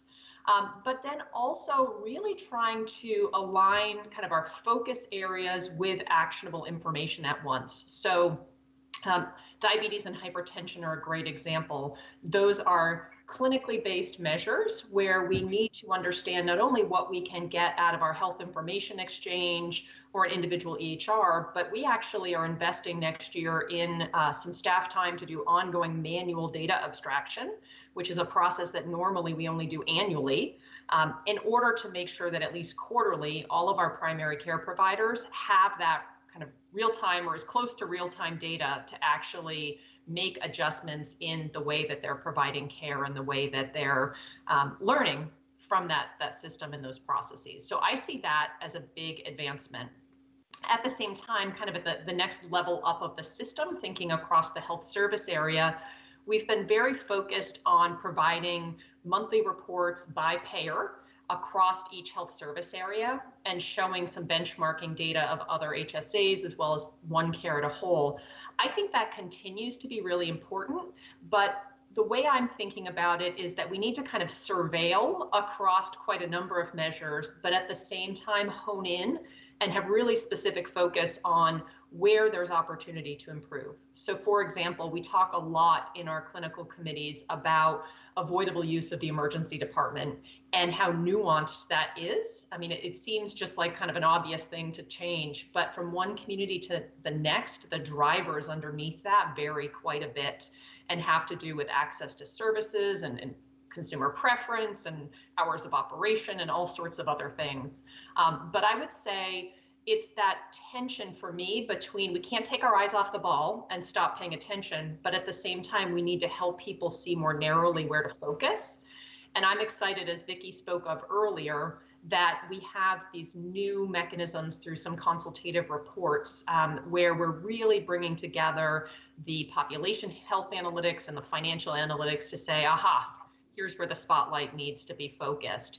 That's still a new enough process for us in this model that it's a little too soon to be able to tell you about the outcomes that are resulting. Um, but I can tell you that coming up in our next board meeting, we'll have one of our health service areas in the public session kind of spotlighting what they're doing in response to the data that they're receiving. And that brings me, I'm, I'm going to kind of jump between the two quadrants of usable data and actual care redesign. Um, so when you provide that, I know that you were talking about the quarterly data on diabetes and hypertension that you would provide to the primary care level, and then the HSA sort of spotlight data, I'll call it. Um, uh, who does that HSA level data go to in the HSA? Yep. So uh, because this is all, you know, confidential information, um, much of it, you know, we have to be quite careful of and, and sensitive about. It's posted every month on OneCare Secure Portal, which is accessible to anyone in our provider network. Um, we send out kind of reminders around that, and we include key performance reports at the ACO level in our board packets uh, that go out every month. In addition, about a year ago, we evolved one of our staffing supports in our analytics team to be a population health analyst. Um, and she goes out and actually uses those reports and engages in the community level meetings that are happening for those participating in the ACO. So whether they're called accountable communities for health or regional clinical performance committees, everybody's got their own kind of label. But um, that's a place to really talk at the local population level about what's going on and look at some comparative data. Okay, that's helpful. Um, do you think that we have enough, we collectively, not just the ACO, um, do you think we as a state have collectively invested sufficient resources in the care delivery redesign component of change? And the reason I ask that is because um, going back to lessons from the blueprint, the blueprint's payment component was small and always recognized as small and not necessarily the driver of the delivery change because it was so small.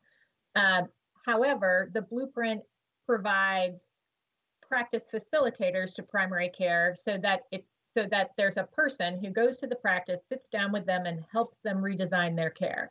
And uh, that's still available at the primary care level, but I think the kind of care redesign we need moving forward is bigger than just primary care, obviously. And so that same kind of resource is not available to hospitals. It's not available, although they may have internal resources to do that. I don't know. Um, and that probably varies depending on the hospital.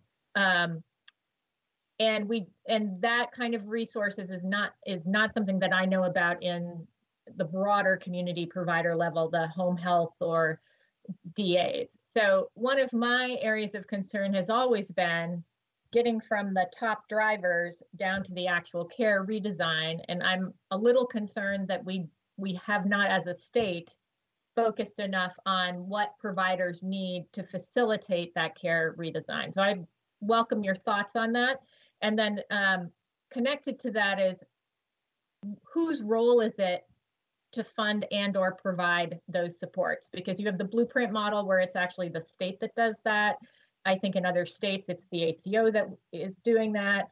Um, you could also argue for a model that uh, the community providers themselves should be, you know, in charge of their own care redesign. So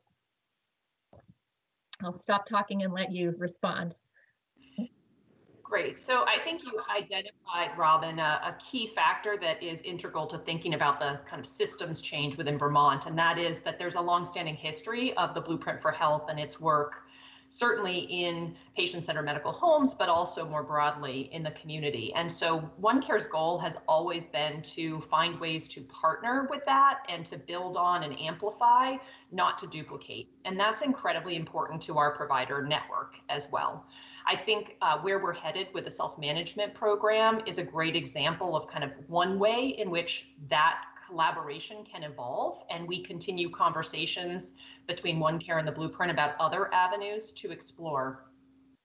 in terms of the kind of that dichotomy between practice level support and community support, I do think there are some components that exist in that space.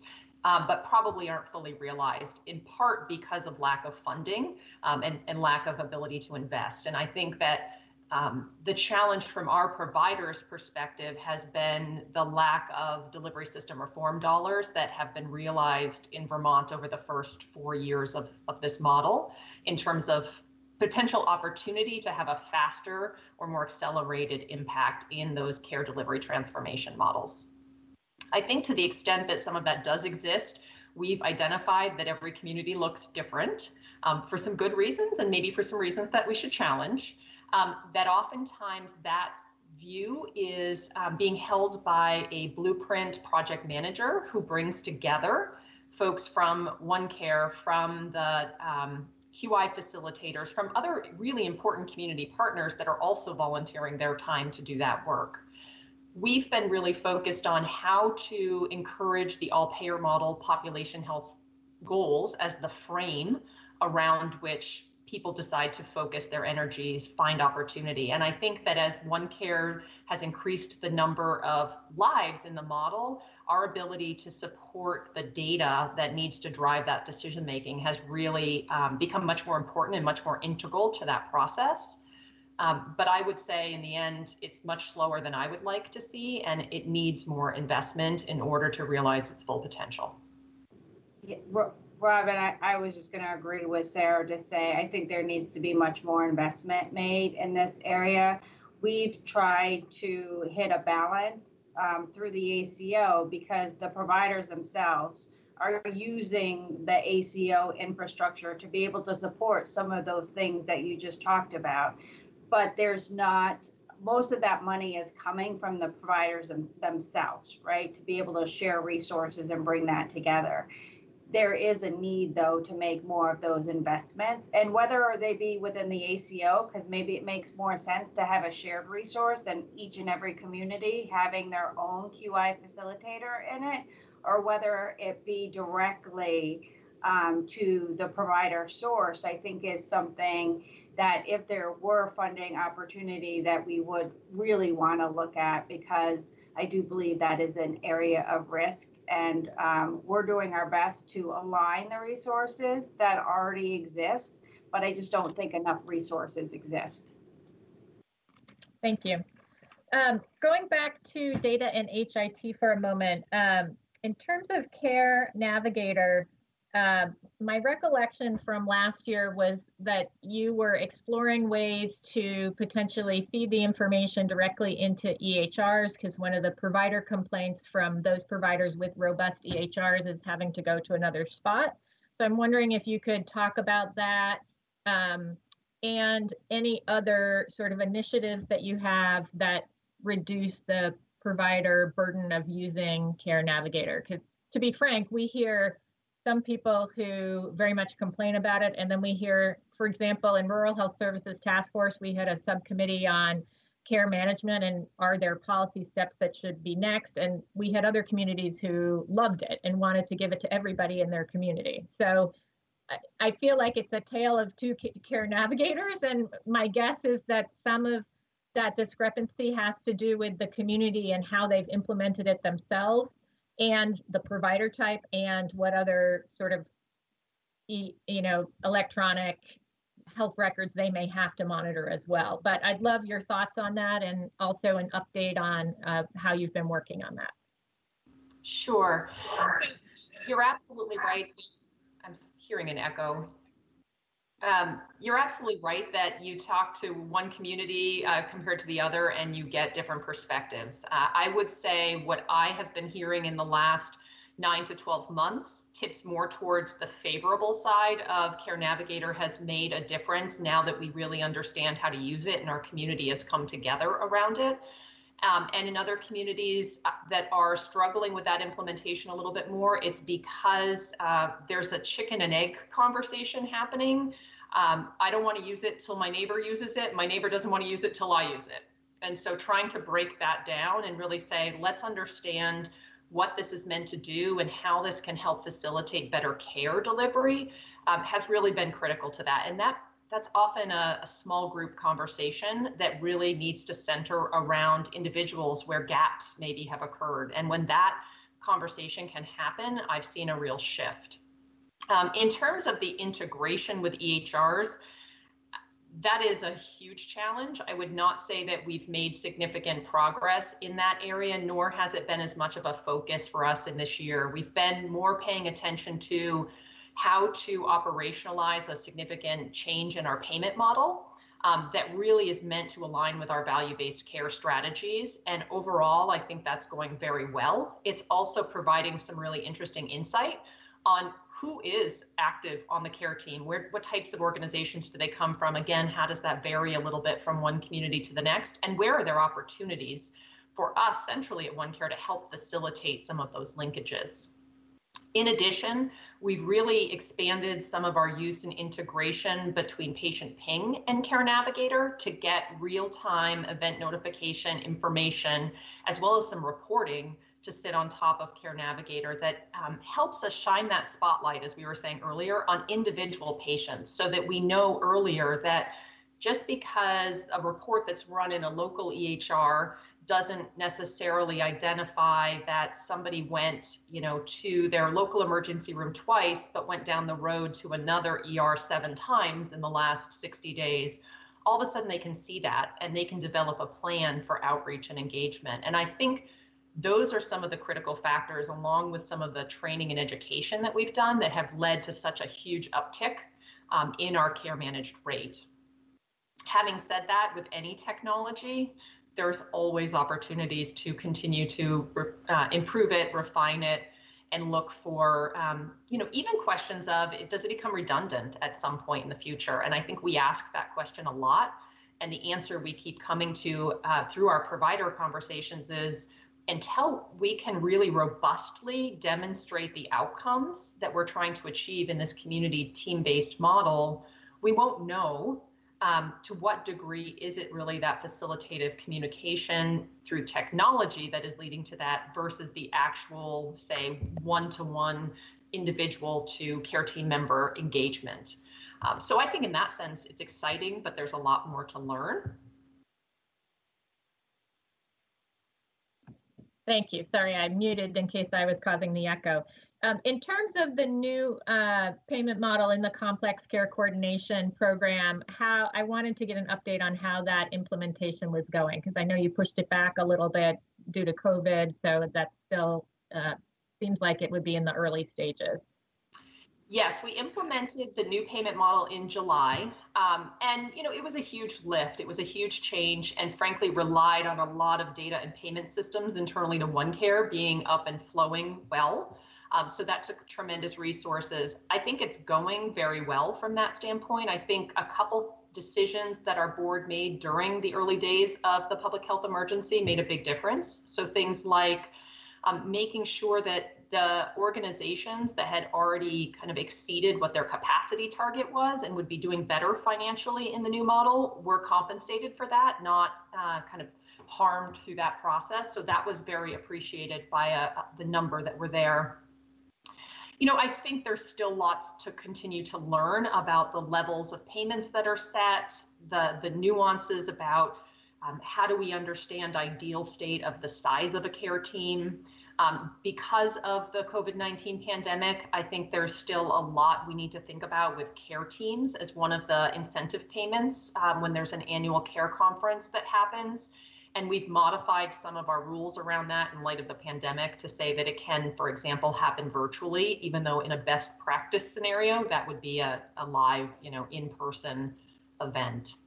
Um, so I think you know we're on a good path. We asked some questions about whether there were immediate kind of tweaks or refinements we needed to make going into 2021, and the answer was it's still early. Let us get used to this. We think it makes sense, and we think it's going to work, but let's watch as we move forward. Thanks. Um, in terms of the Blueprint self-management programs, um, I have not been following their current usage uh, as part of the blueprint, and I'm curious to know if you know how many people are currently participating in them.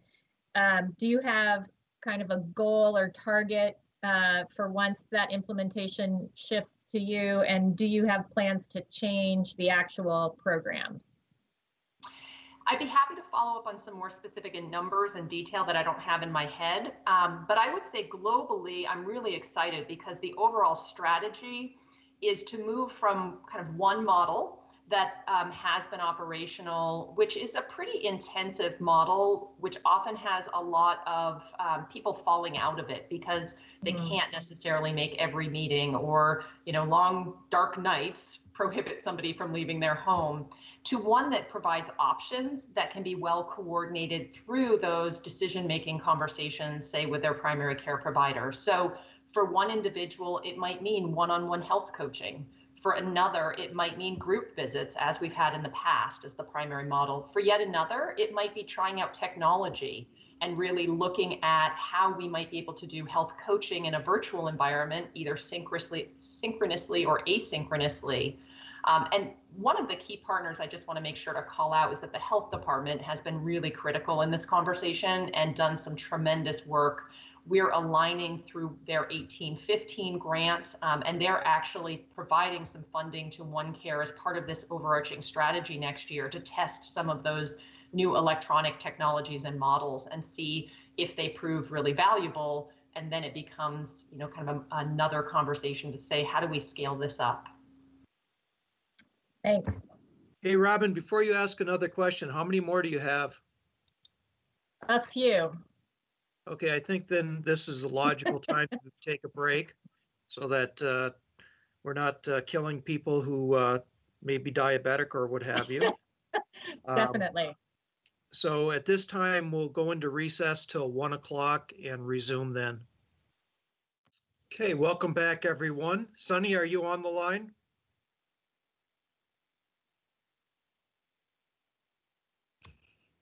Yes, I'm right here. Thank you, Sunny. Sure. So we left off with questions from uh, member Lunge. Um, Robin, if you could proceed. Absolutely, thank you.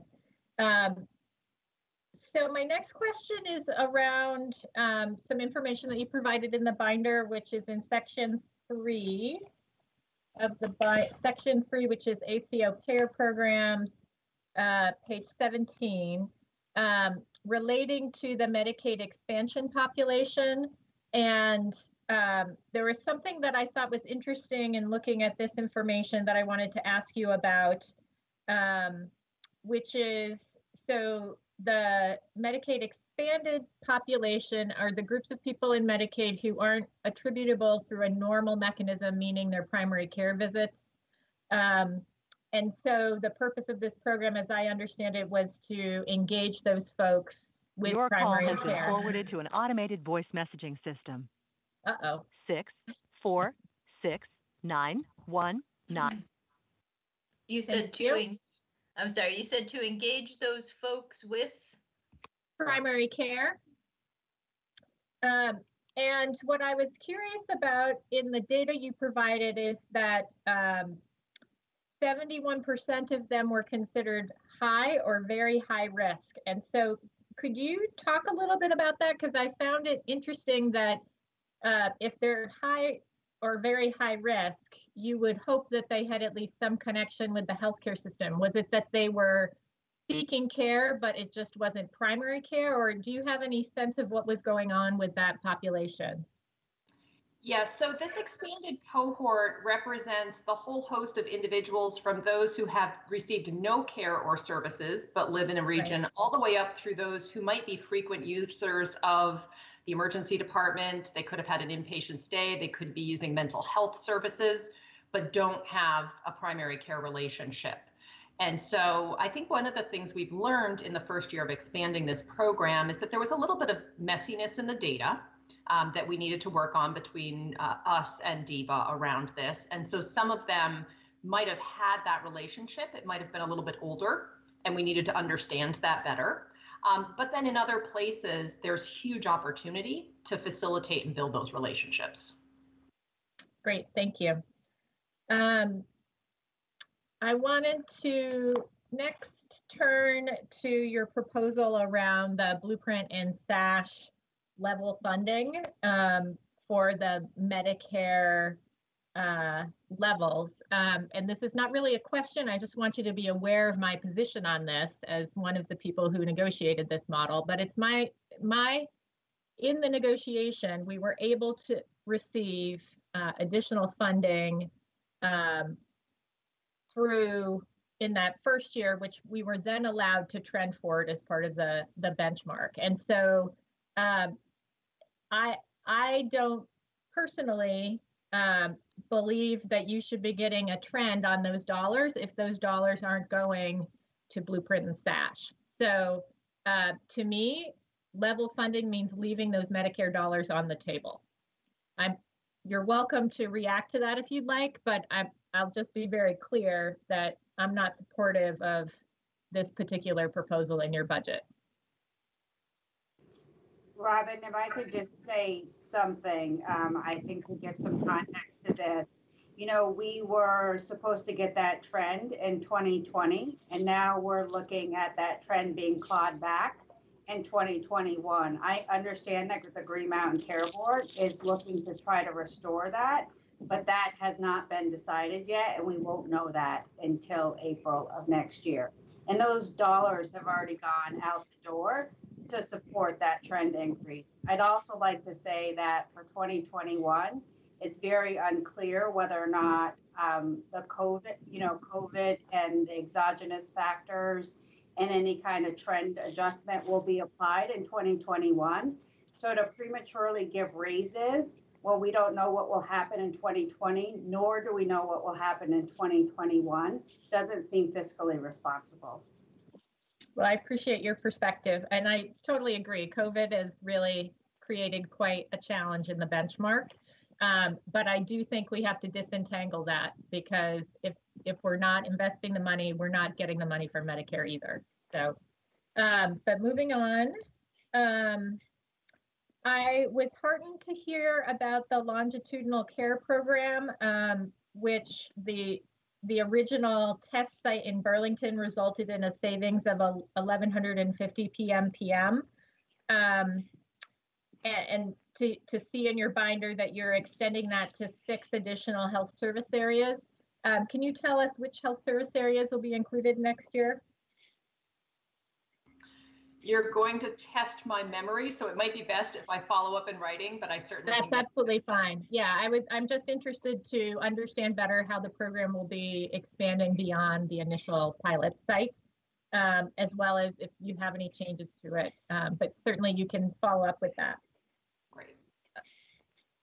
Um, I was also interested in, um, in the binder, you talked about um, the levels of care coordinator turnover throughout the network and highlighting the importance of care coordination skill training um, over time to ensure uh, that skill set is available in the HSAs. Could you give us a little more information about the turnover rate? Um, and again, happy to have you follow up with anything that you don't have at the top of your head.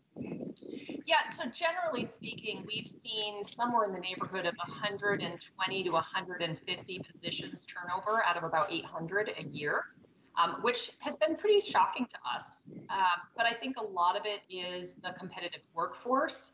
Um, I think you know differences in reimbursement rates occur, um, changes just in, in preferences and so forth. And so our intention is to try to um, really build some professional um, understanding and some true like enjoyment of this complex work at the local level. And one of the ways to do that is for OneCare to facilitate not only the entrance level, you know, kind of skills and knowledge building, but really to create professional development opportunities. And so one of the things that you might recall we wrote about in the binder is around um, providing an opportunity to bring in some national experts in mm-hmm. uh, case management and provide certification opportunity. And that's really being done in a yeah. train the trainer type model. Great. Thank you. Yeah, I'm that sorry, sounded. I'm sorry. Excuse me. You said that's really being done, and then it, that I think somebody's has some background noise again. Uh, that's being done in a train the trainer model. Thank you. Great.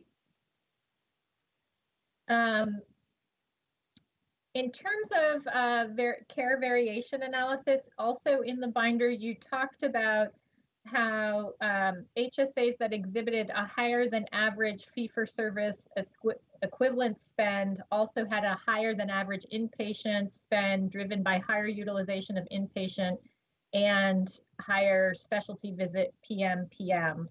Um, I'm I found that interesting and I'm, I just wanted to get a little bit more information about that. Did you also, did you look at sort of price variation and, and hold that um, constant in some way between, in looking at those variations to really drill down that it was the, the utilization of inpatient and, and, and not the, for example, the cost or the variations in the hospital, hospital cost?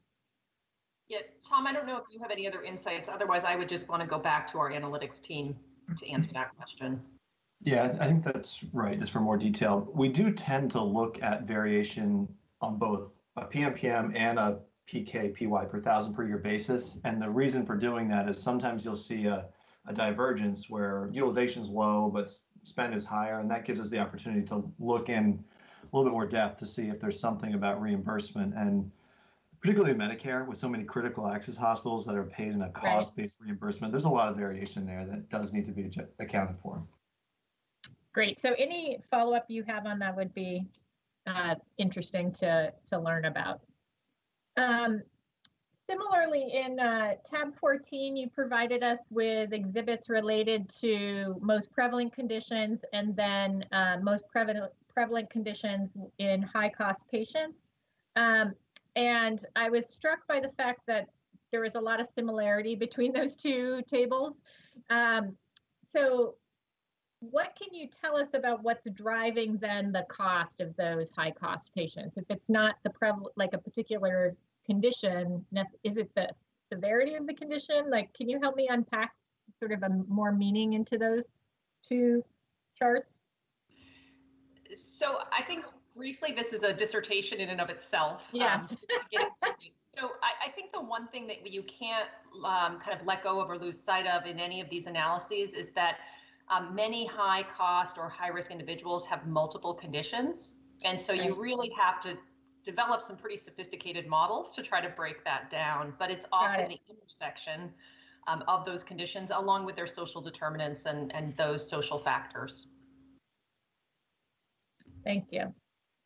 Well, perhaps we can have a follow-up conversation in lieu of a dissertation sometime, because I'd be interested in unpacking that a little more. Happy to do um, so. Great. Um, and uh, one other HIT question, uh, Tom, you had answer to, I think, one of Maureen's questions, or maybe in your presentation, you had indicated that um, the obviously you get data sets from the payers and VITL, and that the data there is only as good as you get does that it, should I take away from that that there are some issues with the data that you get, and if so, could you speak to that? Yeah, I think it's a, an ongoing journey with the payers to make sure that the data that we're receiving is timely and accurate. That's just uh, kind of regular business, and we want to make sure we get our data sets as early in the year as possible, and we consistently get them so that we can do consistent reporting to our network. In a little bit more of the finance space, uh, it's just appropriate to recognize that our data is in some ways limited by confidential claims and other nuanced factors that sometimes make it hard to, hard to have the, the total picture. We have a pretty good chunk of it, but there are missing pieces due to 42 CFR Part 2, for example. So um, we're always working with the payers to improve the data um, reporting to make sure we have what we need, but that other piece is, is very relevant in the finance space.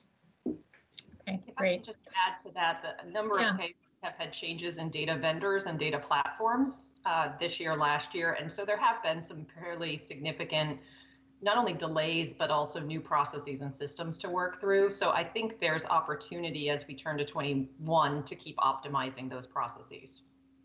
Great, excellent. Um, Maureen had asked uh, for your your thoughts around the future of the risk corridors, and I didn't think I heard an answer. So maybe I missed it, but I thought I would re-ask the question. Oh yeah, sure. Thanks for bringing that back up. I, it's hard to know what the future holds. It's clear to me that we are reducing risk corridors very much in response to COVID-19 and what it's what it's done. I can say that we continue to believe that two-sided risk is effective. I think it garners much more attention from the population, uh, from the provider uh, participants. But I do think it's also appropriate to consider the overall magnitude of risk that the all-payer model calls for. And uh, these numbers will be general, uh, but I've done some math in the past where if we actually hit the scale targets as a state, regardless of whether it's all under OneCare or other ACOs, the magnitude of downside risk at the levels we previously had would be huge. We're, we're talking over 150 million dollars, and it, it, that's a conservative estimate. So I, I think we need to factor that in as well. What's what's the appropriate level to balance reasonable accountability with the fact that we're a small state with a lot of rural health care that just doesn't have the ability to absorb a huge downside loss year. So I think that's a space for for us as a state to keep working together to figure out like how do we work with the payers to make sure that this is right size and appropriate. And I do think if we stayed with the old risk corridors fully maxed out, we would we would be very heavily laden with with downside risk, and I believe that would be a uh, a risk to participation. Thank you. I think, Robin, the short kind of answer is for the next couple years for 2021 and 2022 due to the uncertainty caused by the pandemic, I think you're going to see us shifting more towards less risk, but with less risk means less reward as well. And if we're um, looking to grow, you need that reward opportunity, especially if you want to continue to um, invest in programs like we're like we're investing in them right now. It's just um, it, it doesn't balance out. So after that, I would say that we're going to be moving more towards um, higher risk and reward, but you have to make sure that you go into that with a network that's ready to take on higher risk and reward. So you have to be certain that they've made the necessary changes and investments themselves to be able to move to that next level. Thanks. That uh, lends itself nicely to my next question, which is um, the expansion of fixed perspective payments. Um, I, when you were last here, I asked you how the pilot and the Blue Cross uh, fixed perspective payment pilot was going. It sounded like it was going well. Um, what is what is the future there? Are we expecting to see that go beyond uh, the initial pilot site? When would that happen? What are we thinking about that? Yeah, the report as of today is that the pilot has gone uh, quite well, so pleased with that. Um, really, the the couple things that we're working on is what's the design of the fixed payment, and there's different versions. There's reconciled fixed payments, unreconciled fixed payments. They yeah. honestly, each of them have their own pros and cons. I think the reconciled version does have some benefits too. Um, we are working on exploring uh, expansion of this. It's in discussion with payer partners. I will say one of my priority areas is to get the CPR, comprehensive payment reform practices, for commercial into this fixed payment model. We've we've kind of run a hybrid where the public payers were capitated, private were in the model, but we relied on the fee for service payments to round it out. That to me is a, a really important priority, but mm-hmm we, we have evidence to believe and that suggests payment reform's been effective. The hospitals that have been under the true capitation have, have really showed positive performance there. And I think we need to keep it going. The more that we go back to some sort of a fee for service basis, whether it's for evaluation and performance or setting the targets, the more we go back there, the more linked we are to some of the flaws in a volume based uh, paradigm. So um, more to come in that space as we discuss with the payers, but it's certainly a priority area for us to continue expanding the payment reform initiatives across the network. Well, I look forward to more information when your payer contracts are closer to final, and I hope to see some expansion in, in that space. I would um, just add yeah, go ahead.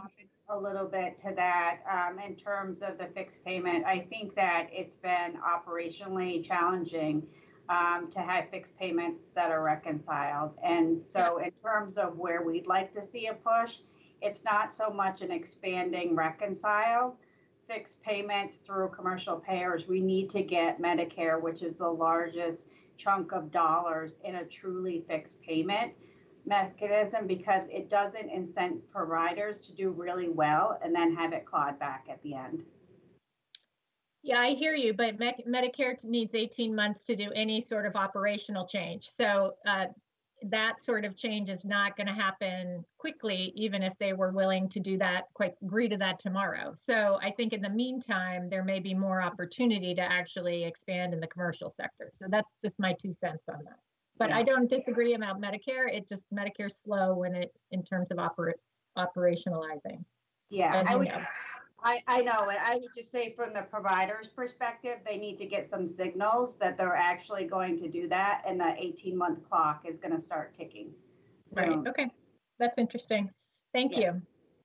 you. Um, in terms of uh, the self, the Blue Cross Blue Shield primary, um, in, uh, I know that self-insured employers have the opportunity to decline participation because they are self-insured employers after all, but I was curious how that impacts the attribution and the model, because that was not particularly clear to me from the, the provider agreement or the payer contract, which I just barely got last night. So I haven't thoroughly digested it. Can you explain that? Sure, I'll give it my best, but look to Sara and Vicki also on this one. Um, it's really one program, overarching program, and then the lives are then divided into the two groups. So my understanding, of the way that Blue Cross manages in their end is once they've received word from their employer health plans who is participating in a value-based, in the value-based model Blue Cross is offering to them, when they run the attribution, they'll say, okay, this employer group decided not to be in a value-based care model, put the lives here. This employer group did decide to be in the value-based care model, put the lives here. For the lives that uh, are in the non-value-based care model, we don't have You mean the non-risk model, right? the non-risk be- Yep. Yeah, I just want to make sure because that's the terminology that was used in the binder. So make sure I'm tracking. Okay, yep. Good clarity. Uh, We do not receive data for those, um, so they're, they're completely anonymous. There is a PMPM that comes to OneCare for those lives still, um, based on the way that Blue Cross designed their program. So the- the same uh, 325 PMPM comes through to OneCare for those lives, but we have no financial accountability for their care and no access to data. Yeah. For the lives that are in the risk model, it looks much more like the other programs. We get access to the data and we have financial accountability for cost and quality. Got it, Tom. You don't. All right. And I am almost done, believe it or not. Um, my last question was um, related to um, one of the materials we had asked you to submit it from the last budget, which is the patient reengagement quality improvement toolkit that you and Blueprint and Blue Cross Blue Shield uh, developed for the Blue Cross Blue Shield primary program. Um, I was curious if you or Blue Cross have any way of tracking whether or not providers are using it. I took a quick look at it and it seems like it's both short but also pretty good in terms of getting people thinking about the care redesign in a in a short and sweet document. But do we know if people are using it? Um, we do know that there were eight or nine practices early on that engaged around that process. Um, frankly, I think with COVID, a lot of things got put to the side. Sure, Because of absolutely. that, Plenty of opportunity for us to look at kind of re-engaging folks around that. Okay, great. All right, yeah, that sounds good because it looked like a good tool. I just wasn't sure if people were taking it up. And that is my last question. Thank you, Robin. Member Holmes, Jessica? Great, thank you. Um, and thank you, OneCare team, for the presentation. I have no doubt how much work you all put into putting together that binder. Um, and rest assured, we've been uh, combing through it and will continue to do so. So it wasn't a waste of your energy and efforts to do so. Uh, I also just want to, you know, thank my colleagues for uh, asking a lot of the questions that I would have asked. Um, and so it's, it's kind of nice to go last or almost second to last. Next to last, yeah. Uh, yeah, I was gonna say second to last. Um, but um, I, I will echo some of their concerns without reiterating them around the new risk model. It's not clear to me that it's aligning risk optimally or that it's going to incent the type of behavior that we all hope to see. But I'm just going to say that for the record there. also echoing Tom's uh, comments about needing to see more ROI metrics. Uh, I think it's really important to understand the value of the ACO and actually be able to quantify the value of the ACO. So the more we can see of that, I think it's better.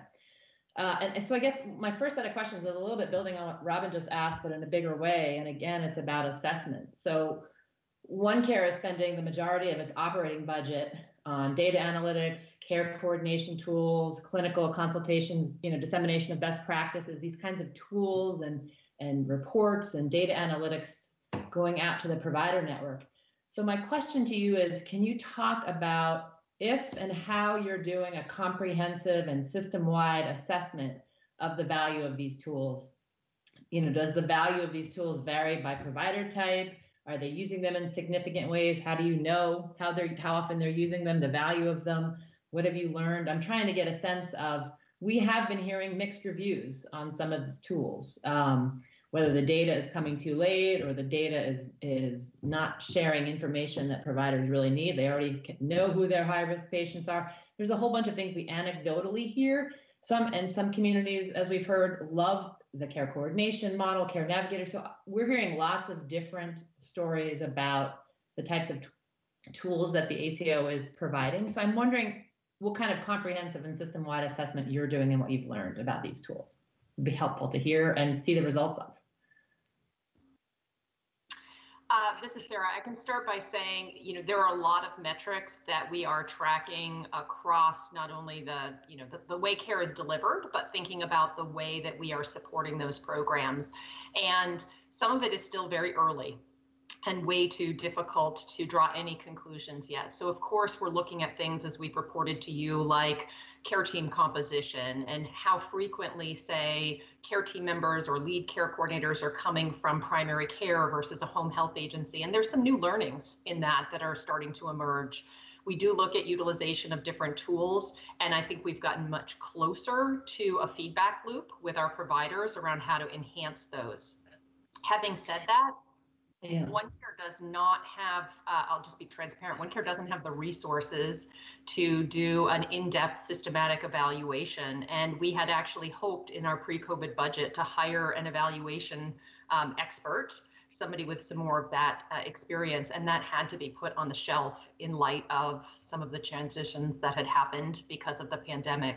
I think it's a huge opportunity. Um, and one of the things we hope to see emerge from that is through the federal evaluation of the overall model and approach that we can start to learn some of those key areas as well. Um, having said that, there's always more that could be done. It's a matter of balancing resources. Yeah, I mean, just a quick question then on a follow up with that. I mean, there are low cost ways to, you know, using simple tools like SurveyMonkey or things like that that just get out and get a little, you know, uh, sense and assessment of how providers are feeling about the tools. Has that anything like that been done across the different, even a random sampling of different provider types to do that kind of an assessment? Yeah, so there's a couple things we focused on this year. Um, we actually are just compiling the results of a SurveyMonkey tool of all of the local uh, care coordination staff, where we ask them a whole series of questions kind of about what's working, where could we improve okay. things. And so the team will really be focused on analyzing those results. They were just downloading them last week. Um, and, and, you know, we're committed to making actionable change and being very transparent about what we're doing in response to that feedback. Another area that's just emerging through our primary care work group um, is to work to better assess current feelings, um, beliefs, and perceptions around the patient centered medical home NCQA framework because we continue to hear everything from the new system works beautifully to it's the worst thing in my life and you know causes all sorts of administrative burden. And so we want a more systematic way to figure out what the current state is and therefore understand what role, if any, should OneCare play in that dialogue moving forward. Okay. Sara, I would just add to what you said. I think it goes back to um, the theme earlier is that we are a provider led organization. And so that means we're listening to the voices of our providers each and every day. And we have very structured governance committees to be able to elicit that feedback um, and to help them help us design what they need in order to be successful. And so that's an ongoing, it's not a formal assessment, but it's an ongoing assessment and evaluation. And it's never, nobody is ever going to be happy with everything that you do. with thousands of Oh, providers. trust me, I know that. we have thousands of providers in our network.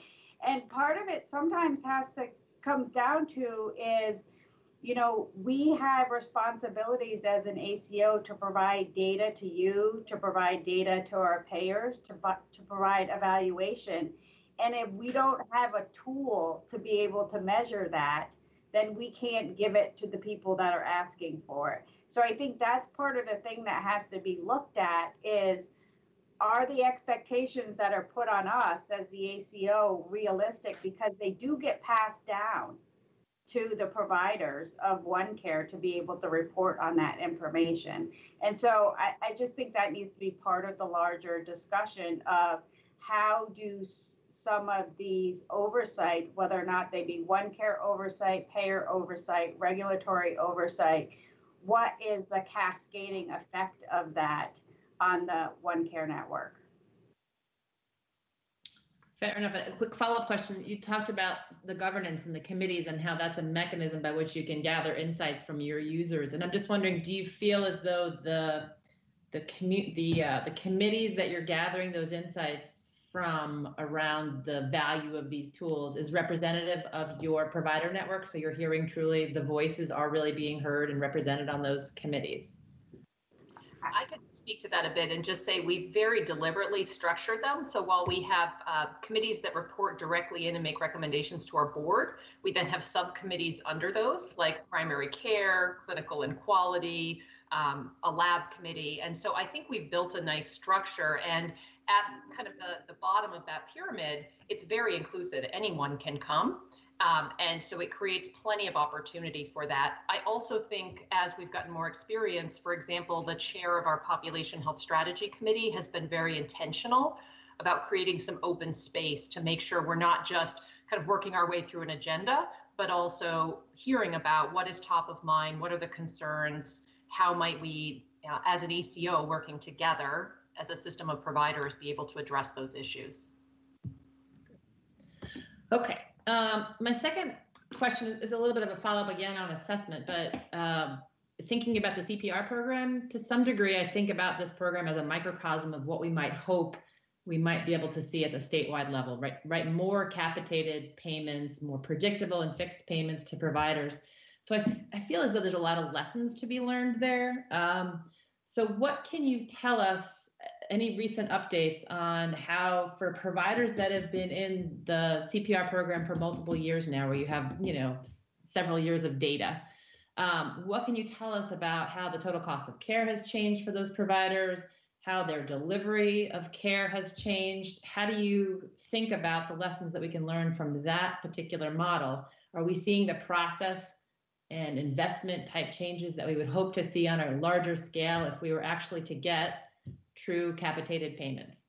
So on both the cost and on the quality, I don't I don't necessarily anticipate that we would see outcomes changing to some degree because I think it takes time, but are we seeing the process changes and the investment changes that would then lead to the population health outcomes we would hope to see in a few years? Can you talk a little bit about that? Yeah, I can take a little bit of this one. Um, I don't have a full analysis prepared, but I can speak to what I've heard. So this is third party, but many of the practices have used the financial resources that come their way through the, the model to bolster the services that they can provide in their primary care shop. So adding behavioral health for even a day a week, if you can if you can do it uh, with the resources here, helps them provide a more robust point of care. And um, we've also seen evidence of more group work, diabetic groups getting together all of which is afforded through what we hope is some additional financial resources, but more importantly, a different way of being paid for the work that they do. So I think there's some good stories, good examples of the ways that the practices have used the flexibilities afforded under uh, capitation to do some new things. what is also a little bit of a we just, we just need to recognize that this is a piece of their business still. So it's not as if we can fully captate their whole practice, which would be awesome, and then they can really go do some different work. So there still is a little bit of the foot in two canoes issue that we hope to address over time. But overall, I think uh, at least what I hear from the provider community participating is this model has been a better way for them to be paid and and has afforded them some opportunities to do some things they wouldn't have been otherwise able to do in fee for service.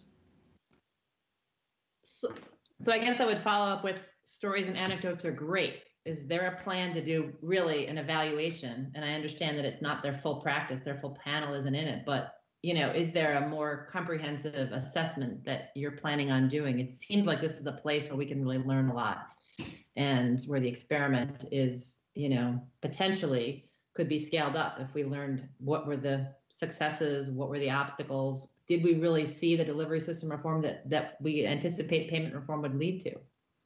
So is there a plan to do a more comprehensive, really true assessment beyond anecdotes and stories and things like that? Well, I think back to Sara's point before, the the position that had to be shelved uh, for budget reasons uh, hinders that, but we can take that back for sure and think about how we might explore something with the CPR practices uh, to do such an evaluation. That would be great. I think there's a lot we can learn there. Um, yeah, I think we had planned okay. on doing a more formal evaluation, sorry, Jessica, this year. Um, but then with uh, COVID coming in, some of the practices said to us, we can't take the time um, to you know, go through this data and do the manual extraction that's needed on the quality measures that you're looking at. And so we said to them, we understand you need to take the time and attention you need to pay attention to your patients.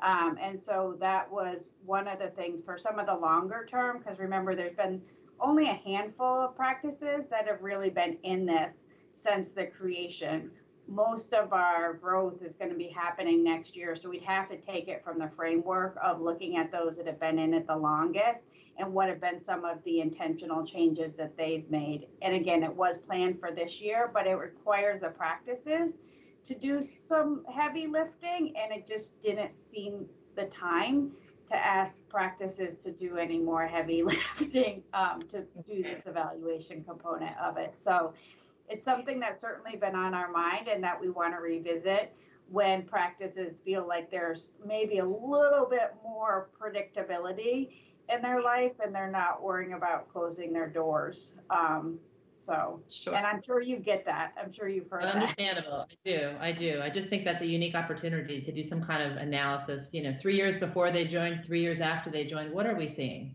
How is it changing? Because we're relying on this you know theory and some evidence from other places right that payment reform leads to delivery reform we have a little bit of an example here is it working or not i think is really important um, vicki you had talked about the need to start acting like a system of care to be successful and i could not possibly agree more with that statement and i think you know OneCare is uniquely positioned to help move the state towards a more collaborative system of delivery uniquely positioned because you are the network of most of the providers in the state. Um, you know, people think of OneCare as this separate entity. It really is, as you've said, it's all the providers, not all, a lot of the providers in the state across the care continuum. So you are that network of providers. Um, those providers, your providers, have jointly agreed to be accountable for care, cost of care and quality. And you have the data and analytics to highlight where we might have overutilization, where we might have underutilization, where low value care is being delivered, where high cost care might be better delivered elsewhere. You have all the tools, you have all the, the people, and you have the incentives in the sense that everybody's jointly agreed to be accountable. So I'm wondering how, you know, we're, we're doing a lot of work with our hospitals right now on sustainability planning to start to think about how hospitals can can imagine their service lines um, in this future value-based world, right? They all have service lines right now that are reflective of a fee-for-service environment. We're shifting to a, a value-based environment, as we all know. So how can OneCare help the hospitals in its network, right? The hospitals that are already in its network, for which it has the data and the analytics and the tools to help them think about optimizing their service lines, expanding transportation, expanding referrals between hospitals so that we can make sure that we are all ready for, you know, uh, value-based payment, but more importantly, so patients have access to the the highest quality care at the most appropriate setting that's the lowest cost. How, what is the how do you envision OneCare's role in in making this all happen? How much influence can you have? So, you know, I really think it comes down to being able to, uh, you know, apply those incentives and to apply that accountability in a more uh, broad way. And we also have to think about like what's the effect too um, of all the different moving parts on is it better to be in value-based care, right? And that's not just kind of a OneCare decision, or do I do better financially by just churning out fee for service? Because some providers do a lot better just by working on fee for service payment, right? And they can't imagine going to a different world.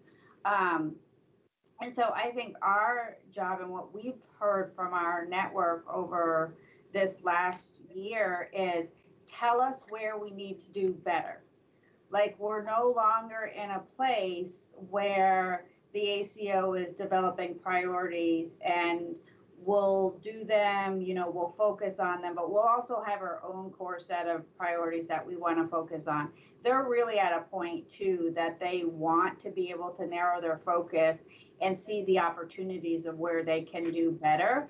And, you know, it's, I can't, I can't say with more like enthusiasm, like, how incredible it is that we have this network of providers who sit around the table and talk about how skilled nursing might be impacting patient care. And they're literally sitting at the same table. Well, maybe not now, literally, but they're in the virtual room together. Um, like that's incredible just in of itself providers before were only talking about what impacted their own revenue stream they weren't talking about how what they're doing is impacting one another. And that's because we're changing the incentives, right? Fee for service incentivize you to just care about what you're doing in your facility versus value based care that says kind of all boats rise and fall together. And so if we're going to be taking on collective risk for our community, we have to be able to think a little bit differently. So short answer is I think the data and reporting and really um, kind of spotlighting, I think somebody called it, where those opportunities are, and then seeing what kind of tools and resources they might need to really be able to drive those home in a meaningful way. Well, I think the HSA level analysis that you all mentioned earlier that's going to look at cost and quality differences and variations and having those conversations, I think is a is a huge step in the right direction, and I applaud that because um, we we we do know there's variation. So, I, my last question, I know it's shocking, but so many people already asked so many of the good questions. So. Um, I just wanted to ask a little bit about participation. I did notice a drop in specialists and continuum providers, and I wondered if you could speak to that. This is a small, you know, 5,000 foot question, but I am curious. And do you do exit surveys to find out why providers who were once in the network are choosing to exit the network? What can we learn? I think one of the probably largest areas where we see um, providers exiting is their specialist providers and that are not part of a larger healthcare system. So just automatically come in because their parent organization has joined the ACO. And I think what we've struggled is the ACO is really kind of primary care focused. There's specific core accountabilities that we have. And specialists by their nature are specialists. they have many different things that they're thinking about and delivering on and there's just not that many models we can create for the small number of specialists that we have. Um, and uh, you know there's only so much money to go around too.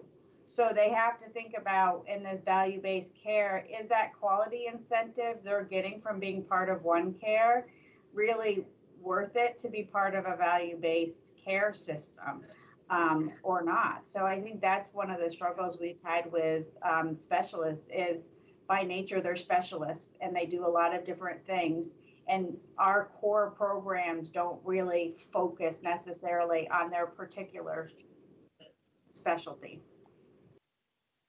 Are there data analytics that would entice them to join? In the sense that, you know, one of the things that we talk about is, you know, if you're an indiv- individual provider, you don't have the resources to build the analytical system to be able to, you know, um, understand your outcomes for your patients. But being a part of an ACO, you can you can benefit from that infrastructure. So for specialists and some of these other providers that may not have the financial incentive to join, are there data analytics tools and other things that the ACO can offer that would entice them? I think just to take a swing at that, um, for some of the larger specialty groups, which tend to be affiliated with hospitals, they've taken advantage of some of the data and analytics to ask some really interesting questions. I don't recall us receiving that type of outreach from some of the smaller um, independent specialty groups. And I will just say I was a part of many, many conversations in 2019 and into 2020 where we tried to figure out some commonalities where we could identify some core metrics that regardless of specialty might make sense or at least for a subset. And that was a lot of hours we won't ever recover. Um, and we really didn't get to a place other than to say it's unique. And so you can start to think differently about referral patterns. And you know e-consult models and things like that that can be very valuable. Um, but we came back to needing to focus on primary care as the cornerstone of the model saying that those challenges with specialty care might be something we need to tackle further down the road. Yeah. Okay.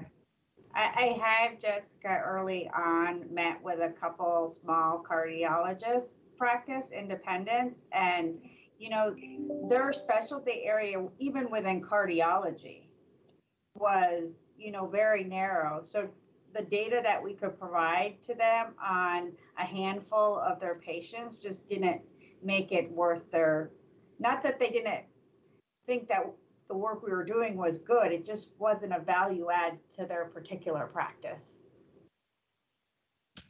Okay. All right, those are my questions. I'm going to turn it back to Kevin, who does get to wrap it up for us. Thank you. Thank you, Jess. Um, Tom, I'm going to start with a couple of expense uh, questions and uh, go from there. Um, a couple years ago, the legislature did change the way uh, bill back is uh, calculated, and you certainly should have seen a significant increase between 19 and 20. There are no changes that I'm aware of that would um, change that from 20 to 21. So is this a timing issue? Had you incorrectly budgeted for 20? And so it shows up as a significant increase for 21 or what, what what's driving that? Part of it's that our fiscal years are asynchronous. We're on the calendar year, and if I understand correctly, the bill back's on a state fiscal year, so that's a piece of it. We, we also just have a, a schedule from um, maybe a year or two back that we relied upon for the estimate here. So if there's more up-to-date information, I'd be happy to see it. Well, I think that uh, because next year's budget hasn't been approved yet, um, but knowing that all across state government, it's going to be less than probably this past year's budget, that uh, you should assume that there will not be an increase in what you were billed um, for this year to next year. Great. So I don't know if the number that you're using there is the actual number you were billed this year, but that would be probably your best case approximation for next year. Great, thank you. So on on uh, let's move to occupancy costs. Who owns the building that you're in? It's a leased property. But who owns it? Uh, a company called Akabe. Okay, are you in a sublease?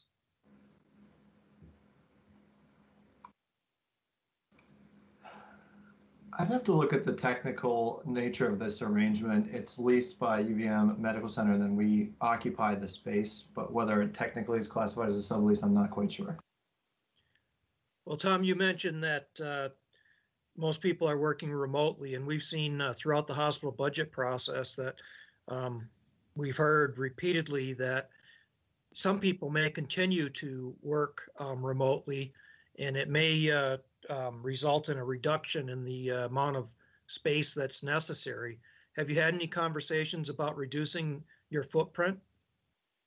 We actively have had conversations, both with our staff and leaders around what the model could look like, as well as thinking about the real estate expense. Uh, our, we are in a window over the next months where we will be renegotiating that space, and we're looking at all sorts of options right now, including how we could reduce costs. Great. Um, you talked about the increase in uh, salary and benefits, and so I want to focus a little bit on uh, total compensation for a second. In a year where um, many uh, organizations have put in freezes and um, in some cases cuts even. And you talked uh, at the start of the uh, pandemic about having to make cuts. Um, what's the average percentage increase for your personnel from 20 to 21 that you've factored into this budget? And when would that increase take effect? Two percent, right, Tom? Next Yeah, we year, budgeted two percent. next year, two percent. When you say next year, are we talking January 1? Yeah, that's our calendar year. Okay. And is that across the board or are there some anomalies in there? It's just what we factored in. Should be across the board. Okay. Okay, um. I, I just want, want to ask one follow-up question on occupancy costs, and Sara, you seem to have the best handle on this. Um, how far into the future are you locked into the current, uh, status? April of 21, April of twenty-one, okay, great. In conversations right now. Okay, um. OneCare Vermont was formed to, uh, um, try to create, um, and actually achieve some incredible goals and to benefit a, a lot of different individuals. And I would put the different, if we're going to use the bucket, uh, scenario, um, the different uh, beneficiaries into three buckets. I would say the most important bucket from my viewpoint is consumers. Um, but the other two buckets that I see are providers and payers. Looking backwards, what do you think is the single most important achievement that your organization has achieved to benefit um, each one of those buckets? And you can start which whichever one you prefer.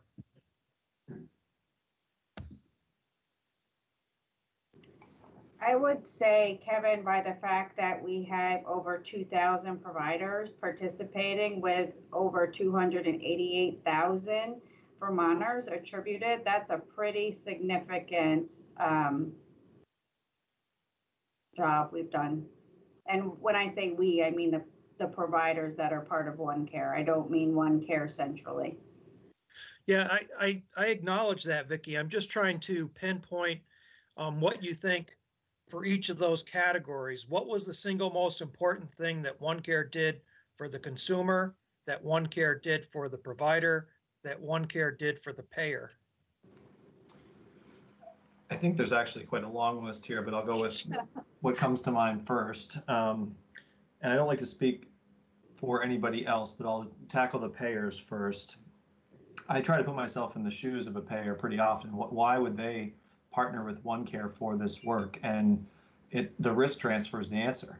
That all all healthcare insurers have essentially a budget in some way or another. It's either the big federal budget or it's their own budget funded by premiums. Without this re- relationship, they have healthcare cost risk. If healthcare claims go up, uh, they have to eat that in some way or another or go back to the legislature for more money.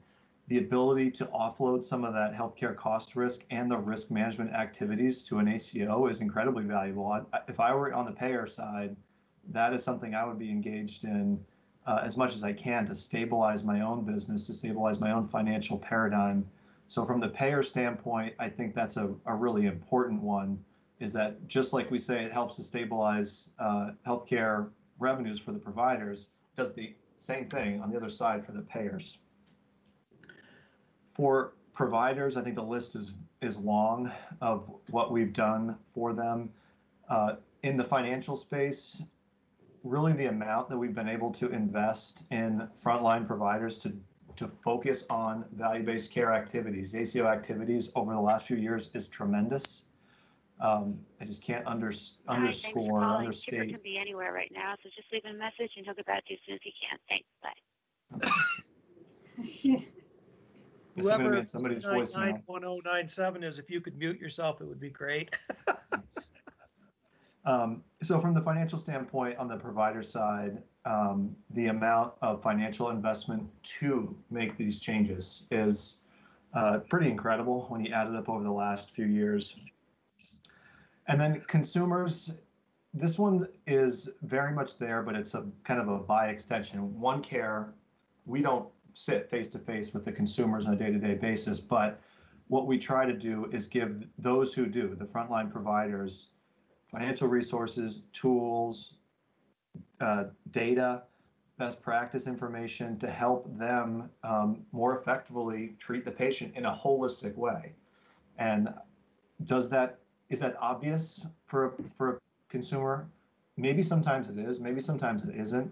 But I think that is a really important thing that we've done over the last few years is really get the providers to start thinking about population health, value-based health, and that stands to benefit uh, consumers directly.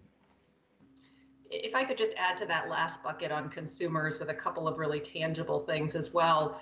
You know, I think our care coordination program and the fact there are more than 800 care coordinators that in working with individuals across the state, they would not wear a OneCare badge. They would represent their organization of whatever type. And so it might, not be completely recognizable to the consumer, um, but it's there and it's tangible and is creating real relationships and real value. Similarly, I think the laser focus on quality of care in areas where there's real opportunity to improve creates better healthcare delivery and better outcomes for Vermonters. I think the benefit enhancement waivers, so that the classic one there that we've spoken about before is the skilled nursing facility waiver. That's real value to be able to go directly from your home into a skilled nursing facility if that's what's right for you. And then finally, making sure that there's more of a focus on prevention and wellness. And so, really shifting to that true view of population health, not just acute care, I think will result in tremendous value from consumers' perspectives. Sara, So- Tom, you- hey, Go I think you got most of them. I'd also just like to add on top of this, I mean, the two big things that the ACO is trying to accomplish is delivery reform changes and payment reform changes. So everything that Tom and Sara have mentioned fits into those two buckets. And really, when you do that right, everybody benefits from it. Patients benefit from it, providers benefit from it, insurers benefit from it as well. And so that's that's the work of the ACO. And this isn't like ACOs aren't a new thing. ACOs are nationally recognized, and that's why they are the reform vehicle that Medicare has chosen. And so I think it comes back to the point that Vermont's not unique in uh, forming an ACO, that this is something that the federal government has recognized as the right vehicle to move healthcare and delivery reform program. I think the one thing that is very unique to Vermont is because of the participants in OneCare willing to take on financial risk, we've been able to continue eight plus million dollars in funding of state uh, led reform programs such as the blueprint and supports and services at home. That's not something that's offered um, in any other state. So as a follow-up to this question, if you take a look at uh, what you've already achieved, looking forward to your 21 budget, what do you think is the most important goal that you could achieve that would benefit these different buckets? Consumers, providers, and payers. What, what do you hope will improve upon or be done differently in 21 that will add great value? I can start from the, the bottom up, kind of the reverse direction. With consumers, I think it's a laser focus on our care coordination program. And as I spoke to earlier, in kind of the upfront part of that program, it's using our data and our learning to hone in on where we might have gaps in identifying and appropriately outreaching some subgroups of individuals at high risk. And then on the other end of the spectrum, really starting to understand more about how to successfully graduate individuals from that program, but not drop them off a cliff. So figuring out that stepwise approach to continuing to provide supports, but also transitioning people to independence. For the provider level, I think it's really focusing on the data and analytics, the spotlights and insights that we've been talking about throughout our conversations today. And so that it's not about the quantity of data available to providers, but really the quality of data that can drive that decision making and that action very quickly. And then Tom, I might turn it to you for the payer one. Well, I think the one the one area that last one you mentioned benefits everybody, all all the different stakeholder groups in 2021, I think we have to have and find the capacity to go deeper with our analytics uh, to help the providers understand what can they do differently. What are their areas of opportunity? And that's not easy work, but to me, that's if we're successful in that in 2021, we should see better coordinated care for th- those consumers who need it. We should see good total cost of care performance. And frankly, that benefits both providers through shared savings and it starts to benefit the payers through more stable healthcare costs. So I, to me, that's the, the, the main area of focus is making sure that we can really serve our providers and help them do well in this model um, as priority 1A. Tom, um, I'm not sure if it was slide two or slide three that you uh, put up um, that had a, a very uh, um, big breakdown of, uh, of the buckets of the dollars, and you had the administrative costs at 1.1%. Directly above that, you had the line network investment payments. Can you talk to us about what those are?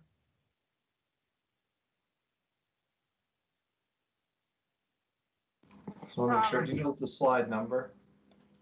I, I think, Kevin, you're talking about the $30 million in network investments. Is that what you're talking about, the 2%, which is all Yeah, of it our? was one of the very first slides that you had up on the screen. Yeah, so that's all of our population health uh, program investments. That's SASH, that's Blueprint, that's the value-based incentive fund, care coordination, patient um, center medical home payments, longitudinal care, Dulce. I think there's a whole list of them in there. And that all goes directly out to the provider community. None of that is administrative. Um, although OneCare is the entity that is responsible for designing the programs, evaluating the programs, reporting on the programs um, in terms of both clinical and fiscal accounting um, through internal and external audits. Is there one of those population health uh, programs that you just uh, were wowed by the results on and that you've uh, increased your your uh, resource allocation to because of that? I would say we've seen our both, and I'd look to Sara for this, but I think we've seen the um, most progress because it's probably one of our longest running programs in care coordination. And now that we've started to change the payment model, we've seen the level of engagement in that program go up significantly. Yeah, I would agree with that. I also think uh, all the changes we've spoken about in the quality arena, some of the work, uh, early work with longitudinal care is incredibly promising, and we're excited to see where that goes into the next year. But all of that has to be put in the context of a really tight year in 2021 in terms of where we have funding availability. And so we've tried to fund the things that we think have the highest potential. And lastly, um, the initial seed dollars that were put up by the founders, primarily one founder, um, how are those treated on your your uh, income statement? The, well, the both founders have a base a capital contribution effectively that was 50,000, so it shows up in the equity section. The way that the initial founders contributions kind of worked in the early formation years of OneCare were that they funded operational costs to help develop the uh, the organization. So those were spent largely in the early years, the 2014, 15, 16 years. Uh, but what remains is that initial capital investment of 50,000 each is just their equal stake in OneCare Vermont. Okay. So that's the questions that I had. Um, I'm going to ask staff before I turn it over to the healthcare advocate. Elena or Mar- Marisa, do you have questions? I have, this is Elena. I have one question. I feel like the, they've been pretty robust um, so far, if you can hear me. Um, so you explained um, that this is not a GAAP-based budget. And um, as you know, one of our questions is, um, can you provide a GAAP-based version of this budget and help crosswalk and help us understand what's in and out um, of the proposed budget? Um, so we'll look forward to that. But can you talk at a high level some of the flows that occur between OneCare and the founders, in particular UVM, given the shared services that kind of flow through your organization? There's there's really not a lot, and the the um, relationship with UVM Medical Center is basically that they were their PR or not PR HR attachment point so we're all employed by the UVM Medical Center, and then each month they charge OneCare the salary cost of all the employees that work for OneCare, and then we we handle that through uh, just regular intercompany transfers. Um, you know, outside of that, we're a pretty independent organization standing on our own two feet. And if we do have a charge or a bill that UVM pays on our behalf, sometimes they do AP checks for us. We reimburse UVM um, through those same means where they say, yes, we paid this on OneCare's behalf, and it goes through a monthly process that our accounting teams have to settle that up, and then we process those through um, a due to due from account. I don't I don't know if the board's aware, but we undergo an annual um, financial audit by PwC, and all of those audit results from the last couple of years are available on our website. Yep, that's a condition of the budget order to share those with the Green Mountain Care Board. So we do look at them, but it's we are unable to tie those audited financial statements to the proposed budget. So I think that's why we're looking for some additional detail to understand how what you're proposing here ties to those audited financial statements. Thank you. Marisa, did you have anything? I do not have additional questions that haven't yet been captured today or in our written questions. Thank you. Super. So at this point, I'm going to turn it over to the healthcare advocate. I'm not sure um, which one of you is going to be doing the questioning. So um, whoever. I imagine when I start speaking, my image will pop up on your screen. um, Hi, Mike. um, thank you. Thank you for the presentation. Thank you for the great questions from board members. And I also want to thank OneCare for taking the time to meet with us previously. Was that last week or the week before? Um, uh, uh, Vicki and Sara and Tom, um, uh, that really did help help us out to have that time to um, to speak. Um, and then I'll also just say uh, thank you. I, uh, um, I'm looking forward to the opportunity to sit down with your patient advisors in early December um, in a supportive role to support them and support you uh, with that effort. Um, so uh, um, uh, I do. I need to ask a uh, racial disparities. I, I, do need to steer, steer us towards racial disparities, given the um, uh, the public conversation and um, given some of what we know from the Department of Health about how racial disparities show up in uh, in Vermont's healthcare landscape. And I don't know whether one and, and we are not measuring OneCare in any way on this factor. And I don't know whether OneCare uh, has entertained or would entertain. Um, uh, but I, I uh, um, work in this area, but I think it's something that we all need to focus on. And I, I would welcome your thoughts about how to address uh, provider practices that lead to racial disparities in our healthcare system. Thanks for the question, Mike. We're actually really excited to be diving into this area more with our provider network. Um, we have some limited demographic data uh, from some payers that we were able to start to take a look at as this national conversation really took center stage. And and um, it showed us some really interesting things. Um, I would say nothing that was tremendously disparate from the types of data that the health department would have available. But more recently, um, we've had some providers coming to us asking to help look at specific gaps in, let's say, quality performance. So rates of mammography screening or colonoscopy by um, geography, by racial demographics, et cetera. And, and it's starting to show some, you know, potentially provocative things. And so we're just in the early stages right now of providing that back to those groups so that they can have the conversations about how they can develop some programming and maybe some more um, either targeted outreach in the case of some of those screenings, or maybe need to think differently about access to services and how to create more culturally accessible care. But I'm, I'm thrilled by the question and really excited OneCare can play a small role in that.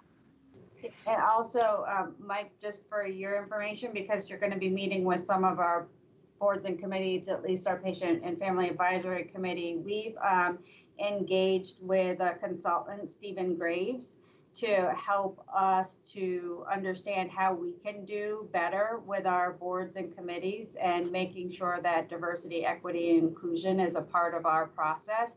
So helping us to understand initially where we are with our boards and committees, where there's gaps and opportunities, and what some of the recommendations that um, they could provide to help us do better, because um, we can always do better around this work. And so we have some really engaged board members who have been working very closely um, with Stephen on this, and we're hoping to roll out the initial survey to all of our boards and committees over the next few months and start to look at some of those results in December. So some very initial work, but I think to your point, really important work.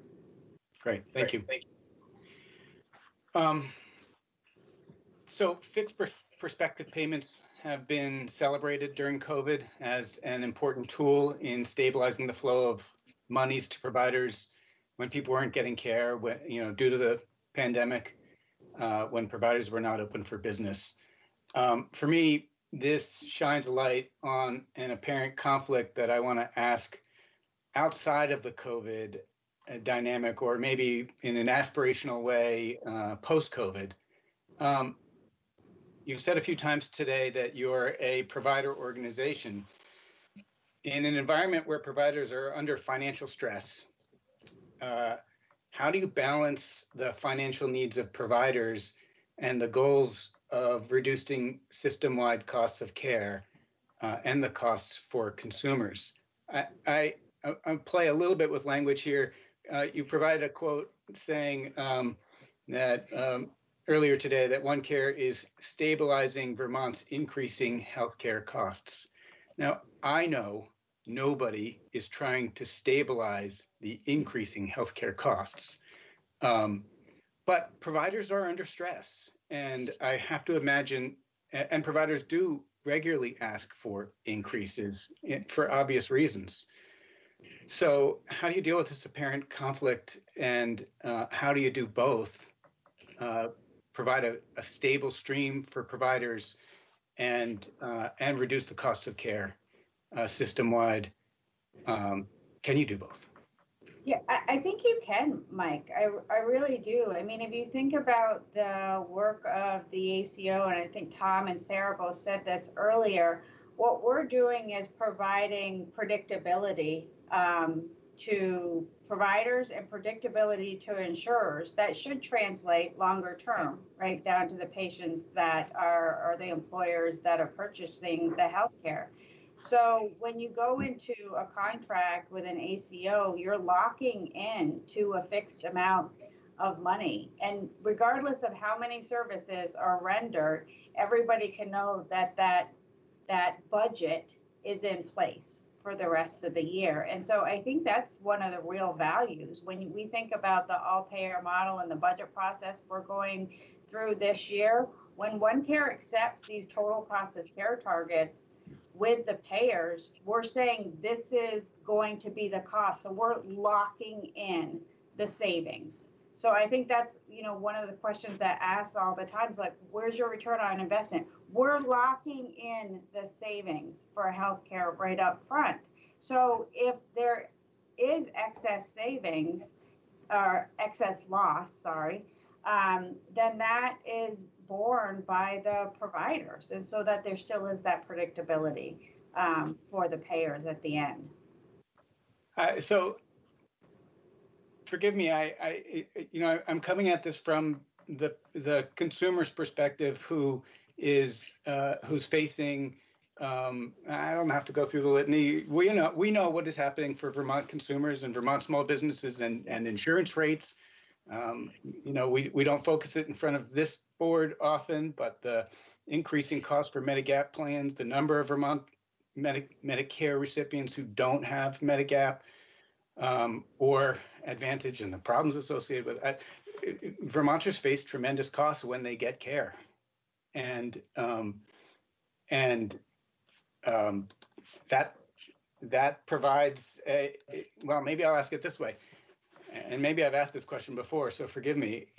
Is uh, the afford the consumer affordability challenge a as much uh, a growing risk or a substantial as much of a, of a risk as I described to your efforts here? I, I think that's um, kind of like a depends questions, Mike, because it depends on how much of the spend is actually running through the ACO. And it also depends on what the rest of the nation and the country does with value based care. Because as we've discussed today, a lot of these um, contracts or payers uh, don't work through Vermont's all payer model. So I think it's both a federal and a state approach to the affordability question that you're asking. All right, I'll, I'll leave it. I, uh, I'll leave it with just the statement that that we we in my world I hear too often people not being able to get the care they need because they can't afford the patient share, and um, and that to me crosses paths directly with what we're trying to do here. So. Um, um, so I presume we're all in agreement that um, it will be impossible to pull apart um, uh, maybe this is COVID savings or, or reduced costs due to COVID related uh, reductions in care for 2020, uh, and that it would be next to impossible to um, draw any conclusions for 2020 about um, uh, impacts of OneCare Vermont or the all payer model. I, I, presume we're all in agreement about that, but I, I need to, to ask that and then and then also extend it. Um, um, we we don't know exactly what's going to happen in 2021, um, but on some level we are seeing. I believe we will see a reduction in people people's ability to get the care they need uh, due to the COVID pandemic. How do you pull that apart from your efforts and your efforts to save money?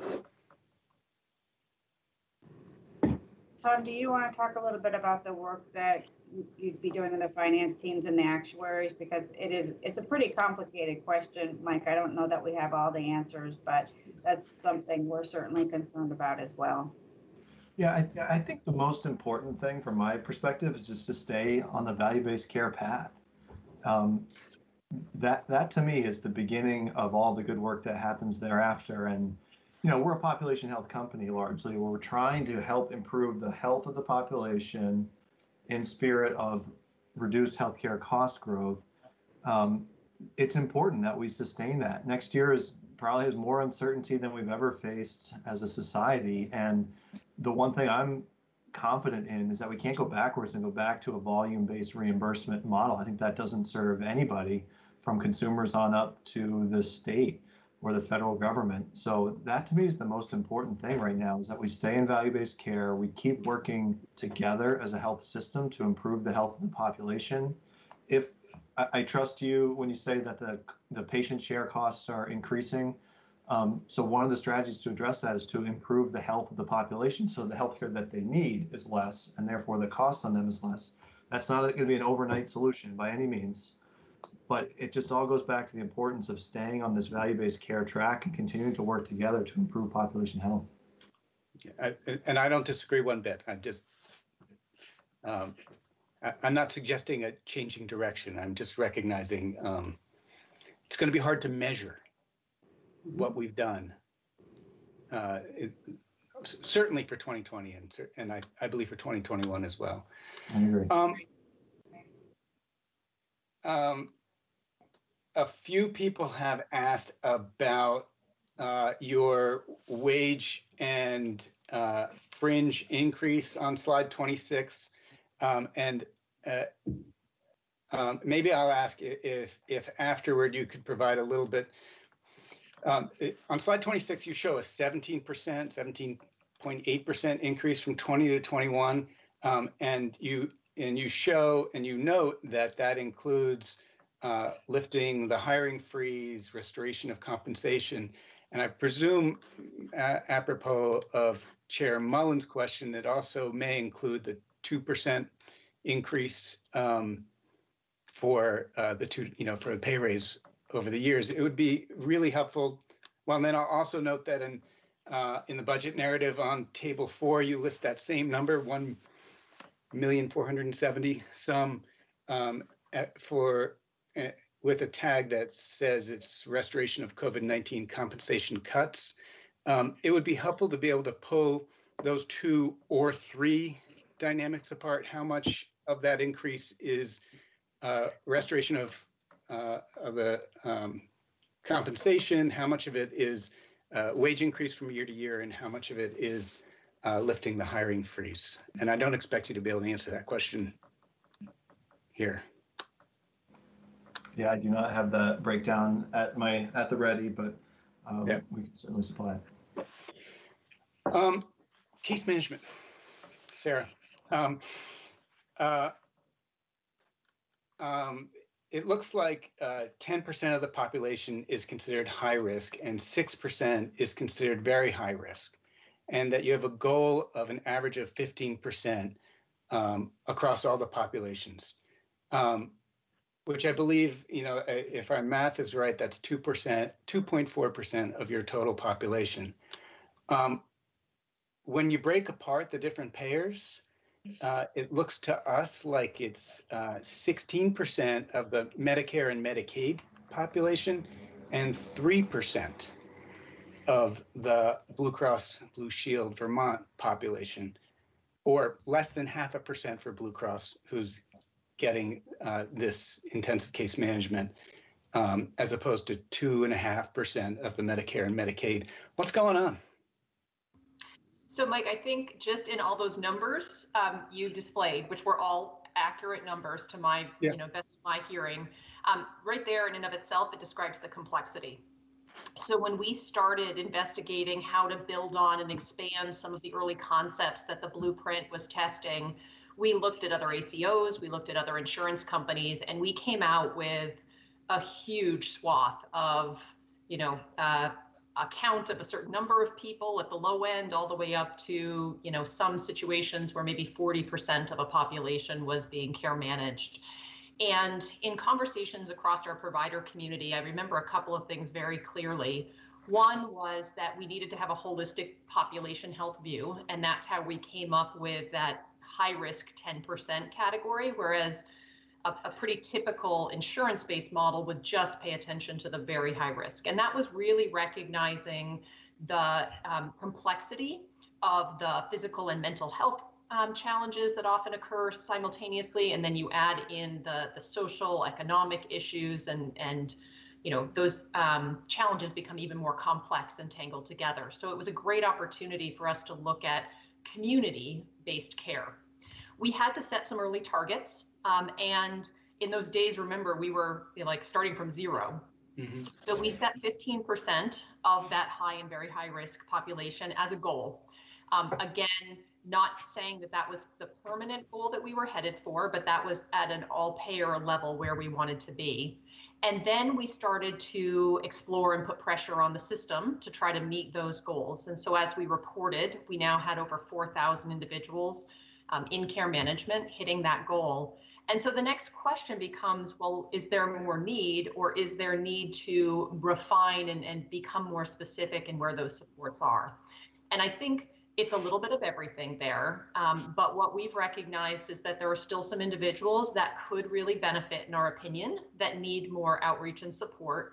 For example, it might be looking at a nuanced subpopulation of those that are high utilizers of the emergency department and have, let's say, comorbid conditions um, affecting their mental and their physical health. And so, can we be more targeted and more specific in the ways that we support our providers to do that outreach? The differential engagement rates that you were highlighting do exist. Um, and we think that underneath that is a fact that when you look at the risk profile of different populations, they're inherently different. Um, and so we try to target some of those early goals to align with those risk profiles. I don't think, I've not come across a science that will tell us an exact number for any subpopulation. I think it's always going to be a process to learn and improve.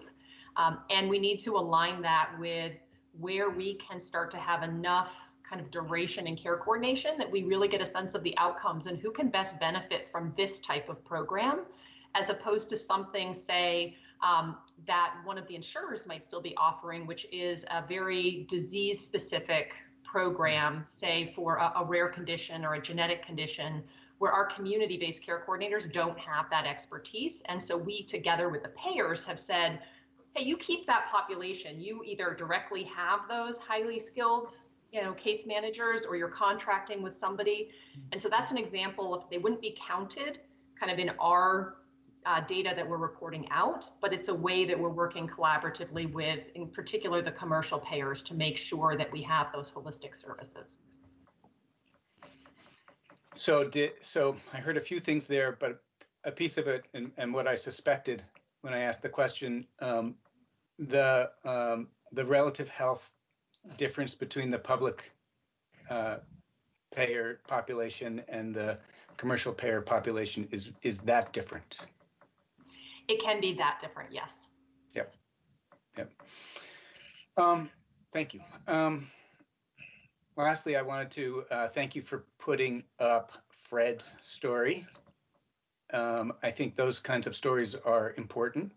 Um, and um, and I can't help because you know I've spent almost 30 years as a frontline social worker uh, to say um, it recognizes uh, uh, there's a long history of uh, people coming together to organize to provide better care for people that really improves lives, saves lives, and saves a lot of money. And um, so I think that's it's really important that you're a part of that effort.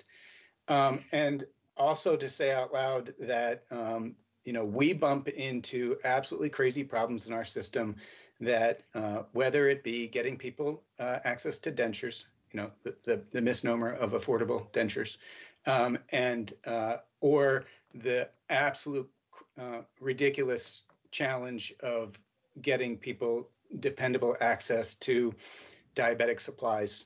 Um, nobody gets continuous glucose monitors for fun. Um, why do we put make them jump through so many hoops to get them? Um, well, because they cost a lot of money. Um, and so um, I, I, look forward to a day when uh, when we fix those kinds of problems to be able to get people the care they need. And uh, so, thank you. Us too. Thank you, Mike, for saying that. Thank you, Mike. At this point, we're going to open it up for public comment. Does any member of the public wish to comment on the budget presentation from OneCare Vermont? Um, good afternoon, Mr. Chair. This is Susan Aranoff from the Vermont Developmental Disabilities Council. Hi, Susan. Hi. So I just have a couple preliminary questions for um, Vicki and team. This has to do with Medicaid. As you know, the focus of the council is always on Medicaid. Medicaid pays for the only payer for home and community-based services that people with disabilities who are Vermont's largest group of disparately impacted uh, Vermonters who average two and three chronic conditions and would be really low-hanging fruit for care coordination, et cetera. So I'm speaking about Medicaid. About five or six weeks ago, we were all gathered for the discussion on primary care, and Julie Wasserman asked Vicki a question about the 14 point something million dollar loss in Medicaid. And Vicki said, no, that's going to turn out not to be a loss, that's going to be savings. So my understanding is that now the Medicaid loss is clear. The point that I want to make is when when the board, when OneCare, when everyone talks about predictability for the payers or shifting risk to the payers, what is really missing from this conversation, and it's really more of a comment than a question, is that when Medicaid overspends by 14 million in in the Medicaid ACO, OneCare is only on the hook for some percent of that, 4%, whatever the guardrails are. That rest of that overage, that Medicaid expenditure is paid by the taxpayers of Vermont, those public payers. But in addition to that, it's money that is not available for home and community based services. That money becomes unavailable to serve the Vermonters with disabilities who are only served by these Medicaid funded programs. So, Cory, you know, the commissioner of DVHA and others, I've heard the secretary of AHS say this. Medicaid has rightly taken pride in switching a lot to value based payments. There's not really a need for an ACO for value based payments. They've been paying um, for long term care with case rates for uh, decades uh, without an ACO in the middle. But when the ACO starts costing more money than it is benefiting Medicaid mm-hmm. beneficiaries, I think someone has got to speak up for Medicaid and say and ask the question. And I hope the Green Mountain Care Board staff can ask this as a breakdown. How are people with disabilities better off as a result of the ACO? DVHA used to do a disability sub-analysis on the quality results, so that would be a question. And how is the Medicaid program, as the most reliable payer, as the one with the steadiest increase in scale, as the one who started out with the um, the only one with an additional admin fee, how is the Medicaid program better off uh, for its participation? And then my direct question to, to Vicki, but it seemed like she rejected the premise of my question, is I wanted to know what changed in the Medicaid results between six weeks ago and today, so that what was gonna, when Julie Wasserman asked about the losses in Medicaid, you said those were gonna be savings. Um, had anything changed? And I'll leave it at that. We will be submitting um, written comments, but I hope that the board in its follow-up questions could dig down a little deeper on the impact this is having on the Medicaid program overall and on people with disabilities in particular. Thank you.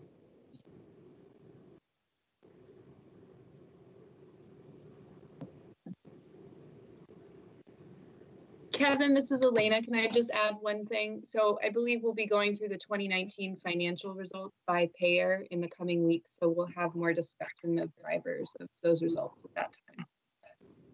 And if I could just say for the record, I don't believe I ever said that there was going to be savings. We were still discussing with Medicaid at the time what those numbers would look like. I did say there was going to be savings in the Medicare program and that overall, when we looked at the ACO programs, there were savings opportunities. Yeah, we can uh, play the tape. Both Julie and I have um, listened to it because we were really surprised by that, Vicki. We've been watching that Medicaid number in the uh, 52 points of light all year. And so we were trying to get the attention of legislators, you know, someone please pay attention to what is happening in Medicaid. So, you know, we, we could both listen to the tape, but I'm pretty sure that uh, how I'm reporting it is how it was portrayed. And I look forward again to discussion of the financial results. As I said, when the quality results were discussed, Mr. Chair will remember, I really would welcome a discussion of the financial results, especially in the Medicaid program. Thank you. Okay, other members of the public?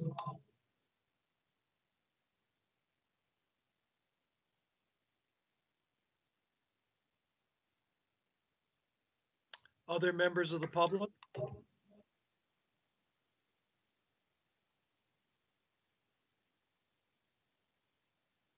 Hearing none, I wish to uh, thank uh, Team OneCare for uh, their patience through all the questions today.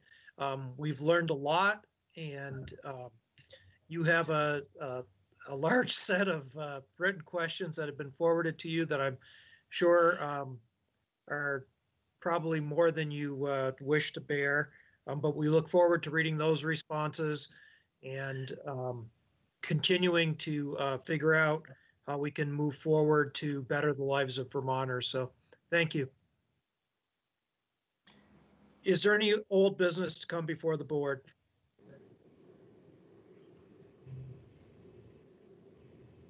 Hearing none, is there any new business to come before the board? Hearing none, is there a motion to adjourn? So moved. Second.